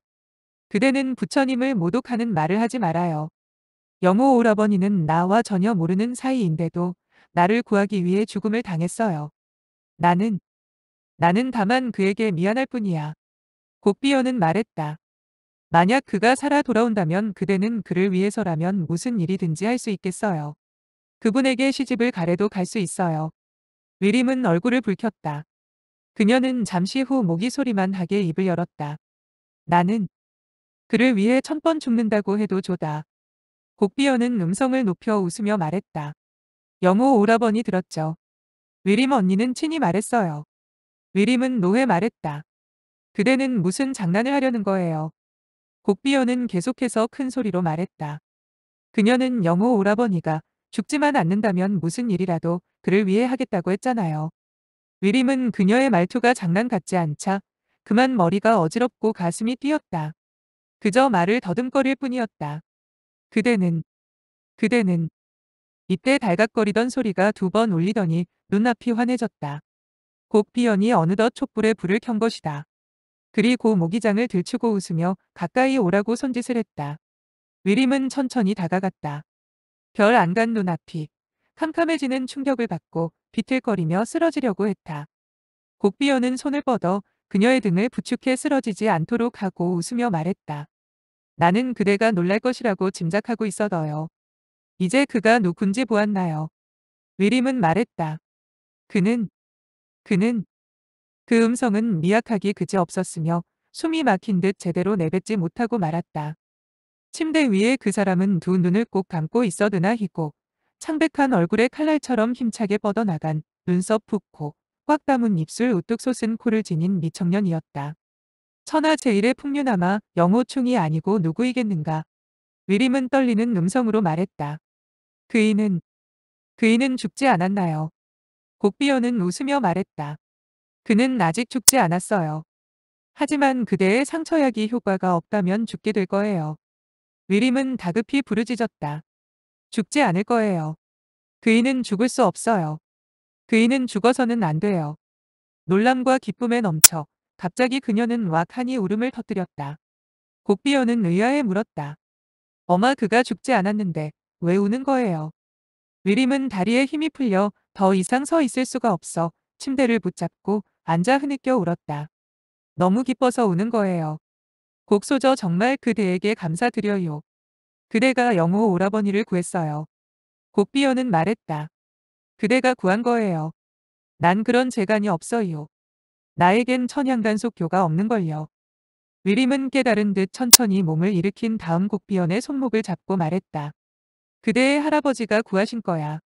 그대의 할 아버지께서 구하신 거야. 정말 고마워요. 위리마. 위리마. 어디 있느냐. 벼랑간 멀리서 부르는 소리가 들려왔다. 바로 정일사태의 음성이었다. 위림이 깜짝 놀라 막 대답을 하려고 할때 곡비연이 입김을 훅 불어 촛불을 껐다. 이어 손을 들어 위림의 입을 막았다. 그리고 귓가에 입을 대고 나직이 속삭였다. 이곳이 무슨 곳이에요? 대답하지 말아요. 위림은 어찌할 바를 몰랐다. 지금 그녀는 기녀원에 있는 것이다. 난처한 입장이 아닐 수 없었다. 사부님의 음성을 듣고 대답을 하는 적은 일찍이 없었던 일이었다.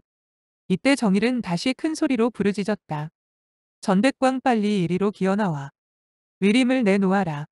그러자 서쪽 방에서 전백광의 웃음소리가 들려왔다. 한참 동안 웃던 그는 입을 열었다. 지금 말씀하시는 분은 항산파 배구남의 정일사태시죠. 이 후배는 응당 나가서 인사를 드려야 하겠으나지 금 곁에는 몇 명의 아리따운 여인들이 옷을 벗고 있어 감히 뿌리 칠 수가 없군요. 피파 인사는 그만두기로 합시다. 하하하. 곧이어 너댄 명예 여인들이 간드러지게 웃는 소리가 들려왔다. 그 소리가 매우 음탕하고 천한 것으로 보아 기녀들의 웃음소리였다. 한 기녀가 코먹은 소리로 말했다. 상공 그녀를 상관치 말고 다시 뽀뽀를 해줘요. 호호호. 기녀들은 자지러지는 신음소리를 내질렀으며 점점 숨 넘어가는 소리를 냈다. 전백광의 분부를 받고 일부러 더하는 것 같았다. 정일 사태의 혐오감을 자극시켜 떠나가게 만들려고 그러는 모양이었다. 정일 사태는 호통쳤다. 전백광 기어나오지 않는다면 너를 갈기갈기 찢어놓고 말겠다. 전백광이 말했다. 내가 기어나가지 않더라도 그대가 나를 갈기갈기 찢어놓을 것이고 내가 기어나간다 해도 날 갈기갈기 찢어놓을 것이니 기어나가지 않는 것이 좋겠소이다. 정의 사태 이곳은 그대 같은 출가이니 올 곳이 못되니 되돌아가는 것이 좋을게요. 귀하의 제자는 이곳에 없소이다. 그녀는 계율을 무척 철저히 지키는 여승인데 어떻게 이곳으로 왔겠소이까. 어르신께서 이런 곳에 와서 제자를 찾는 그 자체가 이해가 되지 않는군요. 창녀들만 있는 곳에 당신의 자가 있다면 그것은 정의 사태는 노해 부르짖었다. 불을 질러라. 불을 질러서 이 계집을 태워버려라. 그래도 그가 안 나오는지 두고 보자. 전백광은 웃으며 말했다. 정의 사태 이곳은 항산성에서 유명한 군옥원이라 한답니다. 그런데 불을 질러 태우면 나는 상관이 없겠지만 강호의 무사람들은 한참 떠들 것입니다. 항산성의 큰 군옥원은 항산파 배구남의 정일 사태가 불태웠다고 말을 하면 사람들은 이런 말을 하게 될 겁니다. 정일 사태는 덕망이 높은 사태인데 어찌 그와 같은 곳에 갔었지. 그러면 다른 사람은 대답을 하겠죠. 그녀는 제자를 찾아가 렀대 그러면 상대방이 묻겠죠. 항산파 제자가 어찌하여 기녀원에 가 있었지. 이와 같이 너 한마디나 한마디 하게 되면 귀파의 명성에 금이 가고 말 것입니다. 귀하에게 말씀드리오만 만리독행 전백광은 하늘이 얼마나 높고 땅이 얼마나 두꺼운지 모르는 사람이지만 이 세상에서 귀하의 제자 한 사람만은 두려워한답니다. 그녀를 만나기만 하면 저는 멀리 피하기가 바쁜 신세가 되는데 어찌 감히 그녀를 건드릴 수 있겠습니까? 정일은 그 말도 일리가 있다고 생각했다. 그러나 한 명의 제자가 의림이 바로 이 집안으로 들어갔다고 해두며 전백광에게 상처 입은 것도 사실인데 그 제자가 거짓말을 할 이유가 없다고 생각했다. 그녀는 다섯 구멍에서 연기가 날 정도로 화가 치밀었다.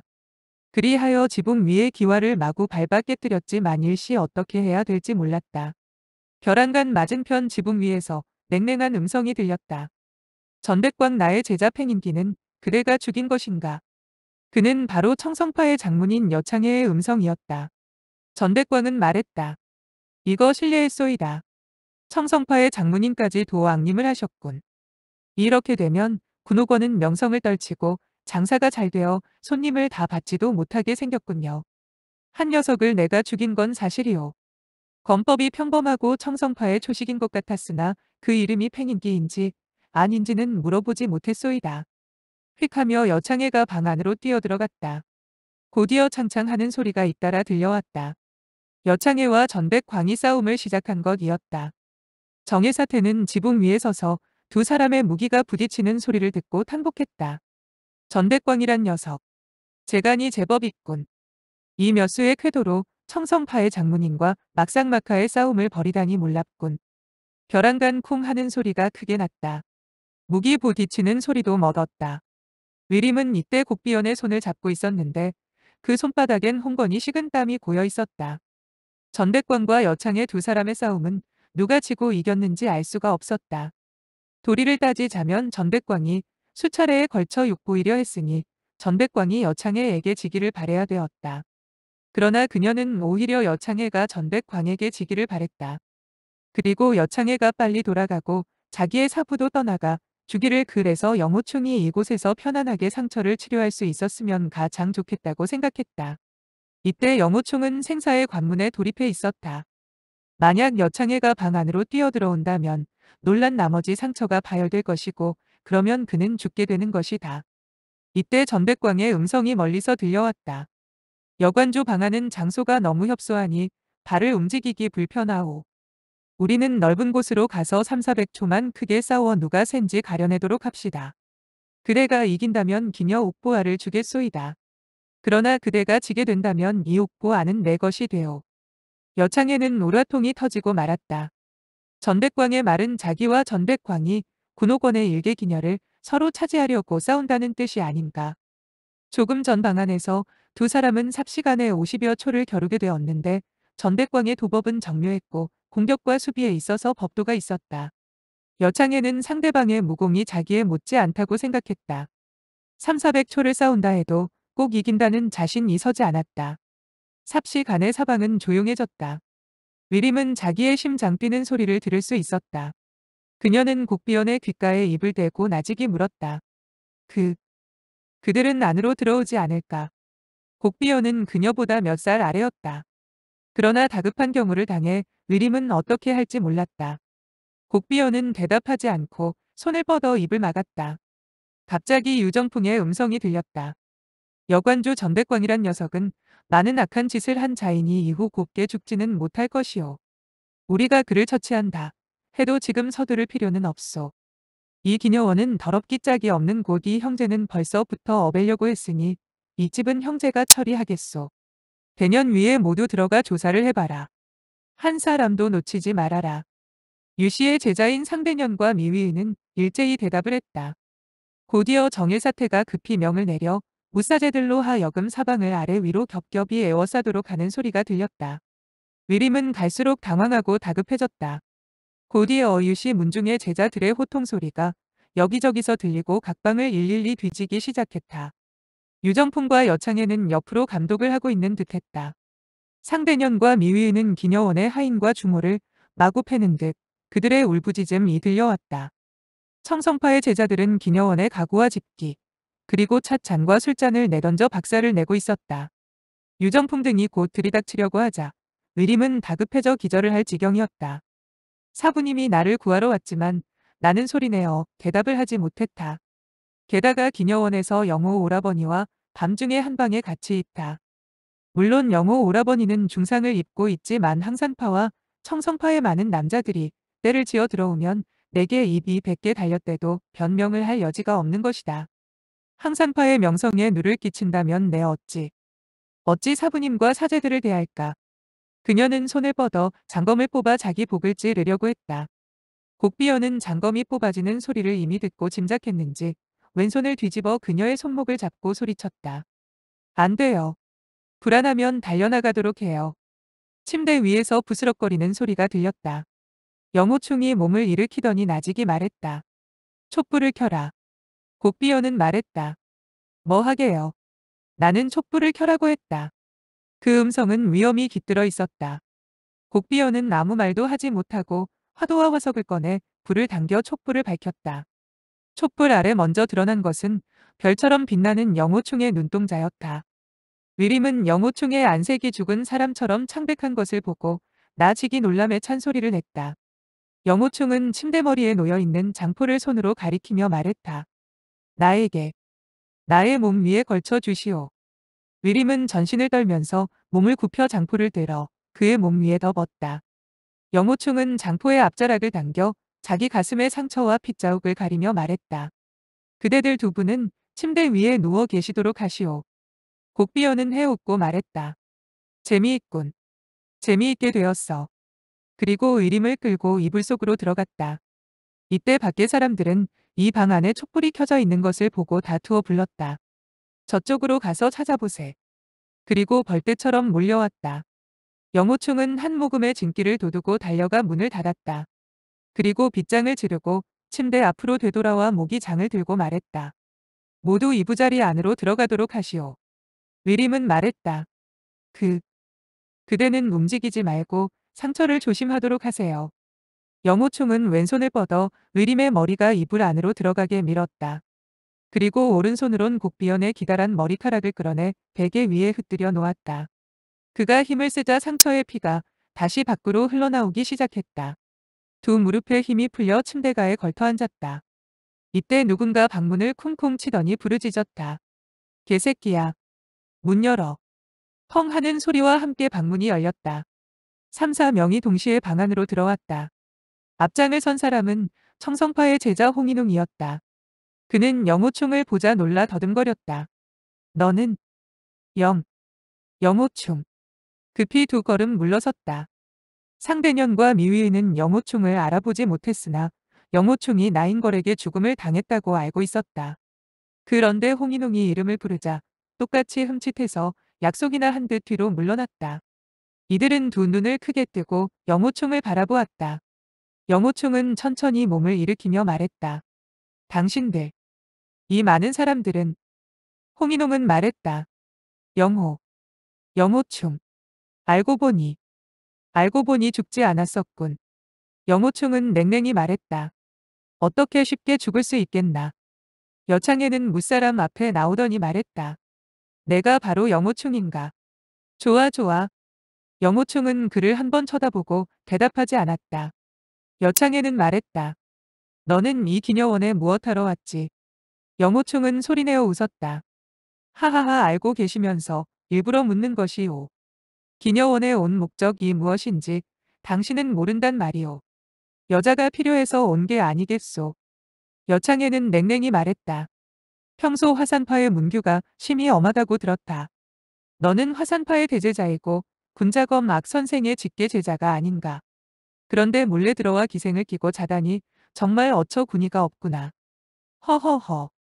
영호충은 말했다. 화산파의 문교가 어떻든 우리 화산파의 일이오.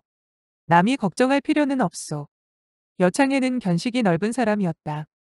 영호충의 얼굴이 창백하고 몸을 쉬지 않고 뛰고 떨고 있는 것으로 보아 중상이 분명한 듯 태연한 것을 보아 더럭 의심이 치밀었다.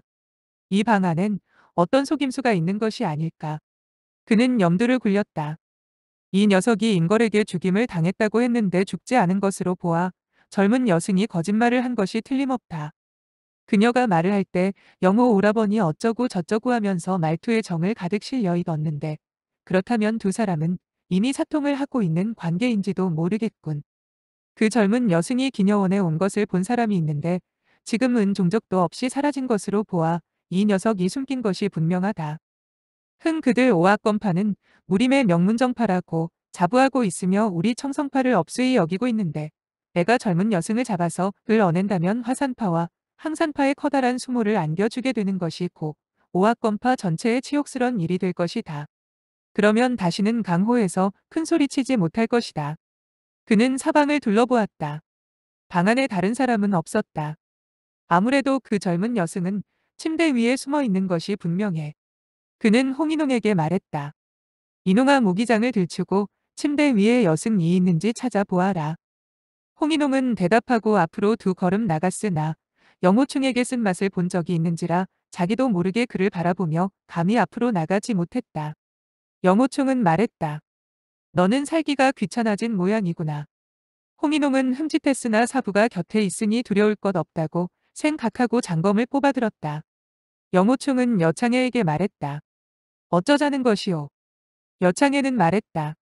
항산파에서 한 명의 여제자가 어디론가 사라졌다. 그녀가 이곳으로 들어오는 것을 본 사람이 있다. 그녀를 찾으려고 그러는 것이다. 영호충은 눈빛을 빛내며 말했다. 오학건파의 일을 당신네 청성파에서 감히 상관하려는 것이오. 여창에는 말했다. 오늘 일은 반드시 알아내야 한다. 이놈아 손을 써라. 홍인홍은 대답을 하고 장검을 내밀어 모기 장을 들쳤다. 위림과 곡비어는 꼭 껴안고 이불 안에 몸을 숨기고 있었다. 그녀들은 영호충과 여창애가 하는 말을 한마 뒤도 놓치지 않고 똑똑히 들을 수가 있었다. 속으로 야단났다고 생각하고 전신이 떨려왔다. 거기다 홍인홍이 모기장을 들추자 더욱 혼비백산했다. 모기장이 들춰지자 사람들의 시선이 침대 위로 쏠렸다. 한 쌍의 원앙이 수놓인 붉은 이불 안에 사람이 있는 것이 틀림없었다. 그리고 베개 위에는 기다란 머리카락이 흩어졌고 이불이 연신 흔들리고 있는 것으로 보아 이불 안에 사람이 매우 두려워하고 있음을 알 수 있었다. 여창에는 베갯머리에 기다란 머리카락을 보자 매우 실망했다.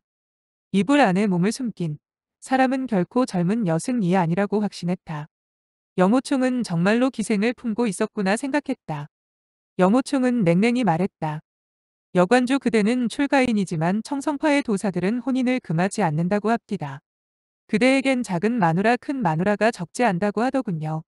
그대가 목숨처럼 색을 좋아하여 기녀원에 벌거벗은 여자의 몸을 보고 싶다면 어서 시원스럽게 이불을 들치고 몇 번 더 들여다보도록 하시오. 항산파의 여제자를 찾는다는 구실을 내세울 필요는 없을 것이오. 여창에는 호통했다. 개소리 마라. 그리고 오른손을 후려쳤다. 영호충은 옆으로 몸을 날려 장풍을 피하려고 했다. 그러나 중상을 입은 몸이라 몸놀림이 여의치 못했다. 여창애의 일장은 그의 어깨죽지를 후려쳤다. 영호충은 의자 위로 쓰러지고 말았다. 그는 힘주어 버티며 몸을 일으켰다. 그 순간 입에서 한 모금의 선혈을 토해냈다. 여창해가 다시 손을 쓰려고 할 때 창 밖에서 누군가 부르짖었다. 어른이 나이 어린 사람을 못살게 굴다니. 염치가 없군. 그 말이 끝나기도 전에 여창해는 오른손을 돌려 창문을 후려쳤다. 우지직하며 창문이 부서져 나갔다. 여창해의 몸은 창문을 통해 밖으로 쏘아져 나갔다. 한 명의 꼽추가 담장 모퉁이를 돌아 도망치는 것이 보였다. 여창해는 호통을 쳤다. 개 섭거라. 그 꼽추는 바로 임평지였다. 그는 유정풍의 집에서 곡비연이 출현하여 여창해가 소녀에게 정신을 팔게 되자 슬그머니 빠져나오고 말았다. 바로 그의 뒤를 목고봉이 뒤따르고 있다는 사실을 그는 눈치채지 못하고 있었다. 그는 담장에 숨어 어찌할 바를 몰랐다.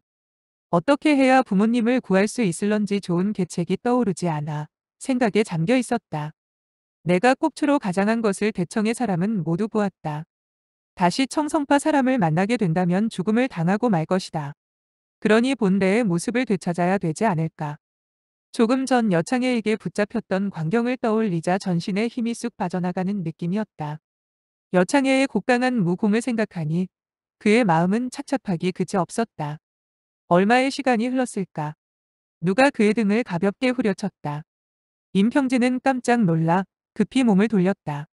눈 앞엔 뒷등이 불룩한 진짜 꼽추 세북명타 목고봉이 서 있지 않은가. 세북명타 목고봉은 웃으며 입을 열었다. 가짜 꼽추야 꼽추가 뭐가 좋지. 어째서 나의 제자나 사손으로 사칭하려고 했지. 임평진은 이 사람의 성격이 흉폭하며 무공이 곡강하다는 점을 알고 있었다.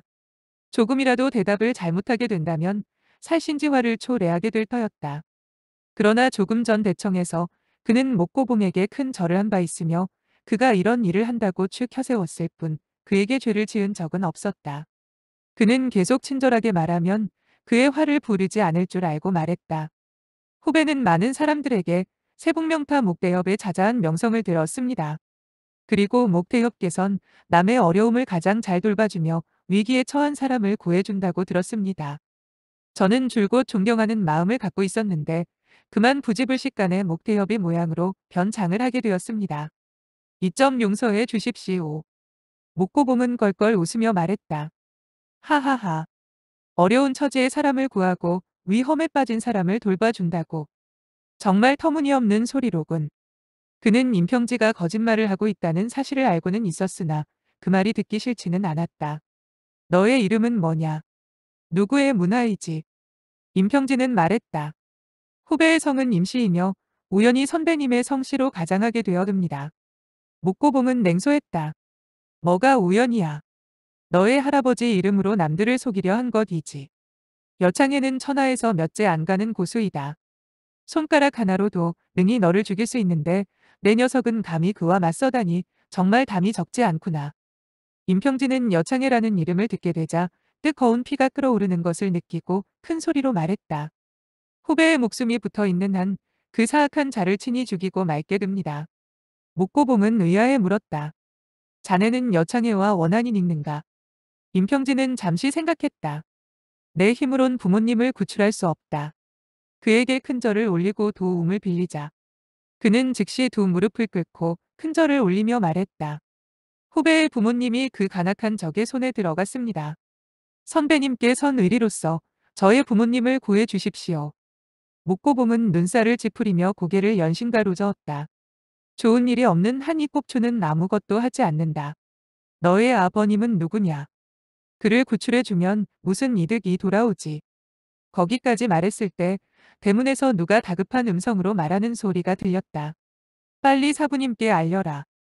군옥원이란 기녀원에서 청성파의 사람이 또 한 명 살해되었고 항산파의 한 사람이 상처를 입고 도망쳐 왔다고 해라. 목고봉은 나직이 말했다. 너의 얘기는 나중에 듣도록 하자. 당장 좋은 구경거리가 생기게 되었으니 너도 구경을 하려면 날 따라오너라. 임평진은 생각했다. 그의 곁에 있으면 부탁할 기회는 얼마든지 있다. 그는 급히 대답했다. 네네 노선 배님께서 가시는 대라면 후배는 마땅히 뒤를 따라야죠. 목고봉은 말했다. 우리는 먼저 말을 확실히 해두자. 이 꼽추는 어떤 일이든 이득이 되는 일만 한다. 내가 나를 몇 번 추켜 세 운다고 해서 이하라 버님께서 귀찮은 일을 할 것이라고 생각했다면 그것은 큰 착각이다. 임평진은 아무 말도 못했다. 갑자기 목고봉이 말했다. 그들이 갔다. 나를 따라오너라. 그 순간 임평진은 자기의 오른쪽 손목이 바짝 조여지는 것을 느꼈다. 이미 그에게 잡혀 몸이 허공에 둥실 떠오르고 있었다. 마치 땅을 밟지 않는 듯 쾌속하게 거리를 질주해 나가고 있었다. 군옥원 밖에 이르게 되었을 때 목고봉과 그는 한 그루 나무 뒤에 숨어서 기녀원의 동정을 엿보았다. 여창해와 전백광이 손을 쓰고 유정풍이 사람을 데리고 도착하기 시작했으며 영호충이 나서서 말을 하던 상황을 두 사람은 일일이 귀로 들어 알게 되었다. 여창해가 재차 영호충을 때리려고 했을 때 임평진은 더 참을 수 없어. 어른이라는 작자가 어린애를 못살게 군이 염치 없다는 비웃음의 말을 던졌던 것이다. 임평진은 말을 마친 즉시 자기가 경솔했다는 사실을 깨닫고 몸을 돌려 피하려고 했다. 그러나 여창해의 동작은 신속하기 그지없었다. 여창해는 뒷모습을 알아보고 냉소했다. 알고 보니 너였군. 임평진은 목고봉의 옆에 가서 섰다. 여창해는 목고봉을 쏘아보며 말했다. 목곱추 당신은 세 번씩이나 어린애를 시켜 나를 난처하게 했다. 도대체 왜 그러는가? 목고봉은 소리내어 웃었다. 하하하. 저 사람은 스스로 나의 아랫사람이라 했지만 이 꼽추는 아직 인정하지 않고 있다. 그의 성은 임시이고 나의 성은 묵시인이 나와 저 녀석 사이에 무슨 관계가 있겠느냐. 여관조 목꼽추는 당신을 두려워하지 않아. 다만 이 가짜 꼽추 때문에 그대와 싸우고 싶지 않을 뿐이야. 즉 방패막이는 될 수 없다는 얘기지.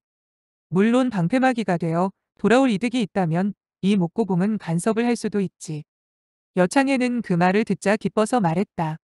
이 사람은 목형과는 아무런 관계가 없다면 빈도는 더 이상 뒤 하의 체면을 돌보지 않겠소.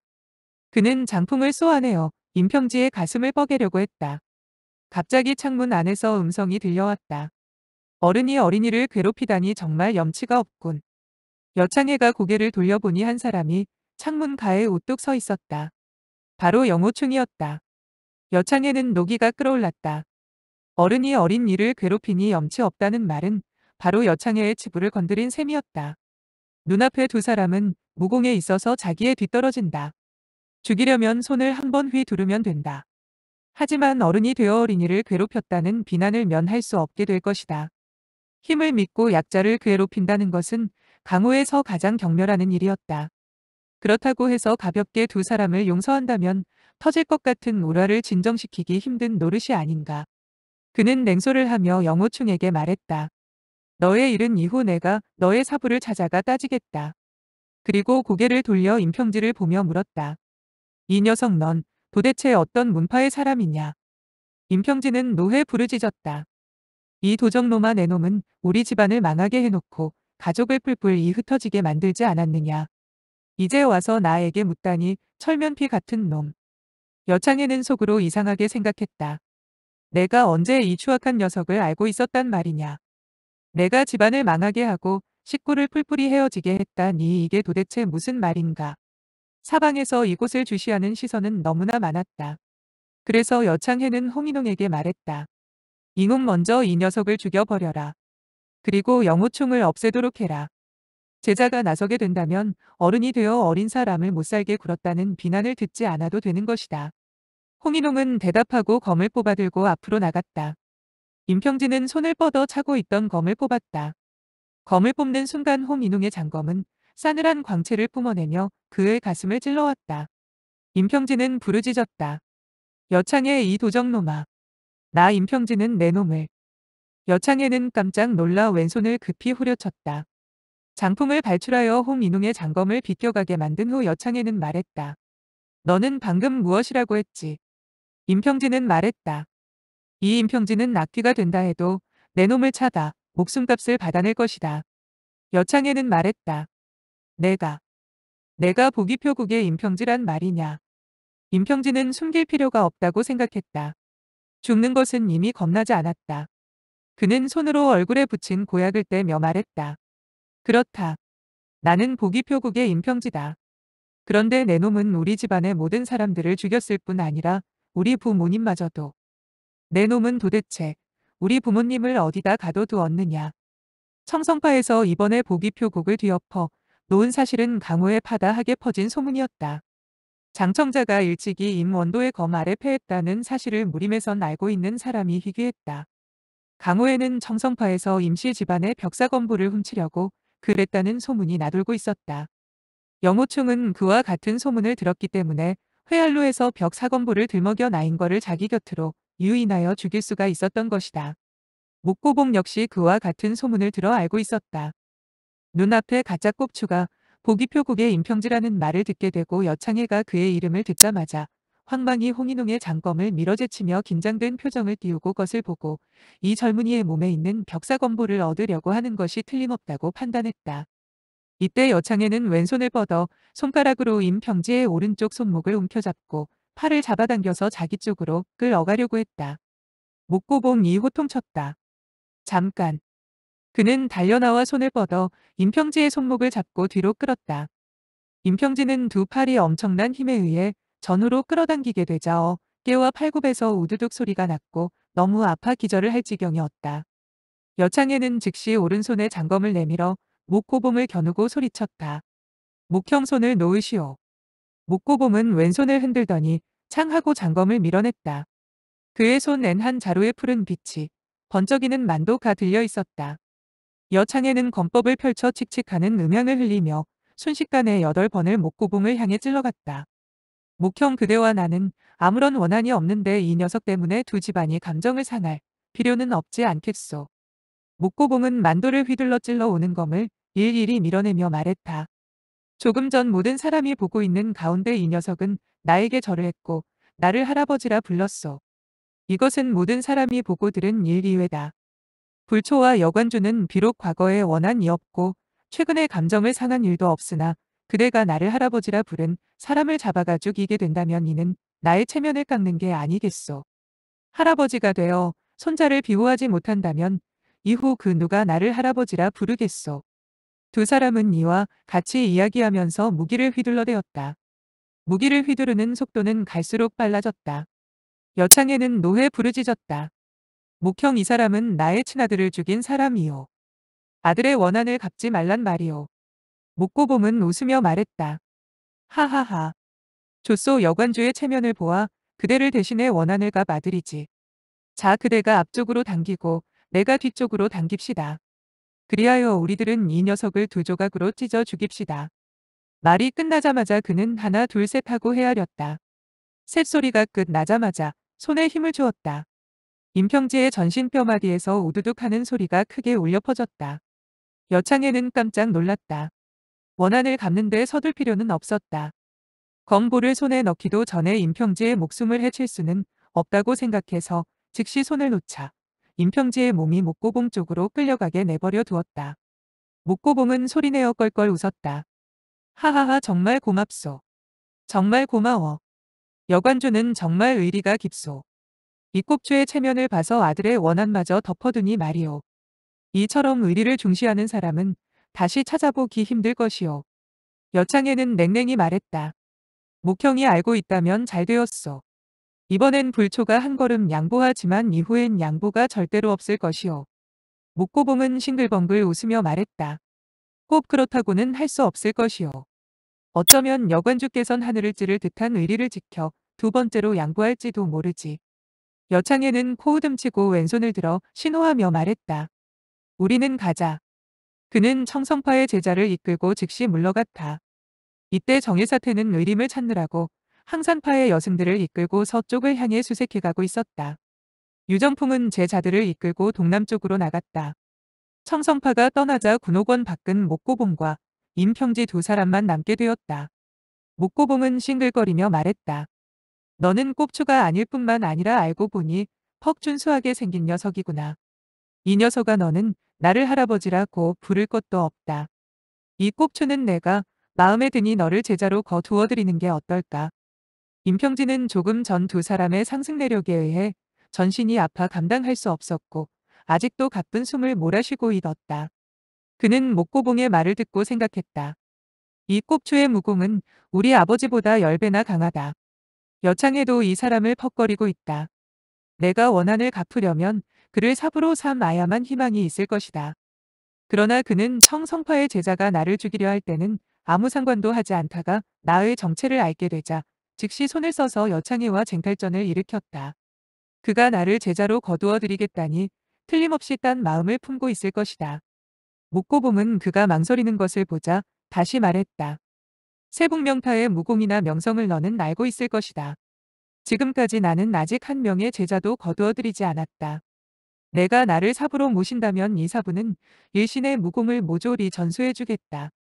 그때 청성파의 젊은 녀석들은 결코 너의 적수가 될 수 없을 것이고 시일이 흐르게 되면 여창회를 대패시키는 것도 어려움이 없을 것이다.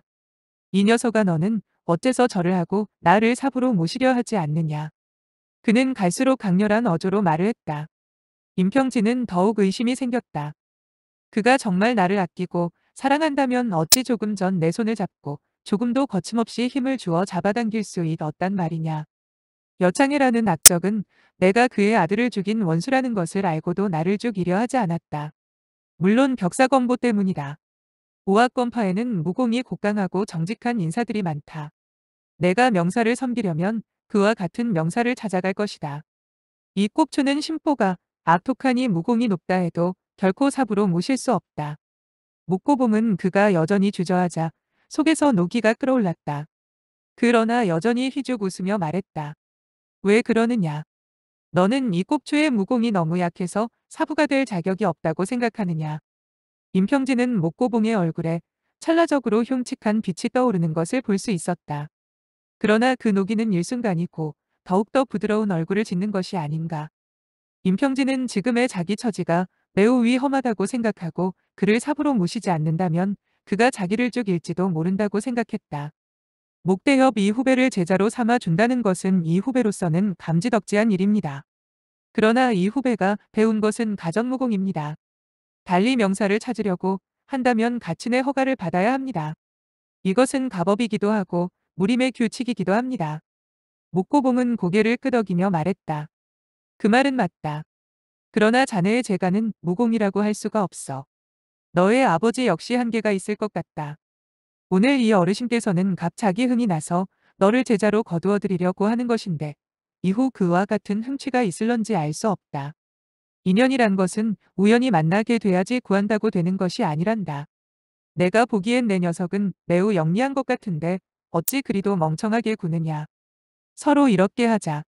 너는 먼저 나를 삽으로 모시고 그 후에 내가 너의 아버님께 이야기하도록 하자.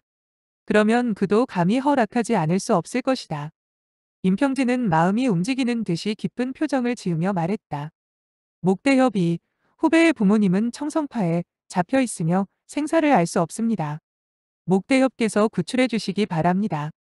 그때 이 후배는 은혜에 보답하기 위해서 목대협의 어떤 분부라에도 받들겠습니다. 목대협은 노해 말했다. 뭐라고? 너는 나에게 흥정을 하자는 것이냐. 내 녀석이 뭐가 대단하다고 반드시 너를 제자로 삼아야 한단 말이냐. 내가 감히 나에게 조건을 내걸어. 허. 별일 다 보겠군. 여창애가 모든 사람 앞에서 그를 두 쪽으로 찢어 죽이지 않은 것은 달리 꾀하는 바가 있기 때문이라는 생각이 뇌리를 스쳤다. 여창애 같은 사람이 속임수에 넘어갈 리가 없다는 생각이 들었다. 그리고 강호의 소문이 십중팔구 맞을 것 같았다. 그렇다면 임시 집안의 벽사건보는 대단할 것이다. 이 녀석을 제자로 삼기만 한다면 무학의 비급은 조만간 자기의 손에 들어 올 것이 아니겠는가. 빨리 절을 해라 세 번. 절을 하면 너는 나의 제자가 되는 것이다. 제자의 부모를 어찌 사부가 모른 채 하랴. 여창애가 나의 제자의 부모를 잡아갔다면 내가 그에게 가서 사람을 내놓으라고 하더라도 명분이 서는 일이니 그가 어찌 사마을 내놓지 않겠느냐. 임평진은 부모님을 복 싶은 생각이 간절했다. 부모님께서는 간악한 자의 수중에 떨어져 하루를 1년처럼 보내고 계실 것이니 어떻게 해서라도 빨리 두 분을 구해내야 한다. 내가 일시 굴욕적인 입장이 되더라도 그를 삽으로 모셔서 그가 우리 아버님과 어머님을 구해내기만 한다면 그처럼 좋은 일이 어디 있으랴. 그는 즉시 무릎을 꿇었다. 그리고 절을 하려고 했다. 목고봉은 그가 후회를 할까봐 손을 뻗어 그의 머리에 얹고는 앞으로 눌렀다. 임평진은 본래 큰 절을 하려고 했다. 그런데 그가 힘을 주어 내리 누르자 속으로 반감이 일었다. 다리와 목에 힘을 주어 버텼고 고개를 숙이지 않으려 했다. 목고봉은 노회 부르짖었다. 감히 절을 하지 않겠다는 것이냐. 그리고 손에 힘을 더했다. 임평진은 자존심이 강한 사람이었고 보기표국의 소국주로서 한평생 남에게 떠 받들리기만 했을 뿐 굴욕을 당해본 적이 없었다. 이번에 부모님을 구하기 위해 이미 큰 절을 하기로 결심을 했지만 목고봉이 손을 뻗어 내리누르니 오히려 그의 고집스런 본성을 불러일으킨 셈이 되었다. 그는 큰 소리로 외쳤다.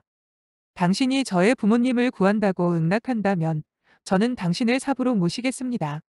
지금 나보고 절을 하라는 것은 절대 있을 수 없는 일입니다. 목고봉은 말했다. 절대 있을 수 없다고. 어디 두고 보자. 정말 절대로 있을 수 없는지. 그리고 더욱 힘을 가했다. 임평진은 허리에 힘을 주어 버티며 몸을 일으키려 했다. 그러나 머리 위에 천, 근이나 되는 바위가 내리누르는 것 같아 도저히 버틸 수가 없었다. 그는 두 손으로 땅을 짚고 애써 버티었다. 목고봉은 다시 손에 부쩍 힘을 가했다. 임평진은 자기의 목뼈가 우두둑 우두둑 하며 어긋나는 소리를 들었다. 목고봉은 껄껄 웃으며 말했다. 하하하. 내가 큰 절을 하지 않겠다고. 내가 손에 다시 힘을 가하게 된다면 너의 목뼈는 부러지게 될 것이다. 임평지의 머리는 한 치 한 치 아래로 숙여지게 되었다. 이제는 땅바닥과 한 자도 되지 않는 곳에 이르게 되었다. 임평지는 애써 부르짖었다. 나는 절을 하지 않겠다. 죽어도 절을 하지 않겠다. 목고봉은 말했다. 어디 두도 보자. 그리고 손에 힘을 주었다. 임평지의 이마가 다시 두 치 정도 아래로 떨어지게 되었다. 바로 이때였다. 임평지는 갑자기 등에 으는 한 온기를 느꼈다. 부드러운 힘이 몸 안으로 스며들었고 머리 위에 압력이 벼랑간가 배워졌다. 두 손으로 땅바닥을 밀면서 몸을 일으킬 수가 있었다. 이렇게 되자 임평진은 뜻밖이 아닐 수 없었다. 그리고 목고봉 역시 깜짝 놀라게 되었다. 조금 전 목고봉은 어떤 힘이 자기 손의 내력을 흐트러뜨리는 것을 느꼈다. 그와 같은 힘은 무림에서 명성이 자자한 화산파의 자아공 같았다. 소문에 듣건대 이 내공은 노을과 같이 처음에는 있는 듯 없는 듯 기척을 느낄 수 없으나 거기에 실린 힘은 지극히 강하고 질긴 것이라고 나중에는 하늘을 덮고 땅을 뒤덮어 버리고 그 기세는 감당할 수 없다는 것이었다. 그리하여 자아라는 이름이 생긴 것이라고 했다. 목고봉은 놀람과 의아함 속에서 다시 손을 뻗어 임평지의 머리를 잡고 내리누르려고 했다. 그런데 땅과 임평지의 머리가 막 부딪히려 할 때 임평지의 머리 위에서 다시 한 줄기의 부드러우면서도 강한 내력이 솟아올랐다. 따라서 두 기운이 충돌하게 되었다. 목고봉은 손과 팔이 마비될 것 같았고 가슴도 아파옴을 느꼈다. 그는 두 걸음 물러서며 점점 웃었다. 하하하 화산파의 악형이시오. 어째서 담 장가에 숨어 이 꼽추를 놀린단 말이오. 그러자 담장 모퉁이 뒤쪽에서 한 사람이 소리도 없이 그림자처럼 걸어왔다. 청삼을 걸친 서생이었다. 무릎을 가리는 장포에 보라색 띠를 허리에 질끈 두르고 있었고 손에는 섭선을 들고 한가롭게 흔들고 있었다. 표정은 매우 소탈해 보였으며 여유 있어 보였다. 그는 빙그레 웃으며 입을 열었다. 목형 몇 년 보지 못했지만 풍채는 여전하구려. 정말 축하할 일이외다. 목고봉은 그 사람이 바로 화산파의 장문인 군자검, 악불군이라는 사실을 알고 놀람을 금치 못했다. 그는 예전부터 악불군을 여간 무서워하지 않았다. 그런데 자기가 친히 손을 써서 무공이 평범한 녀석을 몰아세우고 있는 광경을 군자검, 악불군에게 발각당하고 악불군이 손을 써서 이 젊은이를 구해내게 되자 그로서는 매우 겸 연적은 입장이 되었다. 따라서 그는 헤헤 웃으며 입을 열었다. 악형 갈수록 더 젊어지시는구려. 이 곱추는 정말 그대를 사부님으로 모시고 음양체보라는 술법을 배우고 싶구려. 악불군은 형형한 눈빛이 되어 엄숙히 말했다. 곱추가 쓸데없는 말을 하는구나. 뱃사람끼리 얼굴을 마주치게 되었다면 그간 있었던 일을 인사로 나눌 것이지 어찌 터무니없는 말을 짓거리는 것이지. 내가 언제 그와 같은 사악한 무공을 배웠다고 그러는가. 목고봉은 웃으며 말했다. 그대가 음양체보의 재간을 모른다고 한다면 그 누구도 믿지 않을 것이오. 그렇지 않다면 어째서 그대는 60이 다 되었는데도 발로 환동한 듯이 얼핏 보기에 이 꼽주의 손자처럼 보이냔 말이외다. 임평진은 목고봉의 손이 풀어지는 순간 즉시 몇 걸음 뒤로 물러나 있었다. 그리고 서생을 바라보았다. 그 서생은 검고 윤이 나는 턱수염을 탐스럽게 기르고 있었다. 얼굴은 관옥처럼 빛나고 있었다. 의젓하고 당당한 기상이 넘쳐 흐르고 있었다. 그는 마음속으로 우러러보는 마음이 솟아오르는 것을 느꼈다. 그는 이 사람이 자기를 구했다고 짐작했다. 그리고 목고봉이 그를 화산파의 악형이라고 부르자 속으로 생각했다. 이 신선 같은 인물이 바로 화산파의 장문인 악불군이란 말인가. 그러나 겉으로 보기엔 불과 40여 세박에 되지 않은 것 같아. 노덕약은 그의 제자인데도 훨씬 늙어 보이지 않느냔 말이다. 그런데 목고봉이 악불군에게 주한술 주한술을 익혔다고 칭찬을 하게 되자 퍼뜩 떠오르는 생각이 있었다. 어머님이 말씀하신 적이 있었지. 무림 고수들은 내공이 상당히 심오한 경지에 이르게 되면 불로 장수할 뿐 아니라 진짜로 발로 환동하신다고 했지. 그렇다면 이 악선생은 내 공이 상상도 못할 정도로 심오하겠구나. 그는 흠모하는 마음을 억제할 수 없었다. 악불구는 횃불같이 형형한 눈동자로 복고봉을 바라보며 말했다. 당신은 만나자마자 좋은 말은 하지 않는군. 이 젊은이는 효자일 뿐 아니라 의협심이 강한 인재로서 그래가 좋아하는 것도 무리가 아니외다. 그가 오늘 여러 가지 화를 입게 된 것은 모두가 당시 복주에서 의협심을 내세워 불초의 딸인 영산을 구했기 때문에 비롯된 것이오. 따라서 나로서는 구경만 할 수 없으니 당신은 나의 얼굴을 보아서 손을 떼시기 바라오. 목고봉은 얼굴에 의아한 빛을 띄우며 말했다. 뭐라고요? 이 녀석의 재간으로 영산을 구했단 말이오. 아마도 그 반대이겠지. 영산이 이 녀석의 반반한 얼굴을 보고 마음이 움직여. 악불구는 이 꼽추가 거칠고 속되기 이를 데 없다는 사실을 알고 있었다. 다음 말은 좋은 말이 아니라고 생각하고 즉시 말을 가로챘다. 강호에선 어려움에 처한 사람을 보면 구원해야 하며 자기 자신이 가루가 되는 한이 있어도 구해야 하는 것이요. 결코 무예가 높아야 협사가 되는 것은 아니오. 목형 그대가 이 젊은이를 제자로 삼기로 결심을 했다면 이 젊은이의 부모에게 말씀을 드린 후 다시 그를 귀파의 문화로 끌어들여야 할 것이 아니오.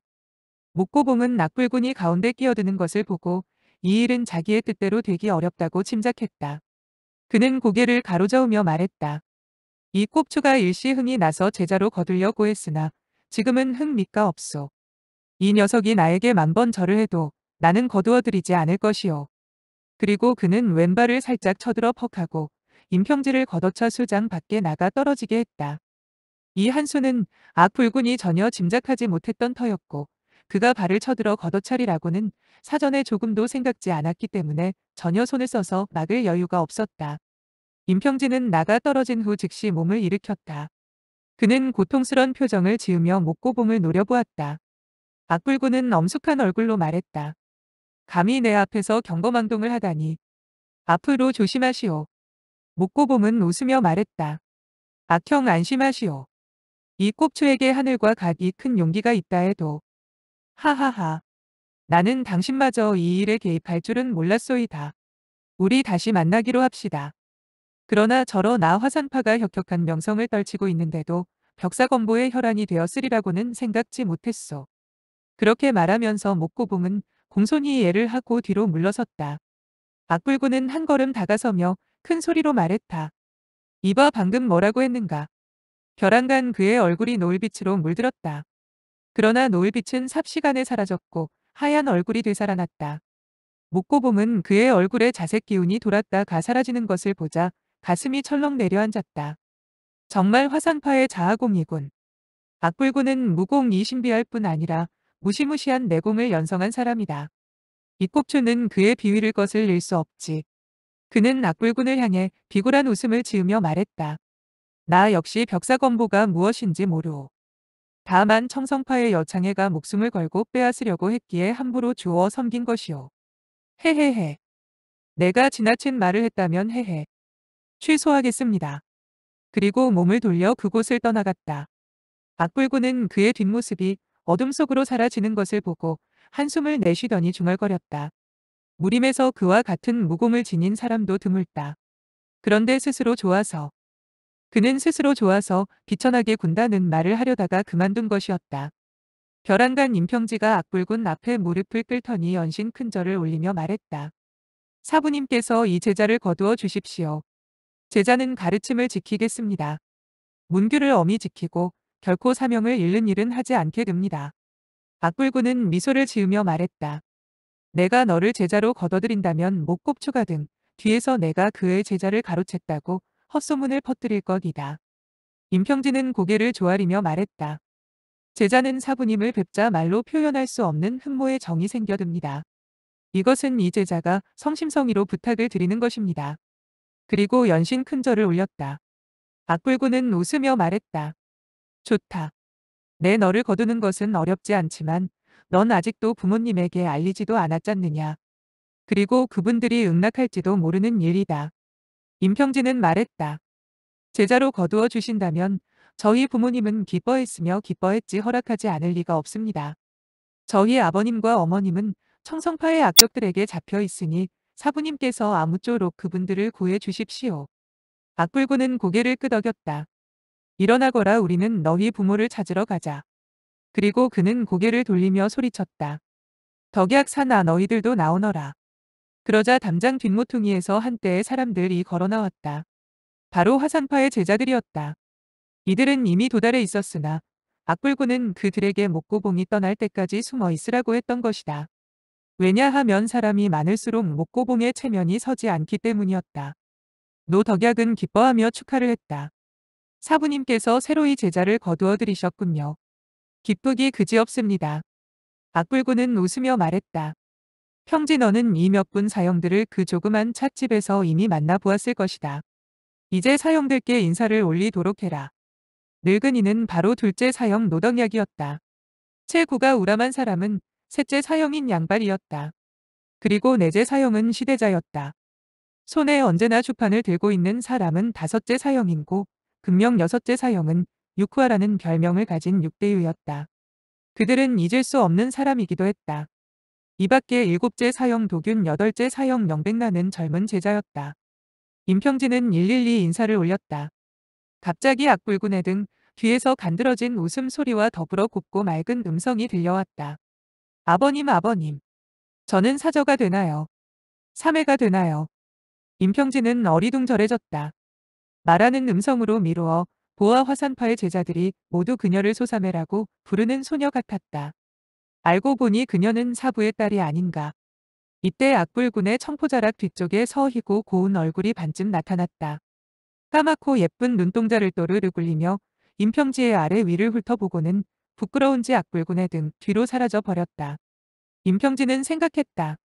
그 소사매라는 소녀는 공보투성이의 얼굴이었는데 갑자기 미인으로 변했구나. 거참 이상하다. 그녀가 고개를 살그머니 내밀었다가 움츠린 행동은 빨랐고 달빛이 몽롱하여 똑똑히 볼 수는 없었다. 그러나 그 소녀의 용모가 아름답다는 것만은 절대 의심할 여지가 없었다. 그는 공보처럼 변장을 하고 복주성 밖에서 술을 팔았다고 했으며 정의사태는 그녀를 왜 그처럼 괴상한 모양을 하고 있느냐고 했다. 그렇다면 그녀의 추악한 모양은 일부러 면장을 한 것일게다. 틀림없다. 이때 악불군이 웃으며 입을 열었다. 여기 있는 모든 사람들은 너보다 인문한 것이 늦다고 해도 모두들 너를 소사매라고 부르지 않느냐. 너는 사매가 되어야 할 운명이니 자연 이번에도 사매가 되는 것이다. 소녀는 웃으며 말했다. 안 돼요. 이제부터 저는 사저가 될 거예요. 아버지 임사제가 나를 사매로 부르게 된다면 이후 아버님이 다시 100명이나 200명의 제자를 거두어 드린다 해도 모두들 나를 사매라고 부를 거예요. 그건 너무 억울한 일이에요. 그녀는 말을 마치자 웃으면서 악불군의 등 뒤에서 걸어 나왔다. 달빛 아래 임평진은 어렴풋이 갸름하고 어여쁜 얼굴을 볼 수 있었다. 그리고 흑백이 분명한 한 쌍의 눈동자는 그의 얼굴을 쏘아보고 있는 게 아닌가. 임평진은 뛰는 가슴을 진정한 후 말했다. 악사저 소재는 오늘에야 은사님을 사부로 섬기게 되는 행운을 얻었습니다.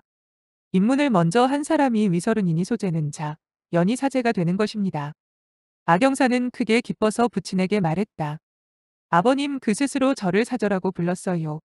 결코 제가 강요한 건 아니에요. 악불구는 웃으며 말했다. 이제 나의 문화로 들어왔는데 너는 벌써 강요라는 한마디의 말을 쓰는구나. 따라서 그가 내 문화의 제자들이 모두 너처럼 아랫사람을 억압한다고 생각하게 된다면 먼저 것부터 집어먹게 되지 않겠느냐. 그 말에 모두들 미소를 지었다. 악영사는 말했다. 아버님 대사형은 이곳에 숨어서 상처를 치료하고 있었는데 여창해라는 못난 도사에게 일장을 더 맞았으니 지금 매우 위험한 상태에 놓여 있을 거예요. 우리 그분을 찾아보도록 해요. 악불구는 눈살을 한 번 찌푸리고 고개를 흔들며 말했다. 고근명 시대자 너희 두 사람은 가서 대사형을 떠매고 나오너라. 고근명과 시대자는 일제히 대답을 하고 창문을 넘어 방 안으로 들어섰다. 곧이어 두 사람의 외침 소리가 들렸다. 사부님 사형은 이곳에 계시지 않습니다. 방 안엔 아무도 없습니다. 곧이어 창문으로 불빛이 새어 나왔다. 두 사람이 촛불에 불을 붙인 것이다. 악불구는 더욱 눈살을 찌푸렸다. 그는 기녀 원이란 더러운 곳으로 들어가고 싶지 않아 노덕약에게 말했다. 내가 들어가 살펴보아라. 노덕약은 대답하고 창문 입구 쪽으로 뛰어갔다. 악영사는 말했다. 저도 가보겠어요. 악불군이 그녀의 손을 잡고 말했다. 무슨 짓이냐. 저곳이 뭐하는 곳인지 알고 나 있느냐. 악영사는 다급해져 울상을 지으며 말했다. 그러나 그러나 대사형은 몸에 중상을 입고 있어요. 아마도 그는 목숨을 잃을지도 몰라요. 악불군은 나직이 말했다. 걱정 마라. 그는 항산파의 천양단 속교를 발랐으니 죽지는 않을 것이다. 악영사는 놀람과 기쁨에 넘쳐 말했다. 아버님 아버님은 어떻게 아셨어요? 악불구는 말했다. 나직이 말해라. 그리고 쓸데없는 말은 하지 마라. 영호충은 중상을 입고 다시 여창해의 장풍에 얻어맞게 되자 상처가 격렬하게 아파왔다. 거기다 몇 모금의 피까지 토한 몸이었다. 그러나 정신은 맑았다. 그는 목고봉과 여창해가 다투는 소리를 듣고 사람들이 하나 둘씩 물러간 이후 다시 사부가 도달하는 기척을 들었다. 그는 세상에 두려운 것이 없었지만 사부님만은 두려워했다. 사부님과 목고봉이 말하는 소리를 듣자 그는 자기가 너무 터무니없는 행동을 했으니 사부께서 어떤 책벌을 내릴지 모른다고 생각했다. 그는 상처의 아픔을 잊고 몸을 침대 쪽으로 돌리며 말했다. 큰일 났소. 나의 사부님이 오셨으니 빨리 도망칩시다. 그리고 그는 벽을 짚으며 방 밖으로 나갔다. 곡비어는 의림을 끌고 이불 속에서 나와 그의 뒤를 따랐다. 영호총은 신음소리를 내며 때때로 걸음을 멈추었다. 두 사람은 재빨리 부축을 했다. 영호총은 입술을 깨물며 그녀의 부축을 받고 한 곳의 복도를 지나게 되었다. 이때 그는 속으로 사부의 이목이 영리하기 이를 데 없으니 밖으로 나갔다간 즉시 그에게 발각당할 것이라고 생각했다. 그리고 보니 오른쪽에 커 다란 방이 있었다. 즉시 방 안으로 들어가며 말했다. 문을, 문과 창문을 닫으시오. 곡비어는 그 말에 따라 문을 닫고 창문도 닫았다. 영호충은 더 지탱할 수 없는 듯 침대 위에 드러누우며가 쁜 숨을 몰아쉬었다. 세 사람은 아무 말도 하지 않았다. 잠시 후에 그를 부르는 음성이 들려왔다. 대사형은 이곳에 없나 보다. 우리는 가자. 영호충은 한숨을 내쉬며 마음을 놓았다. 잠시 후 발걸음을 죽이며 마당을 가로질러 오는 소리가 들려왔다. 그 사람은 나직이 불렀다. 대사형. 대사형. 바로 유쿠아였다. 영호충은 생각했다. 역시 유쿠아는 나를 가장 많이 생각하는구나. 그가 대답을 하려고 하자 침대 모기장이 흔들거렸다. 바로 의림 이누가 찾아온 기척을 듣고 떨고 있는 것이었다. 영호충은 생각했다. 내가 대답을 하게 된다면 저 여승에게 안 좋은 소문이 나겠지. 그는 아무 소리도 내지 않았다. 유쿠아가 창 밖을 지나가면서 대사형 대사형 하고 부르는 소리를 들을 수 있었다. 그 소리는 점점 멀어져 갔고 잠시 후엔 아무 소리도 들리지 않았다. 곡비어는 침묵을 깨뜨리고 말했다. 이봐요 영호충. 그대는 정말 죽게 되나요? 영호충은 말했다. 내가 죽을 것 같소. 내가 죽으면 항산파의 명성을 크게 더럽힐 것이니 그 사람들에게 미안한 노릇이 아니겠소. 곡비어는 의아해서 물었다. 그것은 어째서죠? 영호충은 말했다. 항산파의 영향을 밖으로 바르고 안으론 먹었소. 그런데도 여전히 치료할 수 없다면 이 영호충은 크게 항산파의 사매에게 죄를 짓는 꼴이 되지 않겠소. 곡비어는 웃으며 말했다. 맞았어요. 그대가 죽는다면 너무 미안한 노릇이에요. 위림은 그가 무서운 상처를 입고도 우스갯소리를 하는 것을 보고 그의 용기에 탕복하는 한편 마음을 놓을 수 있었다. 영호 오라버니 또다시 여관주의 일장을 맞았잖아요. 어디 상처 좀 봐요. 영호 총은 억지로 몸을 일으켜 앉았다. 곡비어는 말했다. 호호호. 새삼스럽게 예의를 차릴 필요는 없어요. 누워 계세요. 영호총은 전신의 기운이 쑥 빠져 그대로 안아있기도 힘들었다. 그래서 그는 다시 침대 위에 누웠다. 곡비어는 촛불에 불을 당겼다. 위림은 영호충의 옷자락이 모두 선열로 물들어 있는 것을 보고 즉시 남녀간 이 지켜야 할 예의도 버리고 가만히 그의 장포를 들쳤다. 그리고 세수대야를 놓는 실험 위에 걸린 한 조각의 수건을 가져와 상처 주위를 닦아냈다. 그리고 품에 갈무리했던 천양단 속교를 모조리 그의 몸 위에 발라주었다. 영호충은 웃으며 말했다. 이 같은 진귀한 영약을 나의 몸에 모두 낭비하다니 너무 아깝군. 위림은 말했다. 영호 오라버니는 저 때문에 이와 같은 중 상을 입었으니 그까진 약은 고사하고 설사. 설사. 거기까지 말했으나 더 어떻게 해야 되는지 모르고 한참 머뭇거리다가 말했다. 저희 사부님께서도 그대는 의협심이 강하고 용감한 젊은 영협이라 했어요. 그와 같은 말 때문에 사부님과 여관주가 언쟁을 벌이기도 했어요. 영호총은 웃으며 말했다. 칭찬은 필요 없소. 사태의 어르신께서 나를 욕하지 않는다면 그 것만으로도 천지신명께 감사를 드려야 할 거요. 위림은 말했다. 저희 사부님께서 어찌 그대를 욕한단 말이에요. 영호 오라버니 이곳에서 열두 시집만 정향을 하여 상처가 다시 파열되지만 않는다면 괜찮아질 거예요. 그녀는 새 아래 배구능 담안을 그에게 먹였다. 곡비어는 갑자기 말했다. 언니는 이곳에 남아서 나쁜 사람이 다시 나타나 오라버니에게 해를 입히지 않도록 보호하세요. 할아버지께서 저를 기다리고 애넣어서 저는 이만 가봐야겠어요. 위림은 다급히 말했다. 아니에요. 아니에요. 그대는 가면 안 돼요. 나 혼자. 어떻게 이곳에 있는단 말이에요. 곡비어는 웃으며 말했다. 영호충이라는 사람이 이곳에 멀쩡하게 살아 있잖아요. 어제서 혼자 남는다는 거예요. 그리고 나서 등을 돌려 떠나려 했다. 위림은 초조한 나머지 앞으로 나갔다. 그녀는 다급한 김에 항산파의 금나수법을 펼쳐서 그녀의 팔을 거칠게 움켜잡고 말했다. 가지 말아요. 곡비어는 웃으며 말했다. 무공을 쓸 참이에요. 위림의 얼굴을 붉히며 손을 놓고 부탁했다. 소저 제발 나와 함께 있어줄게요. 영호충 이 나쁜 사람도 아. 닌데 어째서 그대는 그토록 그를 두려워해요. 위림은 마음이 놓이는 모양이었다. 미안해요. 곡소저 내가 아프게 잡진 않았나요? 곡비어는 말했다. 아프진 않아요. 그러나 영호충은 매우 아픈 것 같아요. 위림은 놀라 모기장을 들추고 바라보았다.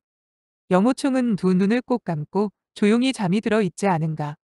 그녀는 손을 뻗어 그의 코 앞에 대 보았다. 숨 쉬는 간격이 고르고 평온해 보여 그녀는 마음을 놓았다. 그때 갑자기 곡비연이 기곳는 소리가 들리고 창문 닫히는 소리가 났다. 위림은 급히 몸을 돌렸다. 그녀는 이미 창문으로 나간 후였다. 위림은 대경실색하여 일시 어찌할 바를 몰랐으나 침대 앞으로 다가가 말했다. 영호 오라버니 영호 오라버니 그녀. 그녀가 갔어요. 이때는 약기운이 한참 퍼질 때라 영호총은 혼수 상태에 빠져 있는 상태였다. 그는 대답하지 않았다. 위림은 전신을 떨며 두려움이 엄습해옴을 느꼈다. 한참 후 그녀는 창문을 닫아 걸고 생각했다. 내가 빨리 이곳을 떠나야지. 영호 오라버니가 깨어나게 되고 나에게 말을 걸면 난 어떻게 하지. 그리고 그녀는 다시 생각했다. 그가 이토록 심한 상처를 입었으니 지금 어린애라고 해도 목숨을 앗아갈 수 있다. 그런데 내가 돌보지 않고 여길 떠난단 말인가. 어둠 속 멀리 골목길 안에서 간혹 깨짖는 소리가 들려오곤 했다. 주위는 조용했다. 기녀원의 사람들이 이미 멀리 도망가고 업었다. 모기장 안에 영호충과 그녀 두 사람뿐이었다. 그리고 침대 모서리에 앉아 물끄러미 영호 충의 얼굴을 내려다보았다. 창백한 얼굴이었다. 그러나 칼날 같은 눈썹과 붉은 입술대, 문에 준수하기 이를 데 없었다. 위림은 가만히 손가락을 내밀어 그의 입술을 만져보았다. 그리고 불에 대인 듯 손을 움츠리며 얼굴을 붉혔다. 그녀는 넋을 잃고 그의 얼굴을 내려다보았다. 어느덧 사방에서 달구는 소리가 들려왔다. 이제 개벽이 가까워진 것이다. 위림은 정신을 차렸다. 마음이 초조해졌다. 날이 밝으면 사람들이 모여들게 될 것이다. 그때 난 어떻게 하지? 그녀는 어려서 출가하여 한평생 정일사태의 돌봄을 받고 자랐기 때문에 이 세상을 어떻게 대응해 나가야 하는지 모르고 있었다. 그저 초조하게 애를 태울 뿐 어떤 방법도 떠올리지 못했다. 갑자기 발걸음 소리가 들렸다. 서너 명이 골목길에서 걸어오는 것 같았다. 사방은 적막하고 발걸음 소리는 유난히 크게 들렸다. 이 사람들은 기녀원 문 앞에 이르더니 발을 멈추었다. 이때 한 사람이 말했다. 너희 두 사람은 동쪽을 수색해. 우리는 서쪽을 수색할 테니 만약 영호충을 만나게 된다면 사로잡아야 해. 그는 부상을 입었으니 항거하지 못할 것이다. 위림은 그 말을 듣게 되자 놀라고 당황했다. 더욱이 그 사람이 영호충을 잡으러 왔다는 말에 번개같이 떠오르는 생각이 있었다. 어떻게 하더라도 영호 오라버니를 안전하게 보호해야 한다. 결코 그가 나쁜 자의 손에 들어가도록 방관해 서는 안 된다. 이 같은 생각이 들자 놀람과 두려웠던 마음 이일시에 사라지고 머리도 맑아지게 되었다. 그녀가 침대가로 다가가 유의 천을 틀어 영호충의 몸을 감쌌다. 촛불을 끈 다음 가만히 방문을 나섰다. 이때는 동서남북을 구별할 수가 없었다. 그 저 사람 소리가 들려온 곳과 반대쪽으로 재빨리 걸음을 옮길 뿐이었다. 삽시간에 한 군데 채소밭을 가로질러 뒷문 쪽으로 오게 되었다. 문은 반쯤 닫혀 있었다. 원래 기녀원에 사람이 도망을 치면서 뒷문을 닫지 않았던 것이다. 그녀는 영호총을 비스듬히 안아들고 뒷문을 나섰다. 그리고 골목길을 따라 달렸다. 얼마 후 성벽가에 이르게 되자 속으로 생각. 성을 빠져나가야 한다. 형산성 안에는 영호, 오라버니의 원수가 너무나 많다. 그녀는 성벽을 따라 질풍처럼 달렸다. 성문에 도달하게 되자 급히 밖으로 달려나갔다.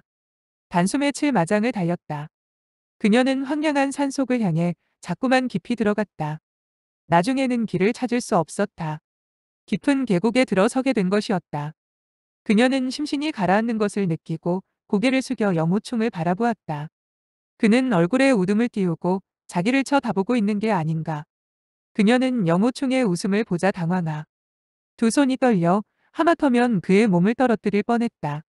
그녀는 어머 하는 소리와 함께 급히 경봉복영 의일초를 써서 몸을 구부리고 팔을 뻗어 그를 똑바로 들 수 있었다. 그러나 그 바람에 돌뿌리를 걷어차게 되고 휘청하며 앞으로 몇 걸음 내달은 후에 야 가까스로 몸을 가놓고 설 수 있었다. 미안해요. 상처를 건드리진 않았나요? 영호충은 빙긋 웃었다. 이제 괜찮소. 좀 쉬도록 하시구려. 위림은 조금 전 청성파 제자들의 추격을 피하는 대만 온정신을 쏟고 있었다. 오직 이 한마음 한뜻으로 어떻게 해야 영호충이 상대방의 독수에 떨어지지 않을까 하는 생각을 했을 뿐 자기의 몸 생각은 전혀 하지 못했다. 그런데 이제 안정이 되자 온몸이 쑤시고 결려왔으며 뼈마디 마디가 모두 흩어지는 것 같았다. 간신히 영호 총을 풀밭 위에 내려놓고는 서 있지 못하고 털썩 주저앉아 가쁜 숨을 몰아 쉬었다. 영호총은 웃으며 말했다.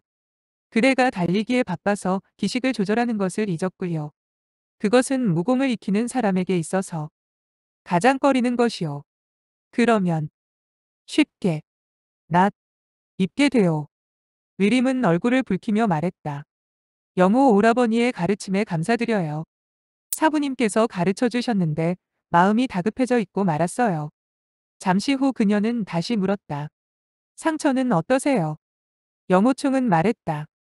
이제 아프지 않소. 약간 근질거릴 뿐이요. 위림은 크게 기뻐했다. 좋아요.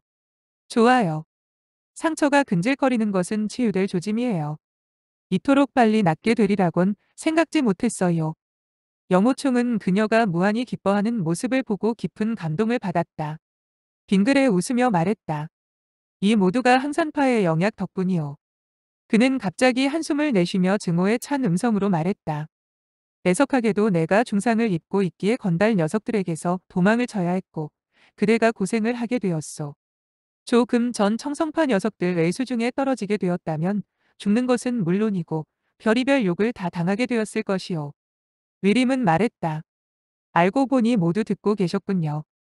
그녀는 자기가 그를 안고 오랫동안 달렸던 사실과 그가 정신을 차리고 자기를 바라보았다는 이 생각이 들자 자기도 모르게 얼굴이 화끈화끈 달아올랐다. 영호충은 그녀가 갑자기 부끄러워하는 줄도 모르고 너무 빨리 달렸기 때문에 지쳐서 그런가 보다고 생각했다. 3회 타좌하여 잠시 쉬도록 하시오. 그리고 귀파의 신법으로 내식을 조절하여 내상을 입지 않도록 하시오. 위림은 말했다. 네. 대답을 마치고 그녀는 단정히 앉았다.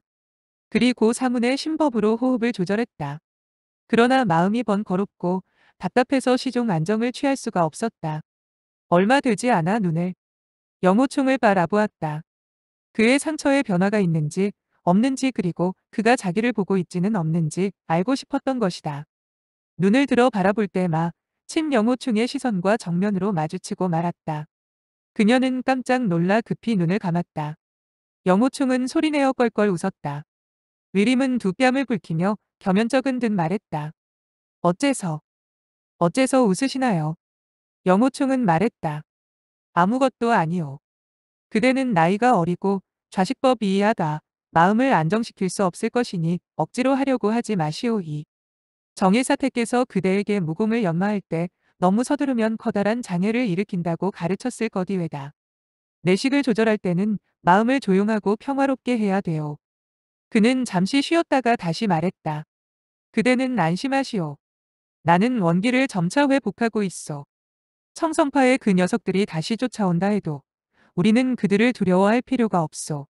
나는 그들로 하여금 다시 한번 엉덩이를 뒤로 한 위림은 미소했다. 평산화 간식을 펼치게 하겠다는 것이죠. 영호총은 웃으며 두 말했다. 맞았소. 정말 잘 대답했소.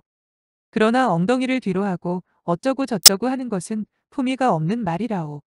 우리는 이후 우아한 병 산화 간식이라고 합시다. 말을 마친 그는 숨이 차서 헐떡거렸다. 위림은 말했다. 더 말하지 마세요. 한숨 자도록 하세요. 영호총은 말했다. 저희 사부님도 유대협의 장원에 도달하셔 될 것이오. 나는 즉시 유대협의 집으로 가서 구경을 했으면 하오. 위림은 그의 입술이 말라터지고 다만 눈동 자만이 별처럼 빛나는 것을 보고 너무 피를 많이 흘려서 물이 부족하기 때문이라고 생각했다. 그리하여 그녀는 입을 열었다. 제가 물을 찾아와 마시도록 해드릴게요. 목이 타시죠. 영호충은 말했다. 길을 오다 봤는데 왼쪽 언덕 아래에 수박밭이 있습니다. 그대는 그 수박을 몇 통 따오도록 하시오. 위림은 말했다. 좋아요. 그리고는 몸을 일으켜서 안쪽 주머니를 더듬었다. 그러나 한 푼의 돈도 없었다. 영호 오라버니 돈 지닌 것 있으세요? 영호충은 말했다. 뭘 하려고? 수박을 사려고요. 영호충. 웃으며 말했다. 사기는 뭘 사오? 그저 몇 통 따오면 될 것을. 부근엔 인가도 없고 수박을 심은 사람은 반드시 먼 곳에 살고 있을 텐데 그 누구에게 산다는 말이오.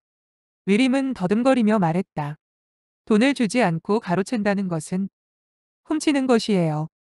이것은 옥의 가운데 두 번째 계율을 어기는 것이니 안 되어요. 돈이 없다면 그들에게 동냥을 해야겠지요.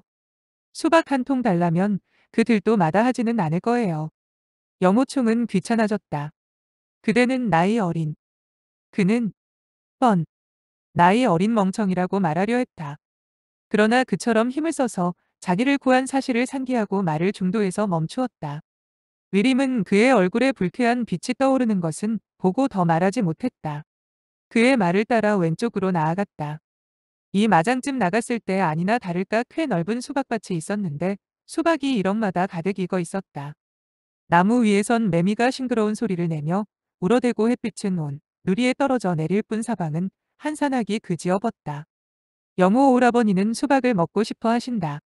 그러나 이 수박은 주인이 있는 물건인데 어찌 함부로 훔칠 수 있으랴. 그녀는 재빨리 높은 언덕 위에 올라 사방을 살펴보았다.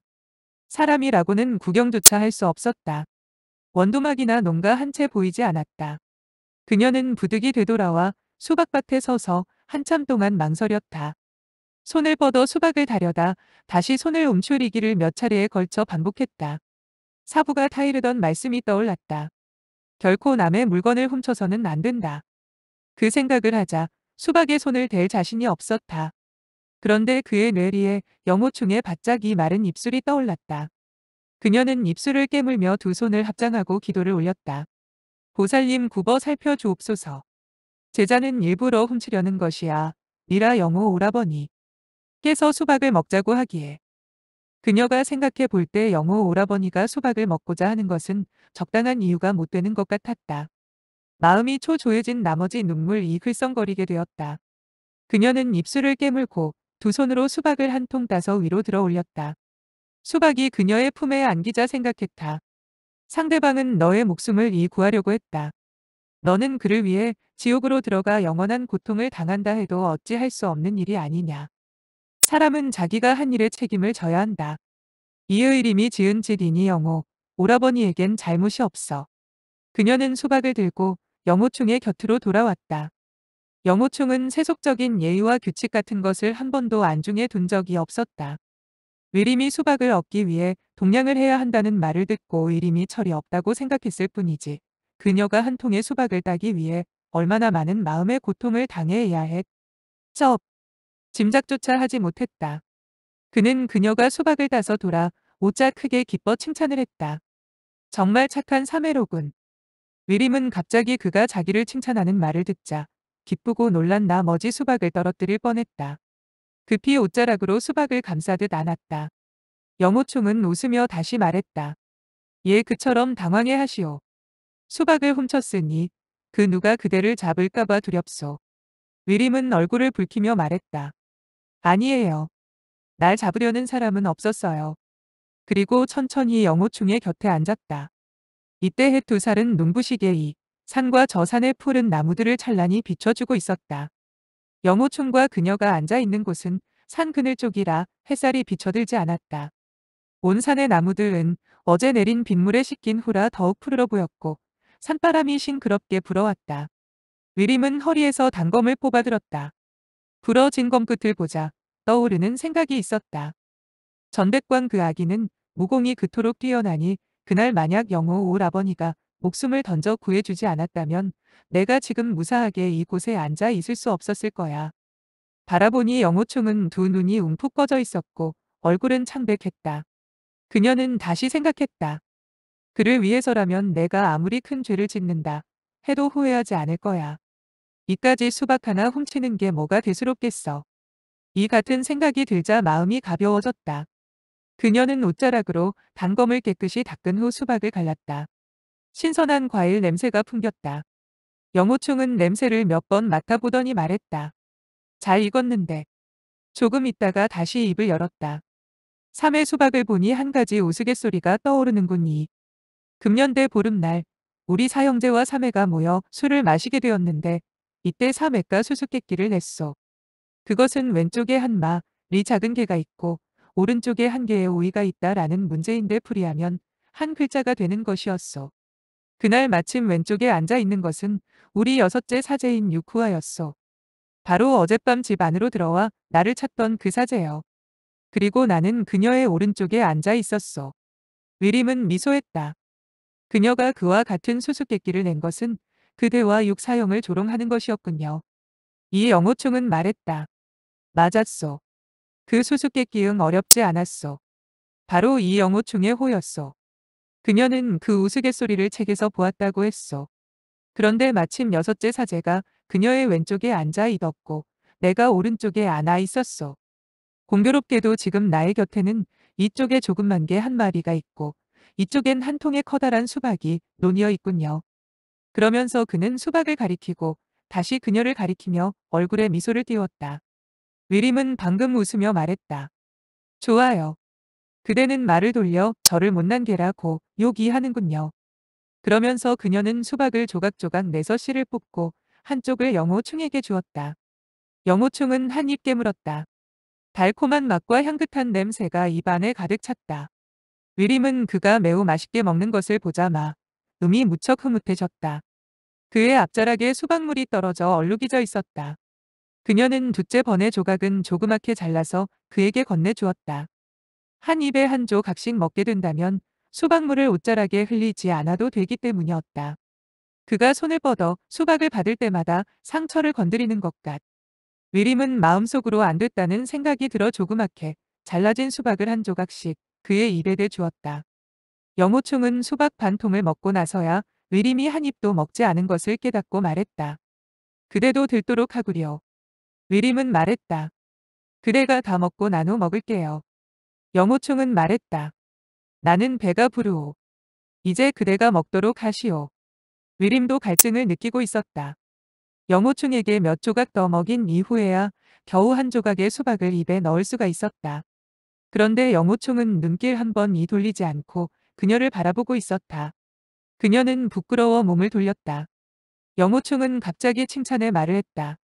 와, 정말 아름답군. 그 말 속에는 즐거워하는 빛이 가득했다. 웨림은 크게 부끄러웠다. 속으로 자기를 보기 좋다고 한 것이 아닌가 생각했다. 동시에 몸을 일으켜 도망을 치고 싶은 심정이었다. 그야말로 몸둘바를 모를 정도가 되었다. 온몸이 후끈 달아오르고 부끄러워 목덜미까지 빨갛게 붉어졌다. 영호충은 다시 말했다. 저것 보시오. 얼마나 아름답소. 어떻소. 위림은 몸을 이돌렸다. 그의 손끝을 바라보니 멀리 무지개가 한 그루 나무 뒤에서 뻗어나와 일곱 색깔의 빛을 영롱하게 드러내고 있지 않는가. 그제서야 그녀는 보기 좋다는 것이 바로 무지개를 가리킨 것임을 알았다. 방금 자기가 그 뜻을 오해했다는 사실을 생각하니 다시 부끄러워졌다. 그러면서 왠지 허전하고 그가 얄미웠다. 조금 전속으로 겸연쩍어 하면서도 기뻐하던 심정과는 퍽 다른 것이었다. 영호충은 말했다. 자세히 들어보시오. 들리오. 위림은 귀를 기울이고 들었다. 무지개가 피어오른 두 곳에서 은연중 물 흐르는 소리가 들려오고 있었다. 아마 폭포가 있는 것 같군요. 영호충은 말했다. 바로 그렇소. 비 때문에 산속 도처에 폭포를 이루게 되었을 것이오. 우리 따라가 봅시다. 위림은 말했다.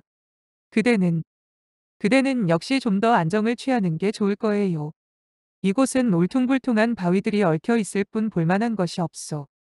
그러니 폭포나 구경하도록 합시다. 위림은 그 뜻을 거절하기가 안 됐다는 생각이 들었지만 망설여지는 바가 있었다. 나는 두이 번이나 그를 아는 적이 있다. 한 번은 그가 죽은 줄 알고 안았고 두 번째는 다급해서 도망을 치느라고 그랬다.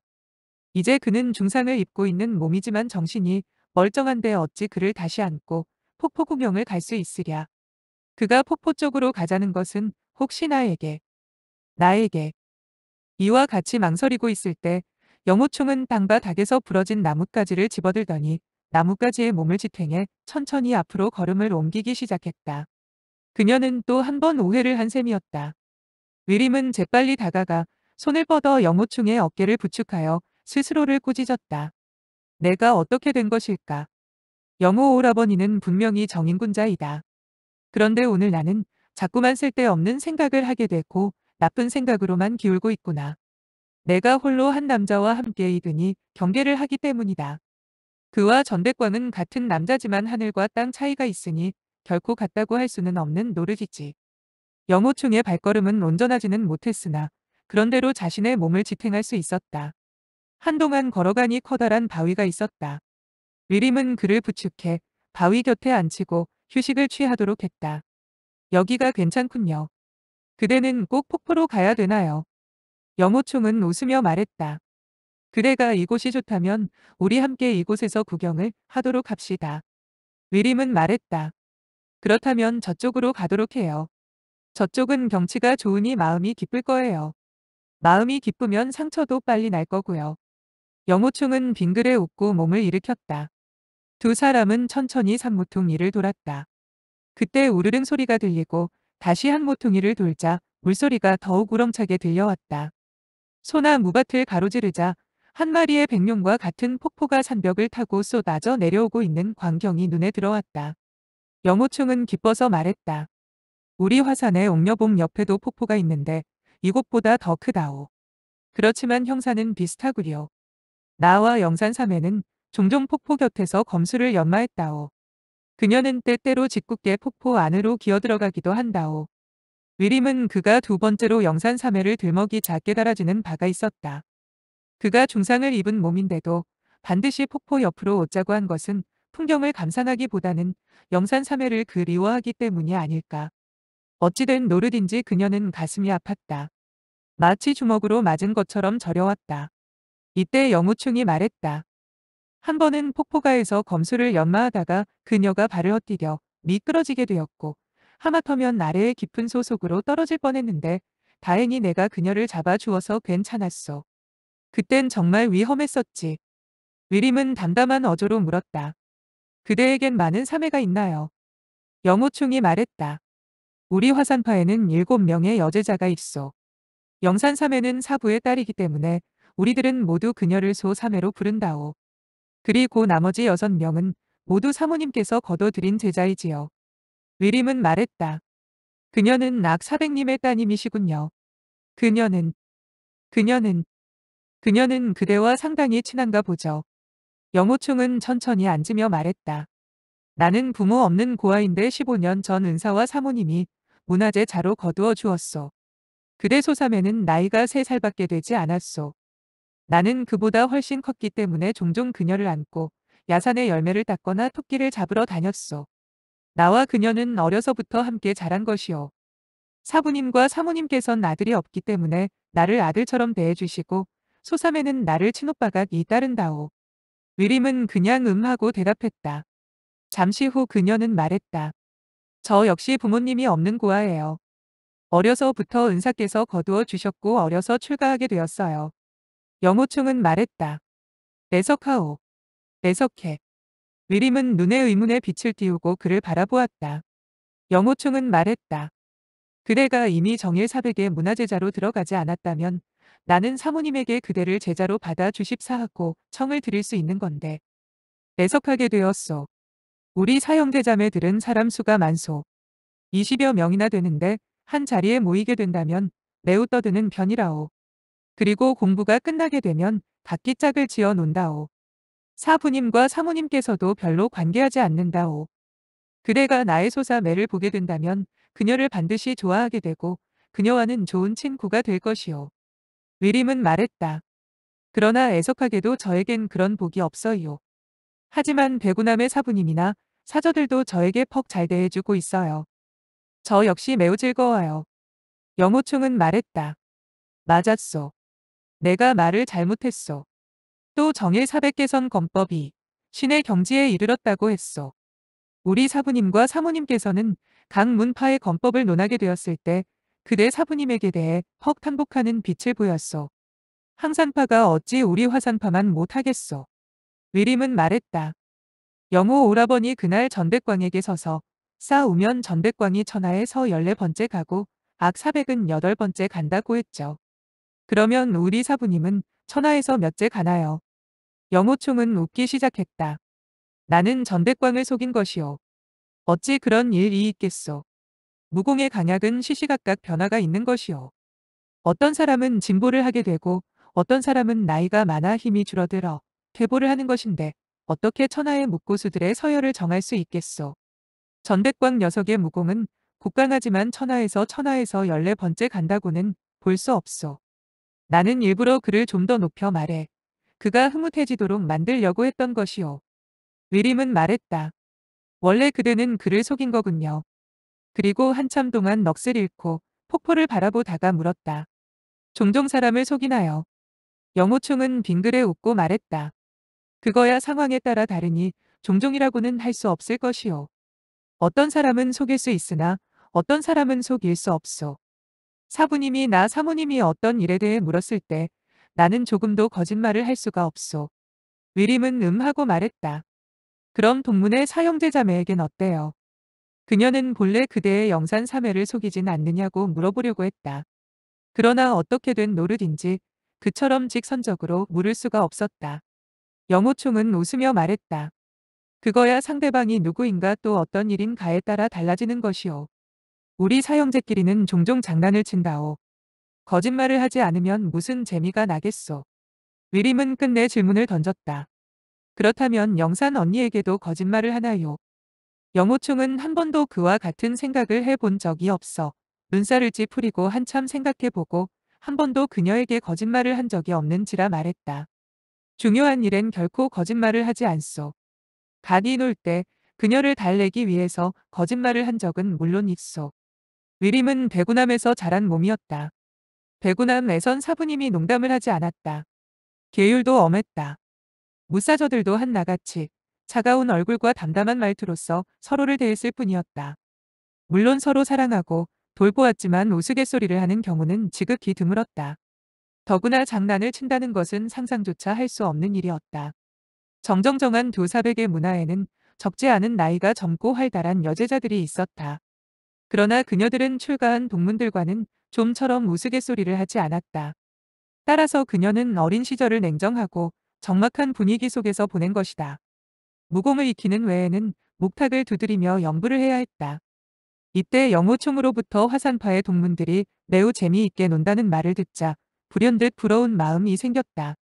내가 만약에 그를 따라 화산으로 놀러갈 수 있다면 정말 재미있겠구나. 그러나 그녀는 즉시 떠오르는 생각이 있었다. 이번 배구남에서 떠나온 이후 이처럼 커다란 풍파를 겪게 되어드니 배구남으로 돌아가면 사부님은 다시는 나에게 외출을 못하도록 할 것이다. 화산으로 가서 논다는 것은 헛된 망상이 아닌가. 그녀는 다시 생각했다. 설사 화산에 간다. 해도 그는 온종일 그의 소삼에만 상대하느라고 나를 언제 보았느냐 할 것이니 무슨 재미가 있으려고. 아. 갑자기 그녀는 처량한 심사에 사로잡혔다. 눈물이 나오려고 했다. 영호총은 온정신을 폭포에 쏟고 있어서 그녀의 심정을 알아차리지 못하고 말했다. 나는 소사매와 한 가지 검법을 연구하고 있어. 그것은 폭포에 물이 쏟아지는 힘을 빌려서 검초를 펼치는 것이오. 3회 그대는 그 같은 검법이 어디에 쓸모가 있는지 아시오. 위림은 고개를 가로저으며 말했다. 저는 몰라요. 그녀의 음성은 잠겨 있었다. 영호충은 여전히 알아차리지 못하고 계속해서 말했다. 우리들이 남과 손을 쓰게 되었을 때 만약 상대방의 내공이 심후하다면 상대방의 무기와 권장은 종종 무거운 내력이 실리게 되고 무형중의 형체가 있듯이 우리의 장검을 밀어내는 것이라오. 나와 소사매가 폭포에서 검법을 연마한 것은 물이 힘차게 쏟아지는 것을 적의 내력으로 간주하는 것이라오. 그렇게 되면 적의 내력을 밀어낼 뿐만 아니라 상대방의 힘을 빌려 상대방을 때릴 수도 있게 된다오. 위림은 그가 신이 나서 얘기하는 것을 보고 말했다. 그대들은 연성하게 되었나요? 영호충은 고개를 돌렸다. 아니요. 아니요 아직 못했소. 한 가지 검법을 창조한다는 것이 어디 쉬운 노릇이요. 더군다나 우리들은 새로운 검초를 창출할 능력이 없다오. 다만 사부님이 전수해준 본문이 검법을 폭포가 운데서 치고 찌르고 할 뿐이요. 설사 새로운 초식을 펼친다. 해도 그것은 장난 삼아 하는 것이지 정말 적과 싸. 오게 되었을 때는 아무런 소용이 없는 것이오. 그렇지 않다면 전백광에게 얻어맞고도 전혀 반격할 힘이 없었겠소. 그리고 그는 잠시 기다렸다가 손을 뻗어내어 검을 휘두르는 신용을 해보고는 기뻐서 말했다. 나는 또 1초를 생각하게 되었소. 상처가 나은 후 돌아가서 소사매와 시험해 봐야겠소. 위림은 나직이 물었다. 그대들의 검법은 무엇이라고 하나요? 영호총은 웃으며 말했다. 나는 주제 넘게 무슨 이름을 붙이느냐고 했으나 3회는 반드시 이름을 지어 주어야 한다고 했소. 그리고 그녀는 충영검법이라고 했소. 왜냐하면 그것은 나와 그녀 두 사람이 함께 창 안에 냈기 때문이라오. 위림은 나직이 말했다. 충영검법 충영검법 이 검법에는 그대의 이름도 있고 그녀 이름도 있군요. 장래 후세 사람들에게 전하여지면 모든 사람들이 그대들 두 분이 합심하여 만들었음을 알겠군요. 영호총은 웃으며 말했다. 나의 소삼에는 어린애와 같은 성질이 있기 때문에 그렇게 말했지만 우리들의 재간과 조회로서 무슨 자격이 있어 검법을 창안하겠소. 그대는 절대로 남에게 말하지 마시오. 남이 알게 된다면 아마 배꼽이 빠지도록 웃을 것이오. 위림은 말했다. 저는 나무에게도 이야기하지 않겠어요. 그녀는 잠시 동안 말이 없었다. 그녀는 밝은 미소를 지으며 말했다. 그대가 스스로 검법을 장안했다는 사실을 남들은 이미 알고 있어요. 영호충은 깜짝 놀라 말했다. 그렇소. 영산 삼해가 남에게 이야기한 것이요. 위림은 빙그레 웃었다. 그대 스스로 전백광에게 얘기하지 않았나요? 그대는 스스로 안아서 하늘을 찌르는 검법을 창출했다고 하지 않았어요. 영호충은 소리내어 웃으며 말했다. 하하 그것은 내가 그에게 터무니없는 말을 짓거린 것인데 그대는 아직도 기억하고 있구려. 영호충은 웃는 바람에 상처에 자극을 주었는지 눈살을 찌푸렸다. 위림은 말했다. 엄마, 모두가 제 잘못이에요. 저 때문에 그대가 상처의 아픔을 느끼게 되었군요. 빨리 말을 멈추고 안정을 취한 후 한숨 자도록 해요. 영호충은 잠시 눈을 감았다 뜨면서 말했다. 나는 이곳의 풍경이 좋다는 것만 생각했소. 그러나 폭포 가까이에 이르고 보니 오히려 무지개를 볼 수 없게 되었고요. 위림은 말했다. 폭포는 폭포대로 아름다움이 있는 것이고 무지개는 무지개대로 아름다움이 있는 것이 아니겠어요. 영호충은 고개를 끄덕였다. 그대의 말이 맞소. 세상에는 완벽한 것이 란 있을 수 없소. 한 사람이 천신만고하여 한 가지 물건을 얻으려고 노력하지만 나중에 구했을 땐 별것 아니라고 여기게 될 것이고 손에 쥐게 된 물건을 오히려 내던질 수도 있을 것이요. 위림은 고개를 끄덕였다. 영호 오라버니 그면 마디 말엔 은연 중 선기가 담겨져 있군요. 하지만 저의 조회가 너무 낮아 그 가운데의 도리를 깨우칠 수가 없네요. 사부님께서 들으셨다면 반드시 설명을 하실 수 있을 거예요. 영호충은 한숨을 내쉬었다. 무엇이 선기인지 내가 어찌 알겠소. 아, 피곤하기만 하군. 그리고 천천히 눈을 감았다. 점차 호흡이 나 낮으면서 잠속으로 빠져들었다. 위림은 그의 곁을 떠나지 않았다. 잎이 달린 나뭇가지를 하나 뜯어 그에게 달려드는 벌레들을 쫓아냈다. 한 시즌을 그렇게 앉아 있게 되자 그녀 자신도 피곤해졌다. 그리고 몽롱하게 눈을 감고 잠이 들려고 했다. 그 순간 떠오르는 생각이 있었다. 그가 깨어나게 됐을 때 배가 고플 텐데 먹을 것이 없으니 다시 가서 몇 통의 수박을 따와야겠다. 해가를 할 수도 있고 배를 채울 수도 있지 않겠는가. 이윽고 그녀는 재빠른 걸음으로 수박밭으로 달려갔다. 그리고 두 통의 수박을 땄다. 그녀는 혹시 자기가 잠시 자리를 비운 사이에 야수가 영호총을 해칠까봐 겁이 났다. 그러나 그는 여전히 편안하게 잠을 자고 있었다. 그제서야 그녀는 마음을 놓고 가볍게 그의 곁에 앉았다. 영호총은 눈을 뜨고 미소 지었다. 나는 그대가 떠난 줄 알았소. 위림은 의아해 말했다. 떠나다니요. 영호총은 말했다. 그대의 사부와 사저들이 그대를 찾지 않겠소. 그녀들은 매우 걱정을 하고 있을 것이오. 위림은 줄곧 그와 같은 생각을 못하고 있었다. 그 같은 말을 듣자 초초해지기 시작했다. 내일 사부님을 배우면 그 어르신께서는 나를 꾸짖지나 않을지 모르겠구나. 영호충은 말했다. 3일 정말 반나절 동안 나와 함께 있어준 데 대해 고맙게 생각하오. 그리고 나의 목숨도 그대가 살려준 셈이니 그대는 일찍 돌아가도록 하시오. 위림은 고개를 가로저었다. 아니에요. 산속에 그대 혼자 돌볼 사람 없이 남겨둔다는 것은 안 될 말이에요. 영호충은 말했다. 그대가 형산성 유사숙의 집에 가서 나의 사제들에게 은밀히 이야기만 하면 그들이 와서 나를 돌봐줄 것이오. 위림은 속이 쓰라렸다. 원래 그는 그의 소사매와 함께 있고자 하는구나. 그래서 내가 비켜주었으면 하는 거야. 그녀는 참을 수 없어 눈물을 방울방울 흘렸다. 영호충은 그녀가 갑자기 눈물을 흘리자 크게 의아했다.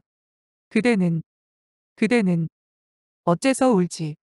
돌아가서 사부님께 꾸지람을 들을까봐 두려운 것이오. 위림은 고개를 가로저었다. 영호충은 다시 말했다. 그렇군. 그대는 길에서 다시 전백광을 만날까봐 두려운 모양이군. 두려워 마시오. 이후부터 그는 그대를 보는 즉시 도망칠 것이며 다시는 감히 그대와 대면하지 못할 것이오. 위림은 다시 고개를 가로저었다. 눈물방울은 더욱 굵어졌다. 영호충은 그녀가 더욱 눈물이 많아짐을 보고 속으로 의아한 감정을 금할 수 없었다. 좋소 좋아. 내가 말을 잘못했다고 합시다. 내가 사과를 하지. 소삼의 화를 내지 아오. 위림은 그의 말이 부드러워지자 마음속에 서러움이 조금 누그러졌다. 그러나 그녀는 다시 생각했다. 이 몇 마디의 다정한 말은 너무 듣기가 좋구나. 아마도 평소 소사매에게 말하던 버릇이 튀어나왔을 거야. 맞아 옛날 버릇이 튀어나온 것이겠지. 벼랑간 그녀는 와하니 울음을 터뜨리고 발을 굴러도다. 나는 그대의 소사매가 아니에요. 그대는, 그대는, 그대의 마음속에는 그 소삼의 생각뿐이군요. 이 말을 내뱉은 순간 그녀는 출가인이 어떻게 그와 같이 말할 수 있을까 하는 생각이 들었다. 크게 분수를 모르는 말 아닌가. 그녀는 자신도 모르게 얼굴을 벌겋게 물키며 재빨리 고개를 돌렸다. 영호충은 눈물이 마르지 않은 그녀가 갑자기 얼굴을 붉히는 모습을 보자 물방울을 머금은 조그만 붉은 꽃처럼 형용할 수 없을 정도로 아름답다고 생각했다. 원래 그녀는 이토 오록 잘생긴 얼굴을 하고 있었군. 정말 영사 3회보다 뒤지지 않는구나. 멍하니 그런 생각을 하다가 부드러운 어조로 입을 열었다. 그대는 나이가 적소. 우리 오학권 파는 한 집안 사람과 다름없으며 모두들 사제이오. 절대 남남이 아니오. 그러니 그대는 자연히 나의 소사매가 되기도 하는 것이오. 내가 어떤 점에서 그대에게 죄를 지었는지 그대가 나에게 이야기해 줄 수 없겠소. 위림은 승포자락으로 눈물을 찍어내며 울먹이는 음성으로 대답했다. 그대는 저에게 아무 죄도 지지 않았. 나는 알고 있어요. 그대는 내가 한시 바삐 이곳을 떠났으면 하고 바라고 있어요. 보기만 해도 화가 나고 또 재수없게 만드니 말이에요. 그대가 말하지 않았나요? 영승을 보기만 하면 노름판에서 반드시. 거기까지 말한 그녀는 다시 큰 소리로 울음을 터뜨렸다. 영호총은 우스꽝스런 생각이 들었다. 그녀는 내가 회알로에서 한 말을 따지는구나. 그것이야말로 정말 사과를 해야 할 일이지. 그래서 그는 말했다. 이 영호총은 정말 죽을 죄를 지었소. 말을 생각해 보지도 않고 내오 뱉었구요. 그날 회알로에서 실없는 말을 한 것은 항산파의 모든 사람들에게 죄를 지은 것이오.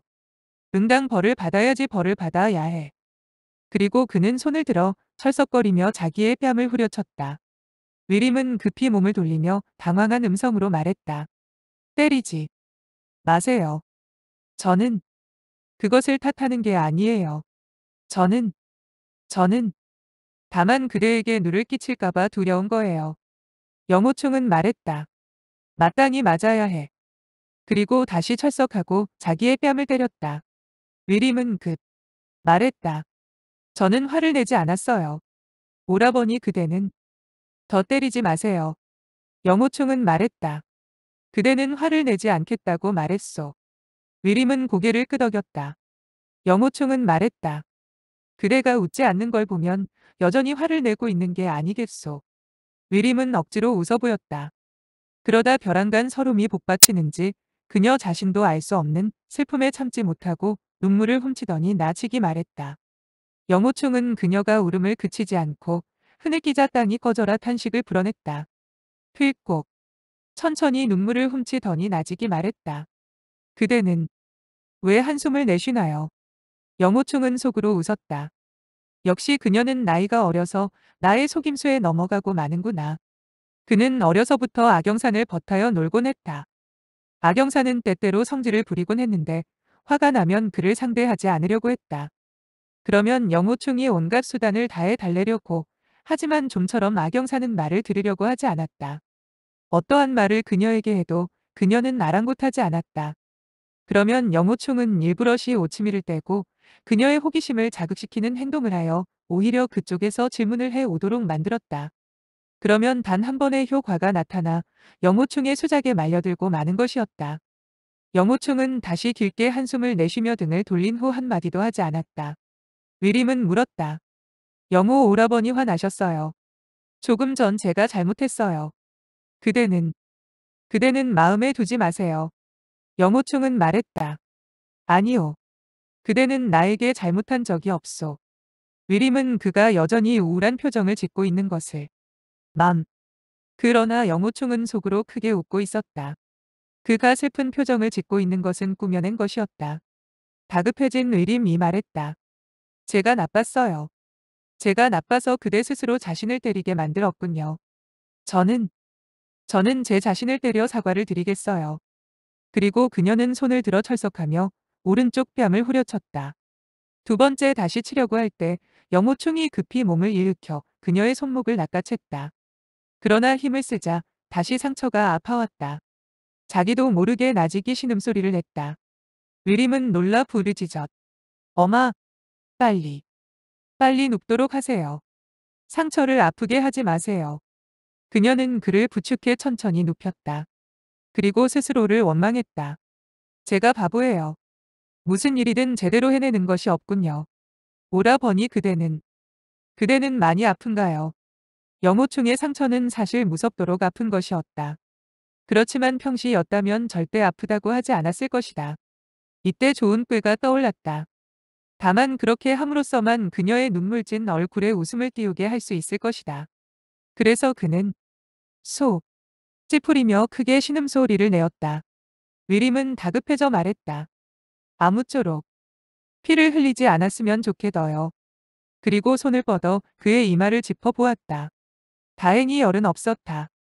잠시 시간이 흐른 후 그녀는 나직이 물었다. 아픔이 좀 가라앉았나요? 영호충은 말했다. 여전히 매우 아프오. 위림은 울상을 지며 어찌할 바를 몰랐다. 그는 더 크게 신음을 질렀다. 아, 정말 아프군. 육사제. 육사제가 이곳에 있어두면 좋았을 텐데. 위림은 말해도다. 아니 그에게 아픔을 먹게 하는 약이라도 있나요? 영호충은 말했다. 그렇소. 그의 입이 바로 상처를 잊게 하는 약이오. 예전에 상처를 입은 적이 있었는데 그때 상처가 매우 아팠소. 여섯째 사제는 우스갯소리를 잘하기 때문에 난 그의 우스갯소리를 듣고 그만 상처의 아픔도 잊고 말았다오. 그가 여기에 있다면 정말 좋았을 것이오. 아이고. 어찌 이리 아플까. 이렇게 아프다니 아이고. 아이고. 위림은 난처하기 이를 데 없었다. 정예사태의 문화생들은 하나각 이후 얼굴을 굳히고 연구를 하거나 가부좌를 틀고 앉아서 내공을 연마하거나 검수를 연마하는 데만 신경을 썼다. 대구남에서는 한 달 동안 한두 마디의 우스갯소리도 듣기 어려웠다. 그런데 그녀 보고 우스갯소리를 하라는 것은 목숨을 달라는 것과 진배 없는 일이었다. 그 유쿠와 사형이 이곳에 없는데 영호 오라버니는 우스갯소리를 듣고자 하니 내가 그에게 우스갯소리를 할 수밖에 없구나. 하지만 하지만 나는 한마디의 우스갯 말도 할 줄 모르지 않나. 갑자기 좋은 생각이 떠올랐다. 오 한 가지 생각이 나서 신이 난 듯 말했다. 영호 오라버니 우스갯말을 저는 할 줄 몰라요. 하지만 저는 장경각에서 한 권의 경서를 본 적이 있는데 퍽 재미있어더요. 이름은 백유경이라고 하는데 오라버니도 본 적이 있나요? 영호충은 고개를 가로저었다. 없소. 나는 책을 읽지 않소. 더욱 불경을 손에 만져 본 적도 없다오. 위림은 얼굴을 살짝 붉히며 말했다. 저는 정말 바보 같아요. 그와 같은 우둔한 말을 묻다니. 그대는 불문의 제자가 아니니자 오연 그와 같은 경서를 읽을 턱이 없죠. 그리고 잠시 쉬었다가 계속해 말했다. 그 배규경은 천축의 한 분고승인가 사나가 지은 것인데 그 안에는 많은 재미있는 옛 이야기가 실려 있어요. 영호총은 재빨리 말했다. 좋았어. 나는 재미있는 이야기를 가장 좋다 하오. 그대가 몇 가지 들려주구요. 위림은 미소 지었다. 그 배규경에는 많은 이야기를 하겠어요. 옛날에 한 대머리가 있었는데 머리엔 한 가닥의 머리카락도 없었어요. 그는 타고난 대머리였죠. 그 대머리가 어. 윰. 농사꾼과 어떤 일로 언쟁을 벌이게 되었대요. 그 농사꾼은 서로 밭을 가는 쟁기를 갖고 있었는데 그만 그 쟁기로 대머리를 쳤어요. 그러자 그대 머리가 터져 피를 흘리게 되었죠. 그런데 그 대머리는 잠자코 참을 뿐 피하지 않았으며 오히려 웃고 있었어요. 옆에서 그 광경을 지켜보던 사람들이 이상하게 생각했지요. 왜 피하지 않으며 오히려 웃기만 할까 하고 말이에요. 그러자 그대 머리는 웃으며 말해더요. 저 농사꾼은 바보애다. 나의 머리에 털이 없는 것을 보고 돌인 줄로 알고 쟁기를 들. 나를 밀어친 게 아니겠소. 그런데 내가 피하면 그로 하여금 총명한 사람이 되게 하는 결과를 가져오지 않겠소. 그녀가 거기까지 이야기하자 영호총은 큰 소리로 웃으며 말했다. 정말 훌륭한 이야기군. 그 대머리는 정말 총명하기 이를 데 없구만. 설사 그 누구에게 맞아 죽는 한이 있더라도 아마 피하려고 하지 않았을 것이오. 위림은 그가 흐뭇하게 웃는 것을 보고 마음속으로 무척 기뻐하며 다시 말을 이었다. 다시 왕녀를 치료하는 약을 만들어 왕녀를 크게 한 이야기를 드릴게요. 옛날 어느 나라에 국왕이 있었는데 공주를 낳게 되었어요. 그런데 이 국왕은 성질이 매우 급했어요. 갓난아이가 매우 어린 것을 보고 공주가 한시 바삐 잘하기를 바랬으며 어이를 불러와 약을 처방하여 공주에게 먹이도록 했어요.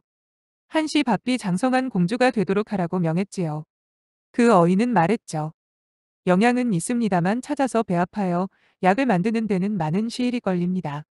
이제 소신이 공주를 집에 데리고 가 재빨리 약초를 구해 약을 만들 것이니 폐하께선 너무 재촉하시지 마십시오. 오 국왕은 말했어요. 좋아 재촉은 하지 않기로 하지.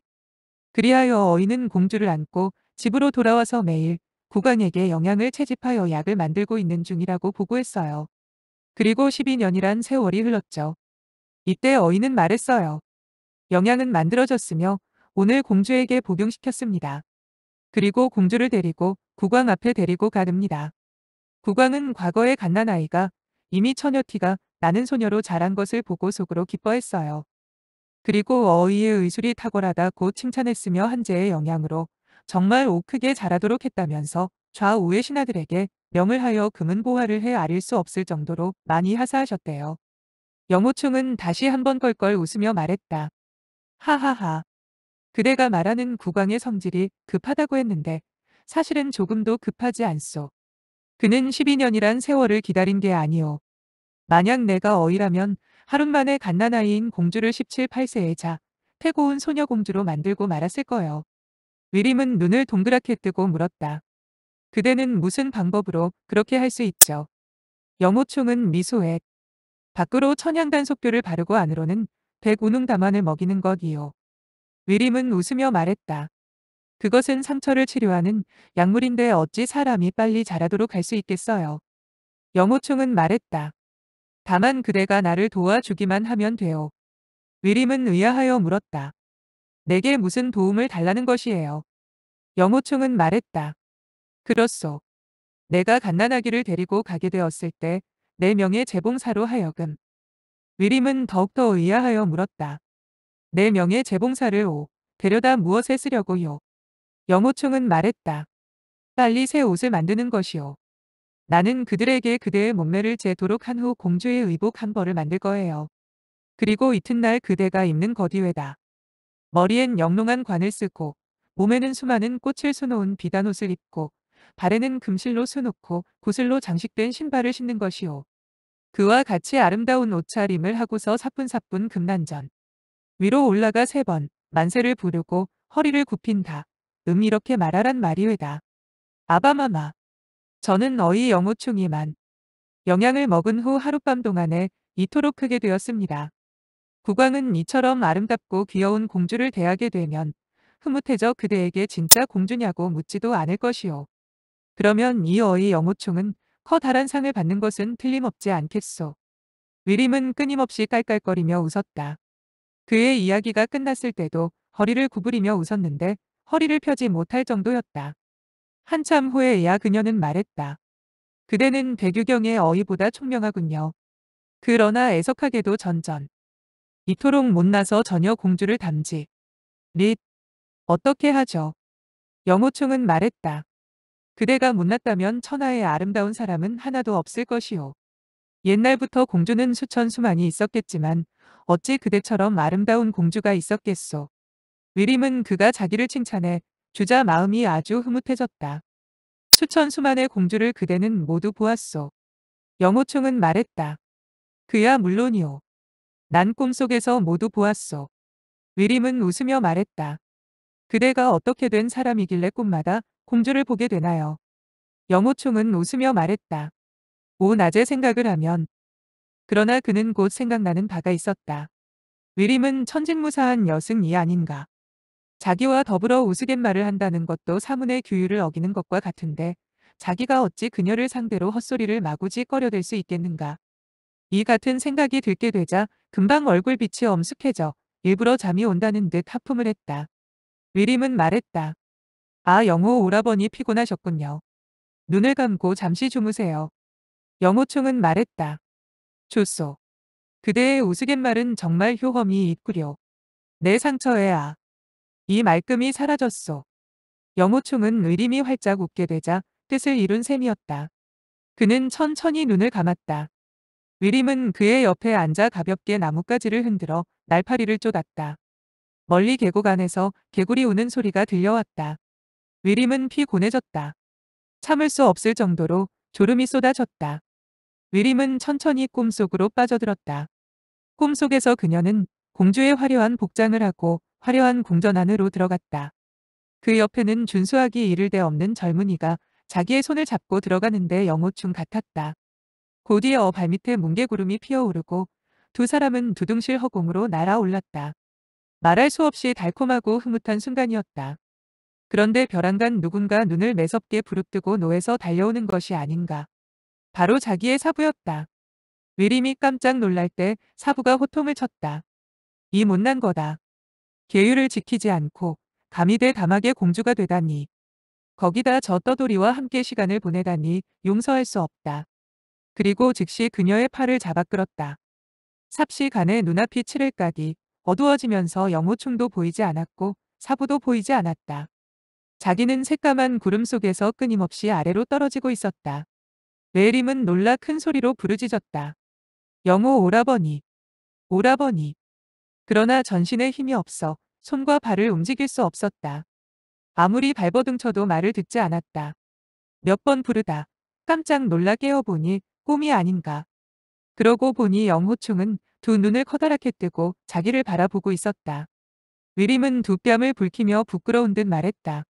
저는, 저는, 영호충은 말했다. 그대는 꿈을 꾸었소. 위림은 다시 한번 얼굴을 붉히며 말했다. 꿈인지 아닌지 모르겠네요. 말을 끝내고 보니 영호충은 얼굴이 매우 이상해 보였다. 억지로 고통을 참고 있는 것 같았다. 그녀는 재빨리 물었다. 그대는 그대의 상처가 매우 아픈가 보죠. 영호충은 말했다. 아직은 괜찮군요. 그러나 그 음성은 떨리고 있었다. 잠시 후 이마에선 비지 같은 땀방울이 맺히기 시작했다. 참을 수 없는 고 통을 느끼고 있는 것 같았다. 위림은 매우 당황해서 말했다. 어떻게 하죠? 어떻게 하죠? 그녀는 품속에서 수건을 꺼내 그의 이마에 맺혀진 땀방울을 닦아주었다. 손가락이 그의 이마에 닿게 되어들 때 숯불처럼 뜨거웠다. 그녀는 사부에게 들은 적이 있었는데 사람이 칼이나 검의 상처를 입은 후 열을 내게 된다면 그 증세가 매우 위험하다고 하지 않았던가. 다급한 그녀는 자기도 모르게 경을 읽기 시작했다. 헤아릴 수 없는 많은 수억의 중생들이 고 통을 당하게 된다면 관세음보살이란 이름을 불러야 하느니라. 오로지한 마음으로 그 이름을 부르게 된다면 관세음보살은 즉시 그 음성을 알아듣고 모두를 해탈로 이끌어 주실 것이니라. 만약 관세음보살의 이름을 부르는 자가 있어 커다란 불길 속으로 들어간다면 불은 그를 태울 수 없으리라. 이는 보살의 신력이 높기 때문이라. 만약에 큰 물에 휩쓸리게 되었을 때 그의 이름을 부르게 되면 즉시 얕은 곳으로 이르게 될 것이니라. 그녀가 읊는 것은 묘법년 화경관 세음보 문품이었다. 처음 소리는 들렸으나 잠시 경을 읽게 되자 심신이 안정되어 갔다. 영호총은 의림의 음이 맑고 고울 뿐 아니라 읽으면 읽을수록 마음이 차분히 안정되는 것을 느끼고 불경에 씌어진 신통력이란 게 있긴 있나 보다고 생각했다. 위림은 계속해서 경을 읊었다. 만약에 누가 해를 입게 되었을 때 관세음 보살의 이름을 부르게 된다면 상대방의 손에 들린 칼과 지팡이가 모조리 토막이 나서 해탈을 얻게 될 것이다. 만약 3천이나 되는 대천국의 땅에 많은 야차와 나찰들이 달려들어 사람을 꼬나게 한다면 관세음 보살의 이름을 듣게 된 악귀들은 감히 나쁜 눈으로 바라보지도 못할 것이니 어찌 해를 입힐 수 있겠는가. 만약에 죄가 있으면 모르될 죄가 없이. 영호충은 들을수록 우스워져 화타고 웃음을 터뜨렸다. 위림은 물었다. 무엇이? 무엇이 우스워요? 영호충은 말했다. 진작 그런 줄 알았으면 무공을 배우지 않아 될 것이오. 악인과 원수가 있어 나를 죽이려고 한다면 내가 관세음보살의 이름만 들 먹이기만 해도 악인의 칼이 한 토막씩 잘라지게 될 것이니 정말 무사할 것이 아니겠소. 위림은 정색하며 말했다. 영호 오라버니 보살님을 모독하지 마세요. 마음에 성실이 없으면 경을 읽어도 아무런 도움이 안 돼요. 그녀는 계속해서 읊었다. 만약에 흉악한 짐승이 애워싸고 예리한 발톱과 이빨을 드러내서 으르렁거린다면 관세음보살의 신통력을 기억하게 되는 순간에 그들은 모조리 멀리 사라지게 될 것이니라. 구렁이나 뱀, 전갈이 도끼를 내뿜으며 달려들었을 때 관세음보살의 신통력을 생각하면 그들은 저절로 돌아가게 될 것이니라. 하늘에서 천둥이 치고 벼락이 쳐도 우박과 큰 비가 쏟아져도 관세음보 살의 신통력을 생각하면 때맞춰 구름이 거치게 될 것이니라. 중생의 고달픔에 시달려 고생은 한없으나 관세음보살의 신통한 지력으로 세상사의 고달픔에서 구원을 받게 될 것이니라. 영호충은 그녀가 읽을수록 경건해져감을 느꼈다. 소리는 나직해 드나 오직 한 마음으로 관세음보살에게 구원을 받고 있는 것이 분명했다. 온 마음이 관세음보살에게 쏠려서 애 달프게 부르고 있는 것 같았다. 관세음보살의 신통력을 나타내 자기의 고달픔을 해탈시켜 달라는 것이었다. 그런가 하면 한편으로 다음과 같이 말하고 있는 것이 아닌가. 관세음보살 제발 영호, 오라버니의 고통을 면해주시고 그의 고통을 나의 몸으로 옮겨오도록 해주소서. 나는 짐승이 되어도 좋고 지옥으로 떨어져도 좋습니다. 다만 보살님께서는 영호 오라버니의 고난을 해탈시켜 주시옵소서. 나중엔 영호총은 경문의 뜻을 알아듣지 못하게 되었다. 한마디 한마디가 간구하고 비는 소리였으며 진지하고 열렬하다는 것을 알 수 있을 뿐이었다. 곧이어 영호충의 눈엔 눈물이 가득 고였다. 그는 어려서부터 부모님이 없었다. 사부님이나 사모님은 그에 대해 많은 은혜를 베풀었지만 궁극적으로 그는 장난이 심해 꾸지람을 받고 벌을 받을 때가 사랑을 받을 때보다 더 많은 비중을 차지했었다. 사형제자매 간에는 그를 대사형이라 생각하고 존경하며 그의 비위를 거슬리려고 하지 않았다. 영산삼에는 그와 비교적 절친한 편이었으나 그에 대해 이처럼 관심을 둔 적이 없었다.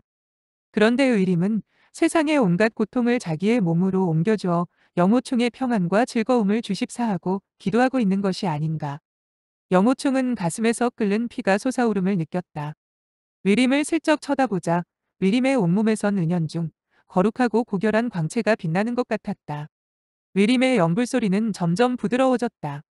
그녀의 눈앞엔 마치 손에 버들가지를 들고 감로로 이 세상의 고난에서 사람을 구해내려는 관세음 보살이 서 있는 것 같았다.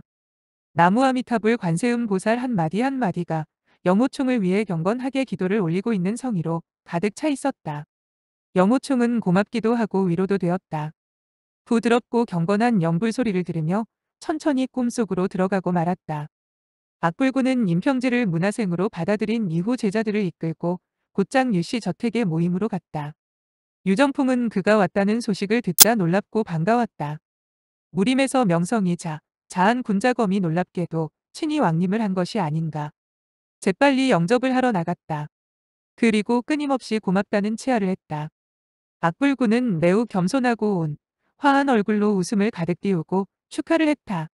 그리고 유정풍과 손을 맞잡고 대문을 들어섰다. 천문진인 정일사태 여창에 문선생 하삼칠 등도 처마 아래까지 내려와 그를 맞아들였다. 여창에는 마음속으로 은근히 걱정을 하고 있었다. 화산 장문인이 친히 이곳으로 오다니. 반드시 나 때문에 온 것일게다. 그의 오악권 파는 사람도 많고 세력도 강하지만 우리 청성파를 얕볼 수는 없을 것이다. 악불군이 불손한 말을 내뱉는다면 나는 먼저 영호충이 술집에 유숙한 행위를 들고 따지겠다. 만약 얼굴을 붉히고 대어든다면 손을 쓸 수밖에 없지. 악불군은 여창애를 보자 깊이 읍을 하며 말했다. 여관주 몇 년 보지 못한 새에 더욱더 건강해진 모습이구려. 여창애 역시 읍을 하며 말했다. 악선생 그동안 안녕하셨소. 각자 인사말을 나누었다. 유씨 저택에는 많은 손님들이 들어왔다. 이날을 유정풍이 금대야의 손을 씻는 즉 은퇴를 하는 바로 그날이었다. 유정풍은 곧 내실로 들어가게 되고 문화재자들이 손님을 접대하게 되었다. 오시가 가까워지게 되었을 때 5, 600명이 나 되는 원거리 손님들이 들이닥쳤다. 개방의 부방주 장금별. 사조를 3명이나 거느린 정주 육한문의 한옥권사 사천과 호북간에 있는 무산의 신여봉철로로 동해의 사방 방주 반후 곡강 이우신도 백극 신필 노서사 등이 차례로 들어왔다. 이 사람들은 서로 알고 있기도 했고 이름만 듣고 악모하는 마음을 가지고 있었으나 한 번도 만나지 못한 사람들도 있었다. 대청하는 서로 인사를 하고 담소를 나누느라고 시끌벅적했다. 천문진인과 정일사태는 각기 상방에서 휴식을 취하고 있으면서도 무사람과 인사를 나누지 않았다. 그들은 이렇게 생각하고 있었다. 오늘 온 사람 중엔 강호에서 명성과 지위가 높은 사람도 있지만 대부분의 사람들은 잡다한 불량배들에 불과하다. 유정풍은 형산파의 고수가 아닌가. 그런데 어째서 자중할 줄 모르고 이토록 막무가내로 교분을 되었을까. 그러면 오학권파의 명성을 떨어뜨리는 것이 아니겠는가. 악불군의 이름은 불군이라 했지만 매우 친구를 좋아하는 편이었다. 그래서 내빈들 가운데 이름도 없거나 명성이 별로 깨끗하지 뭐 탄자가 있더라도 악불군은 그들과 이야기를 하고 웃으며 인사를 나누었다. 조금도 화산파 장문인의 거드름을 피우지 않았다. 유시댁의 제자들은 요리사들과 하인들을 시켜 200여 석이나 자리를 마련하게 했다. 유정풍의 친척 문객 집사, 그리고 유시문의 제자인 상대년 미위에 등은 손님들을 자리로 안내했다. 무림의 지위나 명성으로 볼 때 태산파의 천문진 인이 상석에 앉아야 하나 오악범파는 결맹을 한 까닭으로 천문진 인이나 악불군 정일사태 등은 반쯤은 주인이 된 셈이어서 웃자리에 앉기가 거북했다. 그리고 선배들과 명숙들도 서로 양보하여 그 누구도 상석에 앉으려고 하지 않았다. 문 밖에서 펑펑하고 폭죽 소리가 났다. 곧이어 북소리와 주악을 울리는 소리가 크게 일었다. 그런가 하면 징을 치고 길을 비키라는 소리도 들렸다. 아마도 관가의 사람이 문 밖에 이른 모양이었다. 군웅들은 어리둥절해졌다. 유정풍이 새 비단장포를 걸치고 총총히 내당에서 달려나왔다. 군웅들은 환호 소리로 그에게 축하를 했다. 유정풍은 잠시 두 손으로 담례를 한 후 문 밖으로 나갔다. 잠시 후 그는 공손히 관복을 입은 관원을 데리고 들어왔다. 군웅들은 모두 의아해했다. 설마 하니 저 관원도 무림의 고수인가. 관원의 옷차림은 당당했으나 두 눈은 침침해 보였다. 그리고 얼굴은 주색에 탐닉한 기색이 역력했다. 틀림없이 무공을 지닌 자는 아니었다. 악불군 등은 생각했다. 유정풍은 형산성의 큰 유지라고 할 수 있다. 그러니까 평소에 관가의 사람들과 내왕할 수도 있었을 것이다. 오늘은 뜻깊은 날이 기도 하니 관리들이 인사차 온 것에 대해 이상하게 여길 필요가 없다. 관원은 가슴을 펴고 곧장 들어오더니 한복판에 우뚝 섰다. 그러자 뒤를 따르던 자가 한쪽 무릎을 구부리고 두 손을 높이 쳐들고 노란 비단을 덮어놓은 쟁반을 쳐들었다. 그 쟁반엔 하나의 두루마리가 놓여 있었다. 이 관원은 허리를 굽히고 두루마리를 받아들며 낭낭히 외쳤다. 성지가 내렸으니 유정풍은 성지를 받듯이오. 군웅들은 그 말을 듣자 모두 깜짝 놀라게 되었다. 유정풍은 은퇴하는 날로부터 무림을 떠나겠다는 의사를 표명한 것이고 이는 강호의 일이다. 조정과는 무슨 상관이 있다는 것인가. 어찌하여 황제가 성지를 내렸을까? 설마 유정풍이 대형무도한 짓을 했다가 조정에 발각되었을까? 아니면 구족을 멸하게 되는 큰 죄를 지은 것일까? 사람들은 약속이나 한듯 이렇게 생각하게 되었고 일제히 모두 몸을 일으켰다. 그리고 성질이 급한 사람은 지니고 있던 무기를 쳐들었다. 그들 생각에는 관원이 성질을 받들라고 한 것을 보면 유시집 주위가 관병들에게 둘러싸여 있을 것, 이고 한바탕 커다란 싸, 몸을 피할 수 없으리라고 생각한 것이었다. 따라서 자기들도 유정품과 잘 아는 처지이니 결코 구경만 할 수 없다는 생각도 들었다.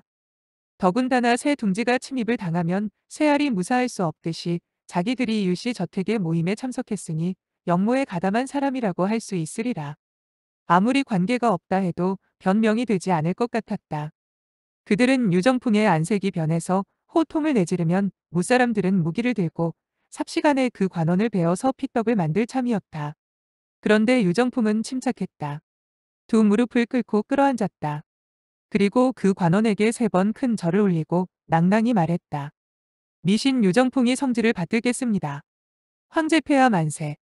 만세. 만만세. 군웅들은 이를 보자 아연해지고 말았다. 관원은 두루마리를 펼치더니 읽어 내려갔다. 하늘의 뜻을 받아 승훈 황제는 조서를 내리노라. 호남성의 숙무가 알려온 바에 의하면 형산성의 서민인 유정풍은 공사에 매우 협조적이고 의협심도 있으며 고향에서 많은 공을 세웠을 뿐 아니라 활속이나 말타기에 능숙함으로 크게 스모가 있는 인재라 하겠다. 따라서 첨잔직을 내리노니 금후로는 조정의 충성을 다하여 짐의 기대를 져버리지 말도록 하라. 유정풍은 다시 큰절을 했다. 미신 유정풍이 성은에 감사드립니다. 황제폐하 만세 만세 만만세. 그리고 몸을 일으켜 관원에게 허리를 굽히고 말했다. 장 대인께서 거두어 주시고 추천을 해 주셔서 정말 감사합니다. 그 관원은 수염을 쓰다듬으며 미소했다. 축하하오. 축하하오. 유 장군 이후 우리는 같은 조정의 신하이니 겸손해 할 것 없소. 유정풍은 말했다. 소인은 일개 초야에 묻힌 백성에 지나지 않습니다. 오늘 조정에서 내린 조서를 받은 것은 황상의 은혜가 넓으신 탓입니다. 소인이 선조들을 빛나게 한 것은 모두 숙무와 장대인의 파격적인 안배 때문에 가능했던 일이었습니다. 그 관원은 웃으며 말했다. 원별 말씀을 다 하시는구려. 유정풍은 고개를 돌리고 방천구에게 말했다. 방아우님 장대인께 드릴 예물은 어떻게 되었소? 방천구가 말했다. 벌써 이곳에 준비해 왔습니다. 그리고 그는 몸을 돌려 둥근 쟁반을 꺼내들었다. 그 쟁반 위에는 비단 보따리가 놓여 있었다. 유정풍은 두 손으로 받아들면서 말했다. 별거산이라서 경의를 표할 수 없습니다만 장대인께선 웃으면서 받아주십시오. 장대인은 웃으며 말했다. 다 같은 형제인데 유대인은 이토록 예의를 차리시는구려. 그리고 옆으로 눈짓을 했다. 옆에 있던 관졸이 그 쟁반을 받았다.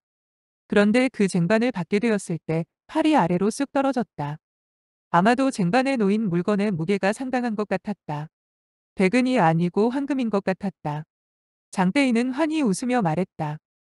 소재는 공무가 바빠 오래 머물지 못하게 돈이 술석 잔을 들어 유 장군이 오늘 관직을 받게 된 것을 축하하고 얼마 후 벼슬길에 올라 황제 폐하의 은혜가 넘치기를 빌겠소이다. 그러자 좌우의 술을 따라 바쳤다. 장대인은 잇따라 석 잔의 술을 마시더니 두 손을 맞잡고 예를 한 후 문을 나섰다. 유정풍은 얼굴 가득히 웃음을 띄우고 그를 대문 밖까지 전송했다. 그러자 징소리가 나고 길을 여는 소리가 울려 퍼졌다. 유씨 댁에선 곧 폭죽을 터뜨려 전송을 하는 것이었다. 이와 같은 광경은 군웅들에게는 뜻밖이었다. 서로를 얼굴만 쳐 다보면 아무 소리도 못했다. 어떤 사람들의 얼굴은 겸연쩍어했고 어떤 자는 의아하게 여기는 눈치였다. 유씨 저택에 온 손님들은 결코 흑도의 몸을 담고 있는 사람이 아니었다. 그렇다고 해서 반란을 일으키는 무리들도 아니었다.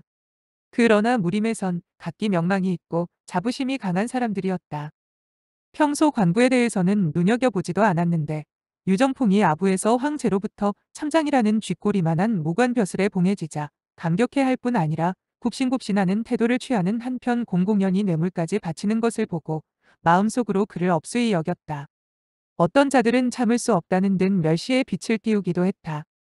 나이가 비교적 든 사람들은 하나같이 생각했다. 이 사정을 보건대 아마도 그의 벼슬은 금은으로 사들인 모양이다. 도대체 얼마나 많은 돈을 썼기에 숙무의 주례까지 받게 되어들까. 유정풍은 평소 위인됨이 정직하다. 그런데 어찌 늙음하게 벼슬길에 눈이 어두워 수단을 가리지 않고 벼슬을 사려는 것일까. 유정풍은 군웅들 앞으로 나가 얼굴에 웃음을 가득 담고 읍을 하며 자리에 앉기를 권했다. 그런데 아무도 수석에 앉는 사람이 없었다. 그 가운데 의자는 비워둘 수밖에 없었다. 그러나 왼쪽에는 연세가 가장 많은 육한문의 한옥권사가 앉았고 오른쪽엔 게 방의 부방주 장금별이 앉았다. 장금별의 무공은 대단치 않았다. 그러나 강호의 제일 큰 방파인 개방의 방주 해풍은 무공과 명성이 대단했다. 따라서 모든 사람들은 그를 3분쯤 존경했다. 군웅들이 자리에 앉게 되자 하인들이 음식을 나르고 술을 따랐다. 곧이어 상대년이 한 개의 자탁자를 내놓았다. 그 위는 비단으로 덮어져 있었다. 상대년은 두 손으로 한 쌍의 금빛이 찬란하고 지름이 한 자나 되는 황금 대야를 들고 와 자탁자 위에 놓았다. 대야 안은 맑은 물이 가득 담겨 있었다. 이때 문 밖에서 펑펑펑 세 번의 종소리가 울렸다. 곧이어 꽝꽝꽝 하며 여덟 번의 폭죽을 터뜨리는 소리가 들렸다.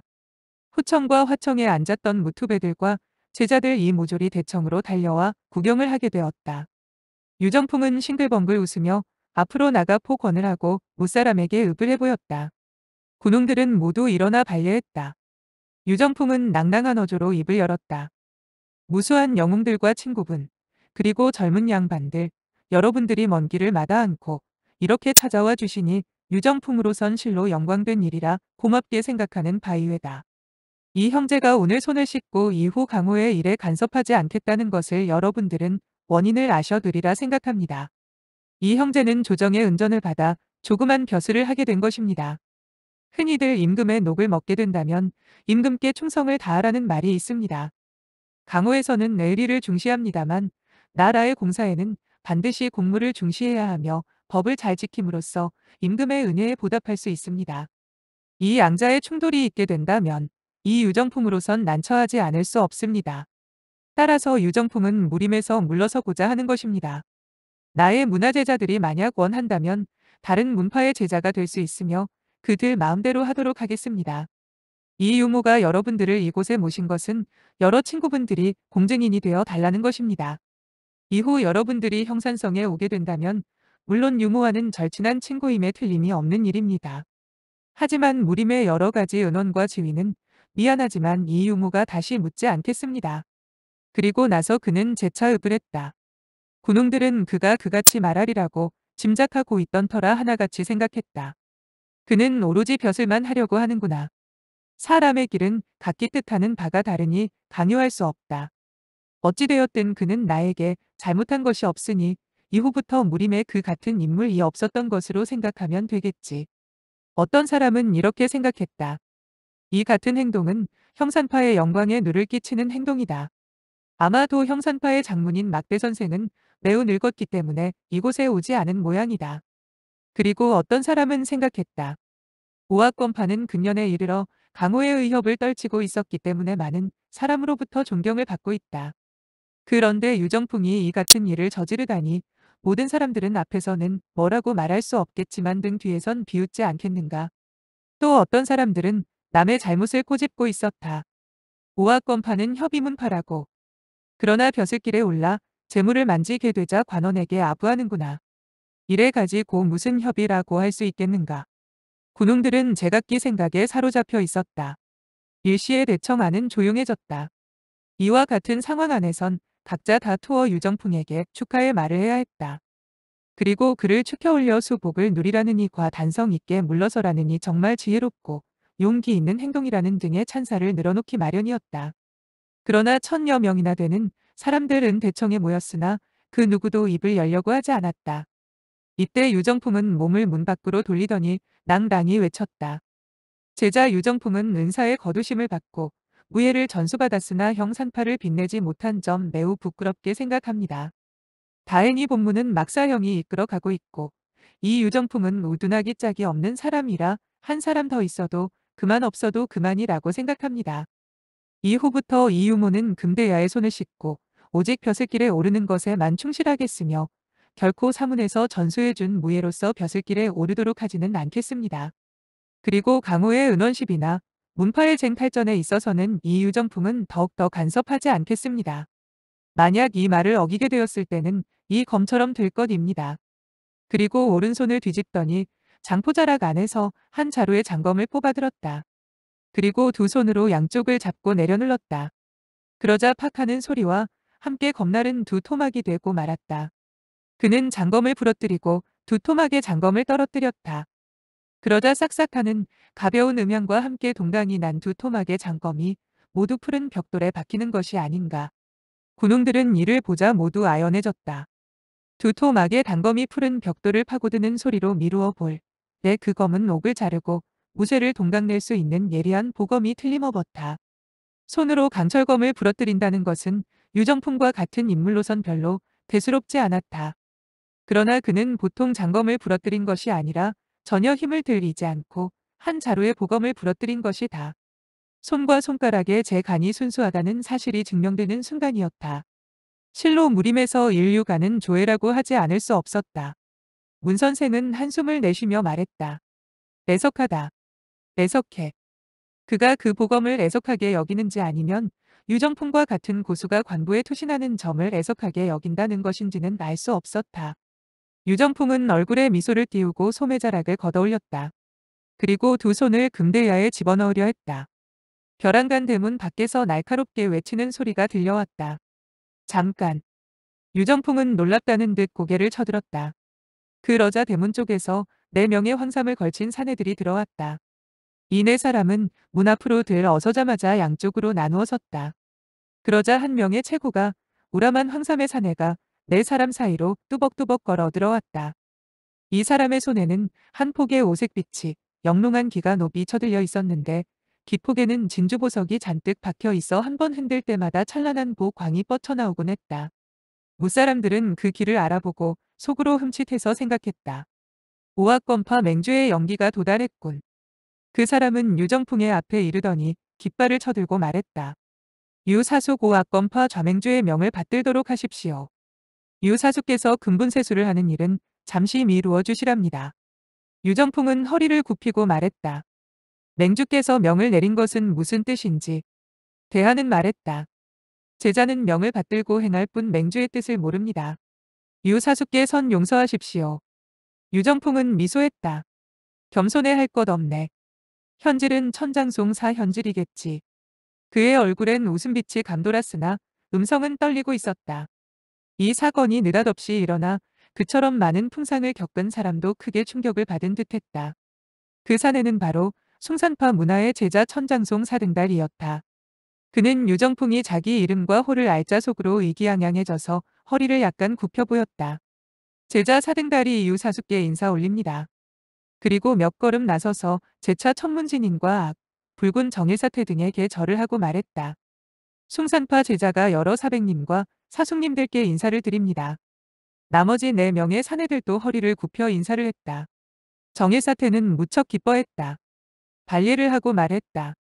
그대의 사부가 나서서 이 일을 정지하는 것은 더 말할 나위 업이 잘 되었네. 사실 무공을 배우는 사람은 강호에서 얼마나 자유로운가. 그런데 하필이면 그까짓 벼슬아치를 해야 하느냔 말일세. 다만 나는 유아우님이 모든 것을 안배해 놓은 것을 보고 결코 이 늙은이의 말을 듣지 않으리란 것을 알고 입을 놀리지 않았을 뿐이라네. 유정풍의 안색은 매우 진지했다. 과거 우리 오학권파가 결맹을 맺고 공격과 수비에 있어서 서로 돕는다는 약속과 함께 무림의 정의를 지키기로 했소. 따라서 오학 건파와 관계되는 일에 부딪히게 된다면 모두들 맹주의 호령을 들어야 할 것이오.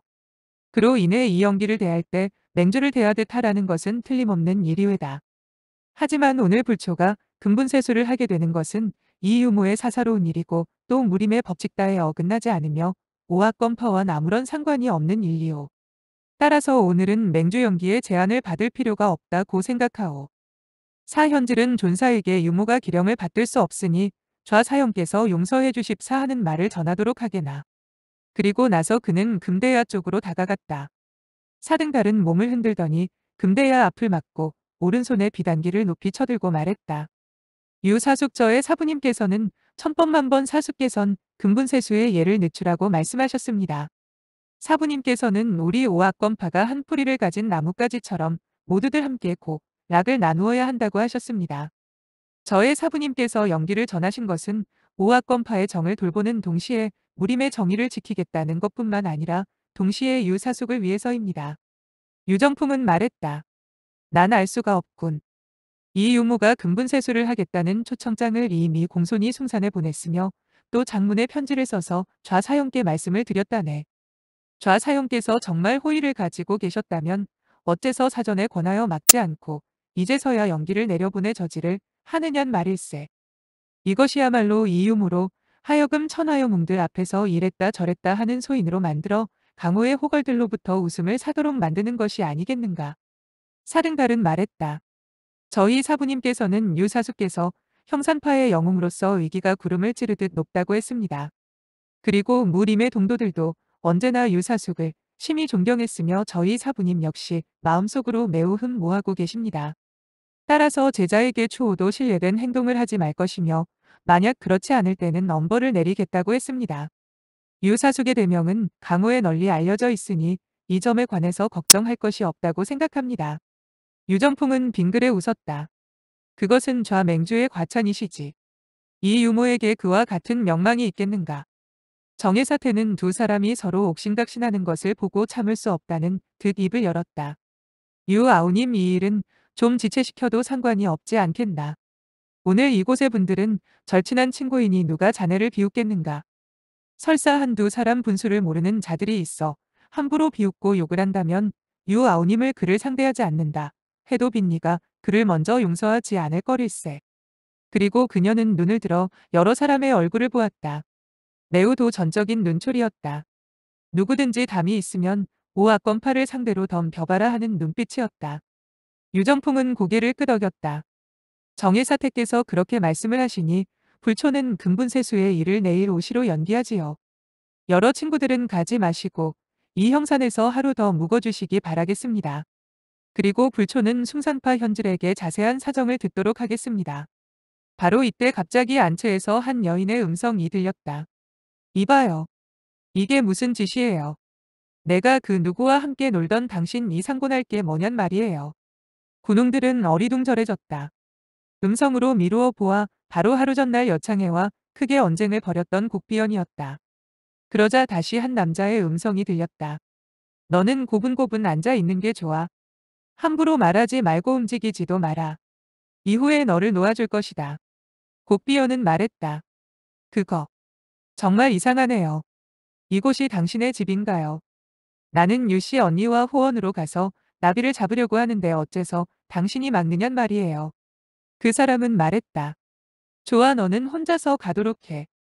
유소전은 이곳에서 좀 더 기다려야 한다. 곡비어는 말했다. 유 언니는 당신을 보기만 하면 실증이 난다고 했어요. 그러니 당신은 빨리 멀리 비켜요. 유 언니가 당신을 아는 것도 아닌데 당신은 누굴 믿고 이곳에서 귀찮게 구는 거냔 말이에요. 그러자 다른 여인의 말이 들렸다. 누이 상관할 것 없어. 가자. 그 남자는 말했다. 유소저 아무쪼록 이곳에서 잠시 기다려 주시기 바라오. 유정풍은 들을수록 화가 났다. 어느 대담한 미친 녀석이 우리 집에 와서 소란을 피운담. 감히 나의 청아에게 무리한 행동을 하다니. 유씨 문화의 두 제자인 미위의가 그 소리를 듣고 안채로 달려갔다. 곡비연과 그의 사매가 손을 잡은 채 뜰하게 서 있고 한 황삼의 젊은이가 두 손을 벌린 채 그녀들 두 사람을 막고 있었다. 미위는 그 사람의 복장을 보고 숭산파의 제자인 것을 보고 화가 났다. 기침을 두 번 하고 큰 소리로 말했다. 이분은 숭산파의 사형이 아니오. 어찌하여 대청으로 가서 앉지 않으시오. 그 사람은 오만하게 대답했다. 그럴 필요 없소. 맹주의 명을 받아 유씨 집안의 가족들 가운데 한 사람도 도망치는 사람이 없도록 지키고 있는 중이오. 이 몇 마디 말은 우렁찬 것은 아니었으나 대청의 군웅들은 그와 같은 말을 듣고 모두 안색이 변했다. 유정풍은 대노회 사등달에게 말했다. 이게 무슨 짓인가? 사등달은 말했다. 만사제 일이 나오게. 말을 조심해서 하도록 하게. 유 사숙께 선 이미 손을 씻지 않기로 응낙하셨네. 그러자 안채의 그 사내가 말했다. 네 그렇다면 잘된 일이죠.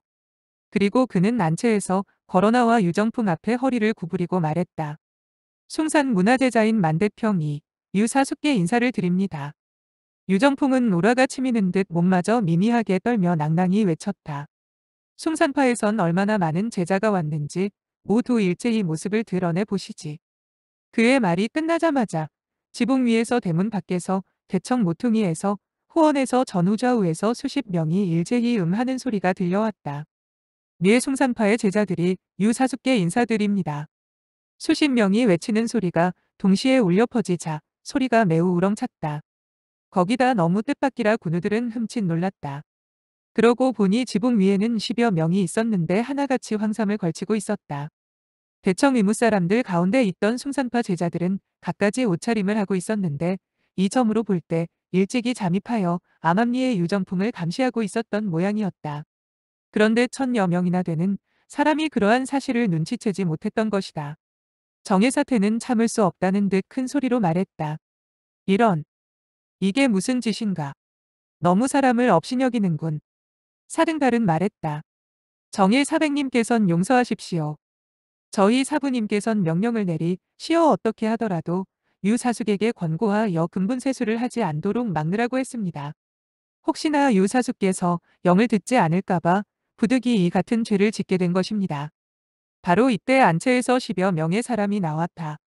바로 유정풍의 부인과 두 아들 그리고 유시문 중에 7명제자였다. 그리고 그들 뒤에는 한 사람의 숭산파 제자가 손에 비수를 들고 유 부인의 등을 겨누고 있었다. 유정풍은 낭낭히 말했다. 여러 친구분들 이 유모가 자기의 뜻만을 고집하자는 것이 아니오.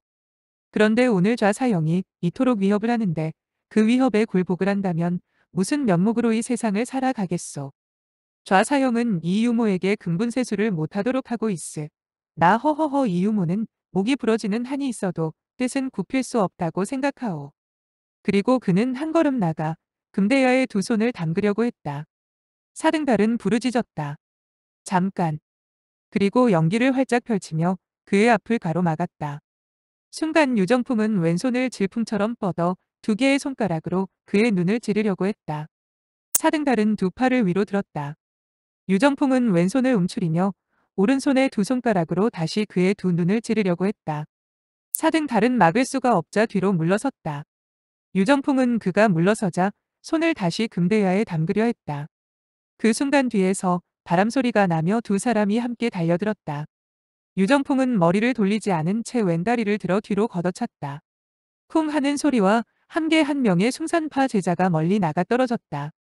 그런가 하면 오른손은 다른 한 명 숭산파 제자의 가슴을 움켜쥐었다. 그리고 제자를 들어 사등달에게 던졌다. 유정풍이 발로 차고 손을 뒤로 돌려 움켜쥐는 행위는 마치 등 뒤에 눈이라도 달린 듯 겨냥한 부위가 정확했고 동작 또한 빨랐다. 확실히 내가 고수인지라 뛰어난 것이었다. 숭산파의 제자들은 어리둥절해졌다. 일시 다시 덤벼드는 사람이 없었다. 그런데 유정풍의 등 뒤에서 숭산파 제자가 부르짖었다. 유사숙 손을 멈추지 않는다면 나는 그대의 아들을 죽이고 말겠소이다. 유정풍은 고개를 돌려 아들을 바라보더니 냉랭히 말했다. 천하여 몽들이 오셔 계시니 내가 만약 나의 아들을 건드린다면 너희 수십 명 숭산파 제자들은 모조리 피떡이 되고 말 것이다. 이 말은 결코 위험만은 아니었다. 숭산파의 제자들이 그의 어린 아들을 해치게 된다면 반드시 공분을 사게 될 것이고 군호들은 일제히 일어나 공격을 하게 될 것이다. 이러면 숭산파 제자들은 죽음을 면할 수 없게 되는 것이다. 유정풍은 그 말을 마친 이후 등을 돌려 두 손을 금대야에 담그려고 했다. 이번에는 그 누구도 저지하는 사람이 없는 듯이 보였다. 결안간 은빛 광채가 번쩍하면서 파공성을 내며 날아들었다. 유정풍은 뒤로 두 걸음 물러섰다. 그 암기는 금대야의 가 장자리에 적중되었고 그 충격에 금대야는 옆으로 기울어졌으며 땅바닥에 떨어졌다. 쨍 그랑 소리와 함께 대야는 엎어지고 담겼던 물이 땅바다에 질펀하게 쏟아지게 되었다. 동시에 누런 그림자가 어른거리는 가운데 지붕 위에서 한 사람이 뛰어들었다. 그리고 오른발을 들어 금대야를 밟았다. 금대야는 밟히자마자 납작하게 찌그러졌다. 그 사람은 40여 세 가량의 비쩍 마른 얼굴을 하고 있었다. 입가에 희끗해끗한 쥐수염을 기르고 있었다. 그 사람은 두 손을 흔들며 맞잡고 말했다. 유사형 맹주의 영을 받들어 그대가 근본 세수하는 것을 막은 거디외다.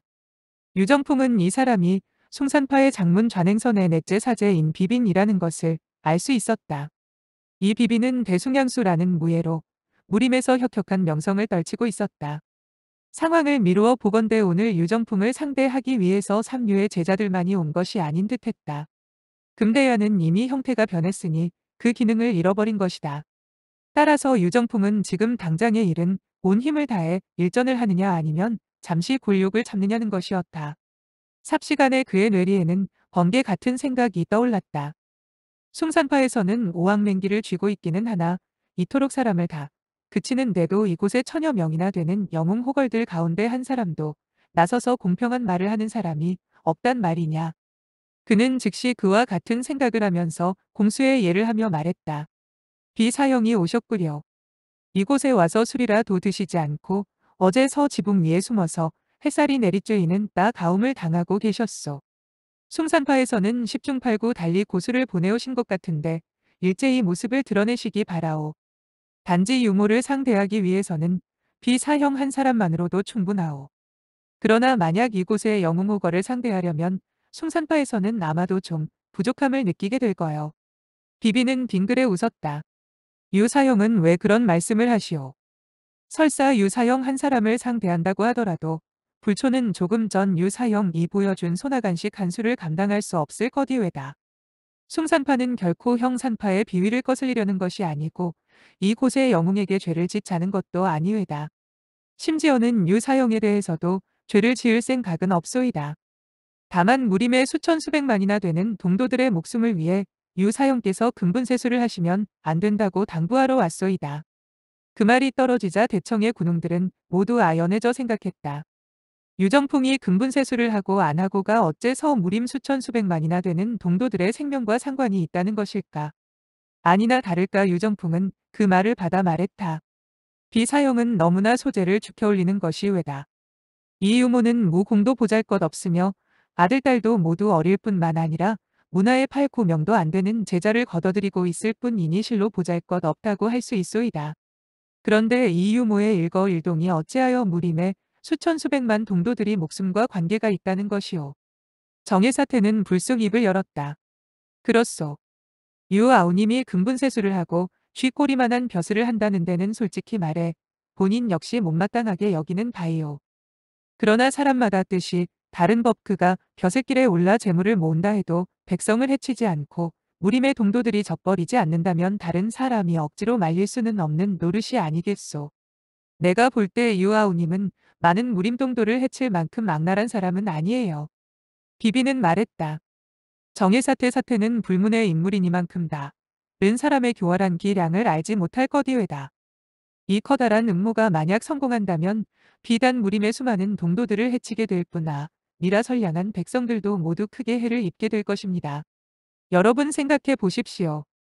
형산파 유셋째 나으리는 강호에서 명성이 쟁쟁한 영웅호걸인데요. 찌 스스로 타락의 길로 들어서서 그 더러운 상관의 지시를 받으려고 하겠습니까? 셋째 나으리로 말하면 집안 재산이 만관이나 됩니다. 어찌 벼슬길에 올라 재물을 모을 욕심을 부릴 수 있겠습니까?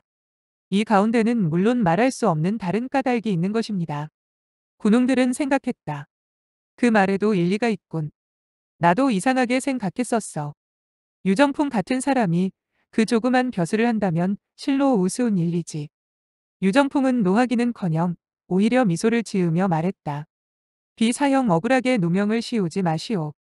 더 이상 숨어 있지 말고 숭산파의 다른 사형제들께서도 모두 모습을 나타내도록 하시오.